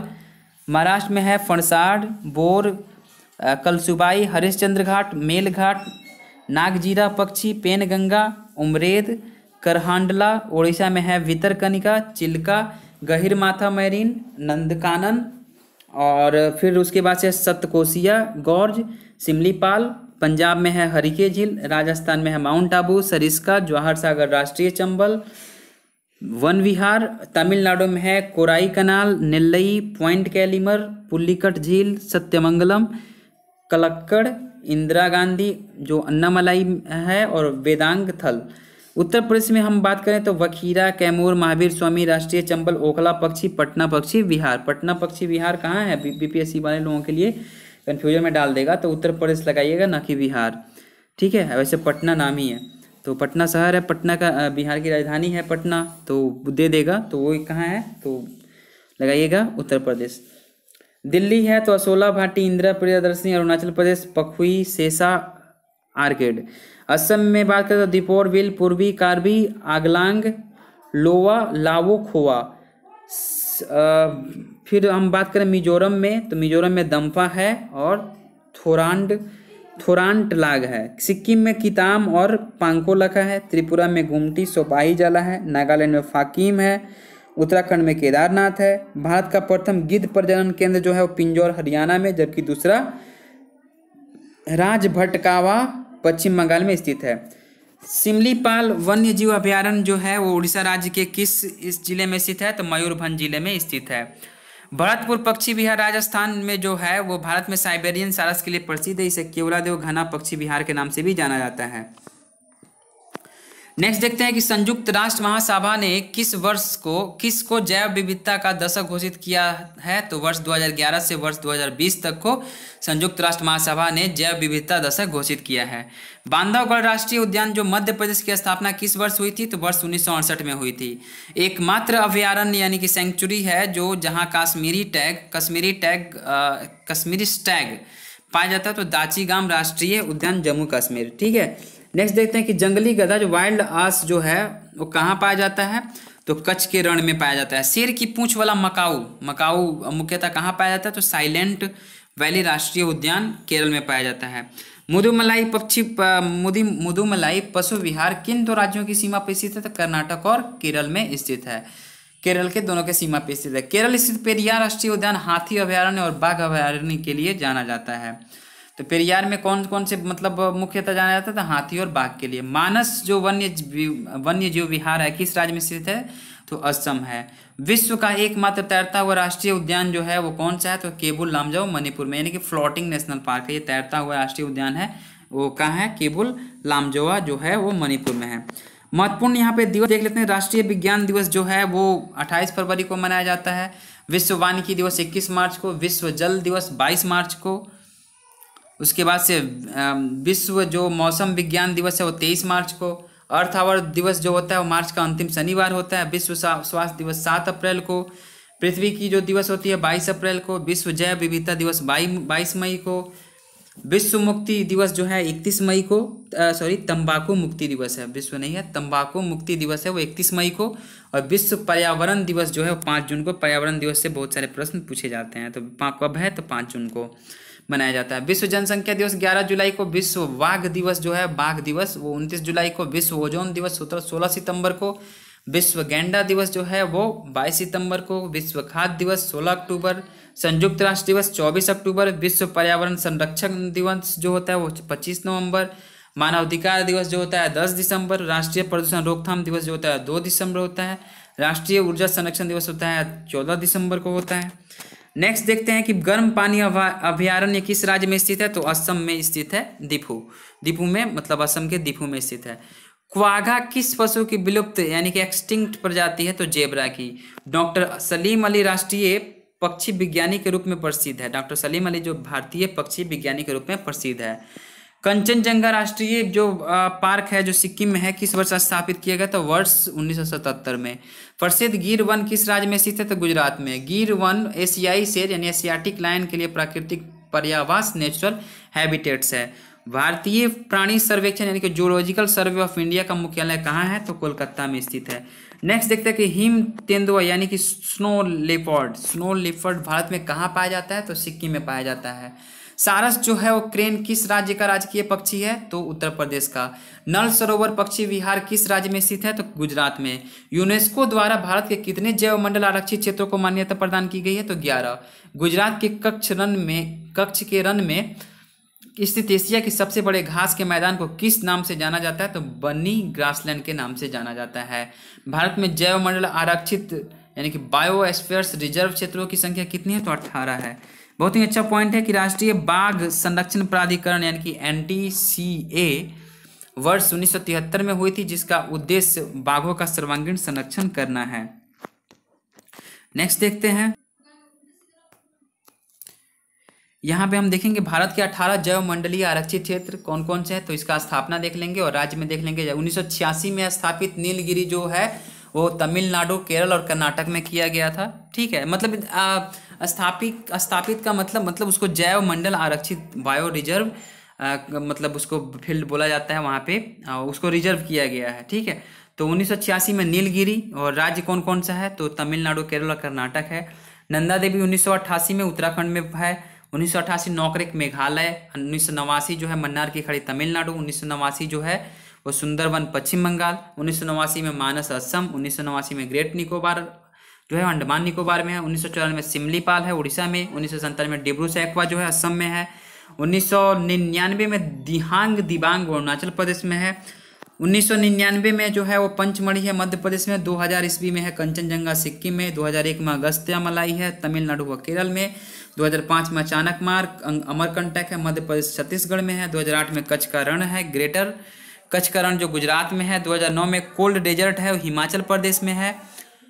और 2010 में जो रिज़र्व किया गया था, वो शेषाचलम पहाड़ी जो आंध्र प्रदेश में है। 2011 में पन्ना जो है मध्य प्रदेश में है। नेक्स्ट देखते हैं कि जैव मंडल आरक्षित क्षेत्र नंदा देवी किस राज्य में स्थित है तो उत्तराखंड में स्थित है। भारत के किस राज्य या केंद्र शासित प्रदेश में विविध समुद्री पेड़ पौधे तथा जंतुओं को संरक्षित करने के लिए जैव आरक्षित क्षेत्र, इनके बायोस्फीयर रिज़र्व स्थापित किया गया? तो अंडमान और निकोबार द्वीप समूह में। नेक्स्ट देखते हैं कि भारत के प्रथम जैव मंडल आरक्षित क्षेत्र नीलगिरी को वर्ष 2000 में यूनेस्को द्वारा यूनेस्को द्वारा जैव मंडल आरक्षित क्षेत्र घोषित किया गया। नेक्स्ट देखते हैं कि भारत वाल्मीकि बाघ आरक्षित क्षेत्र यानी वाल्मीकि टाइगर रिज़र्व परियोजना किस राज्य से संबंधित है? पश्चिमी चंपारण यानी बिहार से संबंधित है। रामसर समझौते के अंतर्गत भारत के सैंतीस आर्द्र भूमि यानी कि वेटलैंड जो क्षेत्र है वेटलैंड एरिया है, उसको किया गया कब? रामसर के द्वारा था। आंध्र प्रदेश में कौन कौन से जो राज्य एक तरफ़ दिया और एक तरफ़ रामसर वेटलैंड मतलब रामसरा आर्द्र भूमि क्षेत्र का नाम दिया गया। तो आंध्र प्रदेश में कोल्डेरू झील है, असम में दीपोर झील, हिमाचल प्रदेश में पोंगडैम झील, रेणुका है आर्द्र भूमि चंद्रताल आर्द्र भूमि सबसे छोटा। ठीक है, जम्मू कश्मीर में वुलर झील है, होकेसर आर्द्र भूमि है सुरिंसर है, मानेसर झील है, लद्दाख में तसो मोरारी झील है, केरल में अष्टमोदी आर्द्र भूमि है, सप्तकोटा झील है पेम्बनाड कोल आर्द्र भूमि है, मध्य प्रदेश में भोज आर्द्र भूमि है, मणिपुर में लोकटक आर्द्र भूमि है उड़ीसा में चिल्का झील है और भीतरकनिका मैंग्रोव है। ये मैंने वहाँ जब पढ़ा रहा था मैं इन्वायरमेंट एंड इकोलॉजी का जो लेक्चर है, उसमें भी आपको ये सब देखने को मिल जाएगा। पंजाब में हरिके झील है, कांजली झील है, रोपड़ झील केशोपुर मियाँ सामुदायिक reserve, Beas conservation reserve Nangal वन्य जीव अभ्यारण्य, राजस्थान में सांबर झील है केवला देव राष्ट्रीय पार्क है, तमिलनाडु में पॉइंट कैलीमेरे है, त्रिपुरा में रुद्रसागर झील है उत्तर प्रदेश में अपर गंगा नदी, नवाबगंज नवाबगंज पक्षी अभ्यारण्य, पार्वती आगरा पक्षी अभ्यारण्य, समसपुर पक्षी अभ्यारण्य, सांडी पक्षी अभ्यारण्य, सरसई नवार झील, समन पक्षी अभ्यारण्य। अगर बात करें पश्चिम बंगाल में तो सबसे बड़ा पूर्वी कोलकाता आर्द्र भूमि है और सुंदरवन है। नेक्स्ट देखते हैं कि गुजरात में नल सरोवर पक्षी अभ्यारण्य है और महाराष्ट्र में नंदूर मोहम्मदेश्वर है। और क्षेत्रफल के दृष्टि से सबसे बड़ा जैव मंडल आरक्षित क्षेत्र मन्नार की खाड़ी एवं सबसे छोटा डिब्रू सैखवा यानी कि असम में है। आप क्या कीजिएगा इसको एक बार स्क्रीनशॉट ले लीजिएगा वीडियो को पॉज करके और इसको एक बार लिखने की कोशिश कीजिएगा, याद हो जाएगा। बार बार कीजिएगा, तभी होगा, नहीं तो नहीं याद होगा। भारत में पचास बाघ आरक्षित क्षेत्रों की अवस्थिति, यानी कि टाइगर रिज़र्व क्षेत्र जो है, उसको दिया गया है। तो असम में है काजीरंगा, मानस नावेरी औरांग अरुणाचल प्रदेश में नाम दफ़ा, पक्के या पखुई, और काललांग है, कामलांग है, आंध्र प्रदेश में नागार्जुन सागर, श्रीशैलम है, तेलंगाना में कावर है अमरावाद है, बिहार में वाल्मीकि है, और उसके बाद छत्तीसगढ़ में इंद्रावती, अचानक मार, उदंती सीता नदी है, झारखंड में पलामू है, कर्नाटक में बांदीपुर, नागरहोल, भद्रा, दंदेली, अंसी वेलीगिर रंगनाथ है। केरल में पेरियार पारंबिकुलम है, मिजोरम में डंपा है। अगर बात करें मध्य प्रदेश की तो टाइगर स्टेट जो है वो बांधवगढ़ है। सतपुड़ा है, कान्हा है, पन्ना है, पेंच है, संजय है डुबड़ी संजय डुबड़ी है। महाराष्ट्र में मेलघाट, पेंच, तदोबा, अंधेरी सहयात्री बोर, नागजीरा। राजस्थान में रणथम्बौर सरिस्का, मुकुंदरा हिल्स, उत्तर प्रदेश में दुधवा, पीलीभीत, अमनगढ़। तमिलनाडु में बात करें तो इंदिरा गांधी। उसके बाद से ताल तालकड मुदुनथ्रई अन्नामलाई, मुदुमलाई, सत्यमंगलम, उत्तराखंड में जीम कार्बेट पहला राष्ट्रीय बाघ रिज़र्व है और राजा जी भी है। और पश्चिम बंगाल में बात करें तो बक्सा है, सुंदरबन है, उड़ीसा में सिमलीपाल और सप्तकोशिया है। वन्य जीव संरक्षण परियोजनाएँ क्या क्या है? परियोजना का यहाँ पे नाम दिया गया है, प्रारंभ वर्ष दिया गया और विशेष बिंदु कौन कौन से हैं? उसके बारे में यहाँ पे दिया गया है। तो देखते हैं यहाँ पे। तो सबसे पहले है बाघ परि, बाघ परियोजना जो है उन्नीस सौ तिहत्तर में प्रारंभ वर्ष हुआ था ये, प्रारंभ हुआ था और बाघों की संख्या में कमी को रोकना तथा उनकी संख्या में वृद्धि करना। दो में है गिद्ध संरक्षण परियोजना 2006 में इसका प्रारंभ वर्ष है तीव्रता से लुप्त होते गिद्धों को बचाना। गिद्धों की मृत्यु का कारण पशुओं को दी जाने वाली डाई क्लोफेनॉक नामक दवा है। यह दवा अप्रतिबंधित है। अगर बात करें हम तो गिर सिंह परियोजना जो है उन्नीस सौ तिहत्तर में इसका स्थापना किया गया था। ये जो मतलब प्रारंभ वर्ष उन्नीस सौ तिहत्तर था। गिर अभ्यारण्य में केंद्र सरकार के सहयोग से प्रारंभ किया गया। गुजरात के जूनागढ़ ज़िले में एक हज़ार चार सौ बारह वर्ग किलोमीटर क्षेत्र में स्थित यह उद्यान अब एकमात्र ऐसा उद्यान है जहाँ एशियाटिक लाइन पाए जाते हैं, एशियाई शेर पाए जाते हैं इसको बब्बर शेर के नाम से भी जाना जाता है। हाथी परियोजना जो उन्नीस सौ बानवे में इसकी प्रारंभ वर्ष की गई थी और और जो ये है, हाथी परियोजना उन्नीस सौ उन्नीस सौ बानवे में केंद्र सरकार द्वारा सत्रह दिसंबर उन्नीस सौ बानवे को झारखंड के सिंहभूम ज़िले से प्रारंभ की गई। भारत के प्रमुख हाथी संरक्षित क्षेत्र जो है, वो पेरियार अभ्यारण्य केरल, मानस अभ्यारण्य काजीरंगा राष्ट्रीय उद्यान असम, राजाजी राष्ट्रीय उद्यान एवं जिम कार्बेट राष्ट्रीय उद्यान जो है, वो उत्तराखंड। और बात करें हम कस्तूरी मृग परियोजना की तो इसका प्रारंभ वर्ष जो है, उन्नीस कस्तूरी मृग परियोजना तो 1970 है। कस्तूरी मृग के संरक्षण के लिए आयुष के सहयोग से उत्तराखंड के केदारनाथ अभ्यारण्य में वर्ष 1970 में प्रारंभ की गई। कस्तूरी केवल नर मृग में पाई जाती है यह मृग हिमालय, हिमाचल प्रदेश की चंबा घाटी से लेकर सिक्किम तक के हिमालयी क्षेत्रों में पाई क्षेत्रों में पाए जाते हैं। लाल पंडा परियोजना उन्नीस सौ छियानवे विश्व प्रकृति निधि के सहयोग से पदमजा नायडू हिमालयन प्राणी उद्यान में प्रारंभ। लाल पंडा, सिक्किम, अरुणाचल प्रदेश यानी कि केट बियर के नाम से प्रसिद्ध है तथा दार्जिलिंग के जंगलों में पाया जाता है। अगर बात करें थामिन मृग परियोजना जो 1977 में आरंभ की गई थी, थामिन मृग जो है मणिपुर में पाए जाते हैं। विश्व के दुर्लभ स्तनधारियों में से एक है। अगर बात करें कछुआ संरक्षण परियोजना 1975 में तो उड़ीसा के भीतर कनिका में पाया जाता जाने वाला ओलिव रिडले कछुआ दक्षिणी अमेरिका की कछुए की प्रजाति है। गैंडा परियोजना उन्नीस एक सिंग वाला गैंडा केवल भारत में पाया जाता है। असम के मानस अभ्यारण्य व काजी रंगा उद्यान तथा पश्चिम बंगाल का जल्दापारा अभ्यारण्य में गैंडों की मुख्य स्थल मुख्य शरण स्थली है।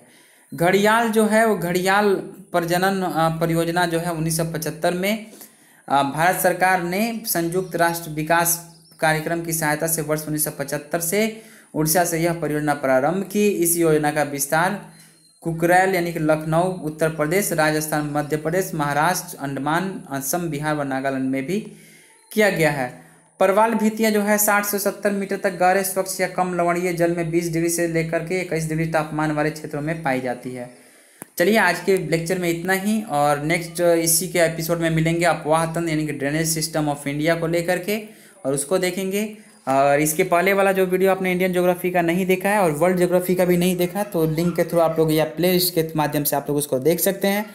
और इस चैनल पे अगर आप नए हैं और अभी तक इस वीडियो को देख रहे हैं तो जानने के टाइम में दो सेकेंड लगेगा। आप लाइक कर दीजिएगा और अपनी सुझाव दे दीजिएगा। और कैसा लगा लेक्चर वो भी बताइएगा, ताकि हम फिर नेक्स्ट वीडियो आप लोगों के लिए जल्द ही अवेलेबल करवाएँ। और हाँ और इसको अपने दोस्तों के पास शेयर कर दीजिए। और बहुत बहुत धन्यवाद आप लोगों का जो आप लोग इस जी एस आई को एजुकेशन जो यूट्यूब चैनल है, इसको इतना सारा आप लोग प्यार दे रहे हैं। टेलीग्राम से ज़रूर जुड़ जाइएगा, वहाँ पे हर एक आपको अपडेट मिलते रहेंगे और जो भी इम्पोर्टेंट स्टडी मटेरियल है, वो भी आपको वहाँ पे अवेलेबल करवाया जाएगा। चलिए बहुत बहुत धन्यवाद आप लोगों का।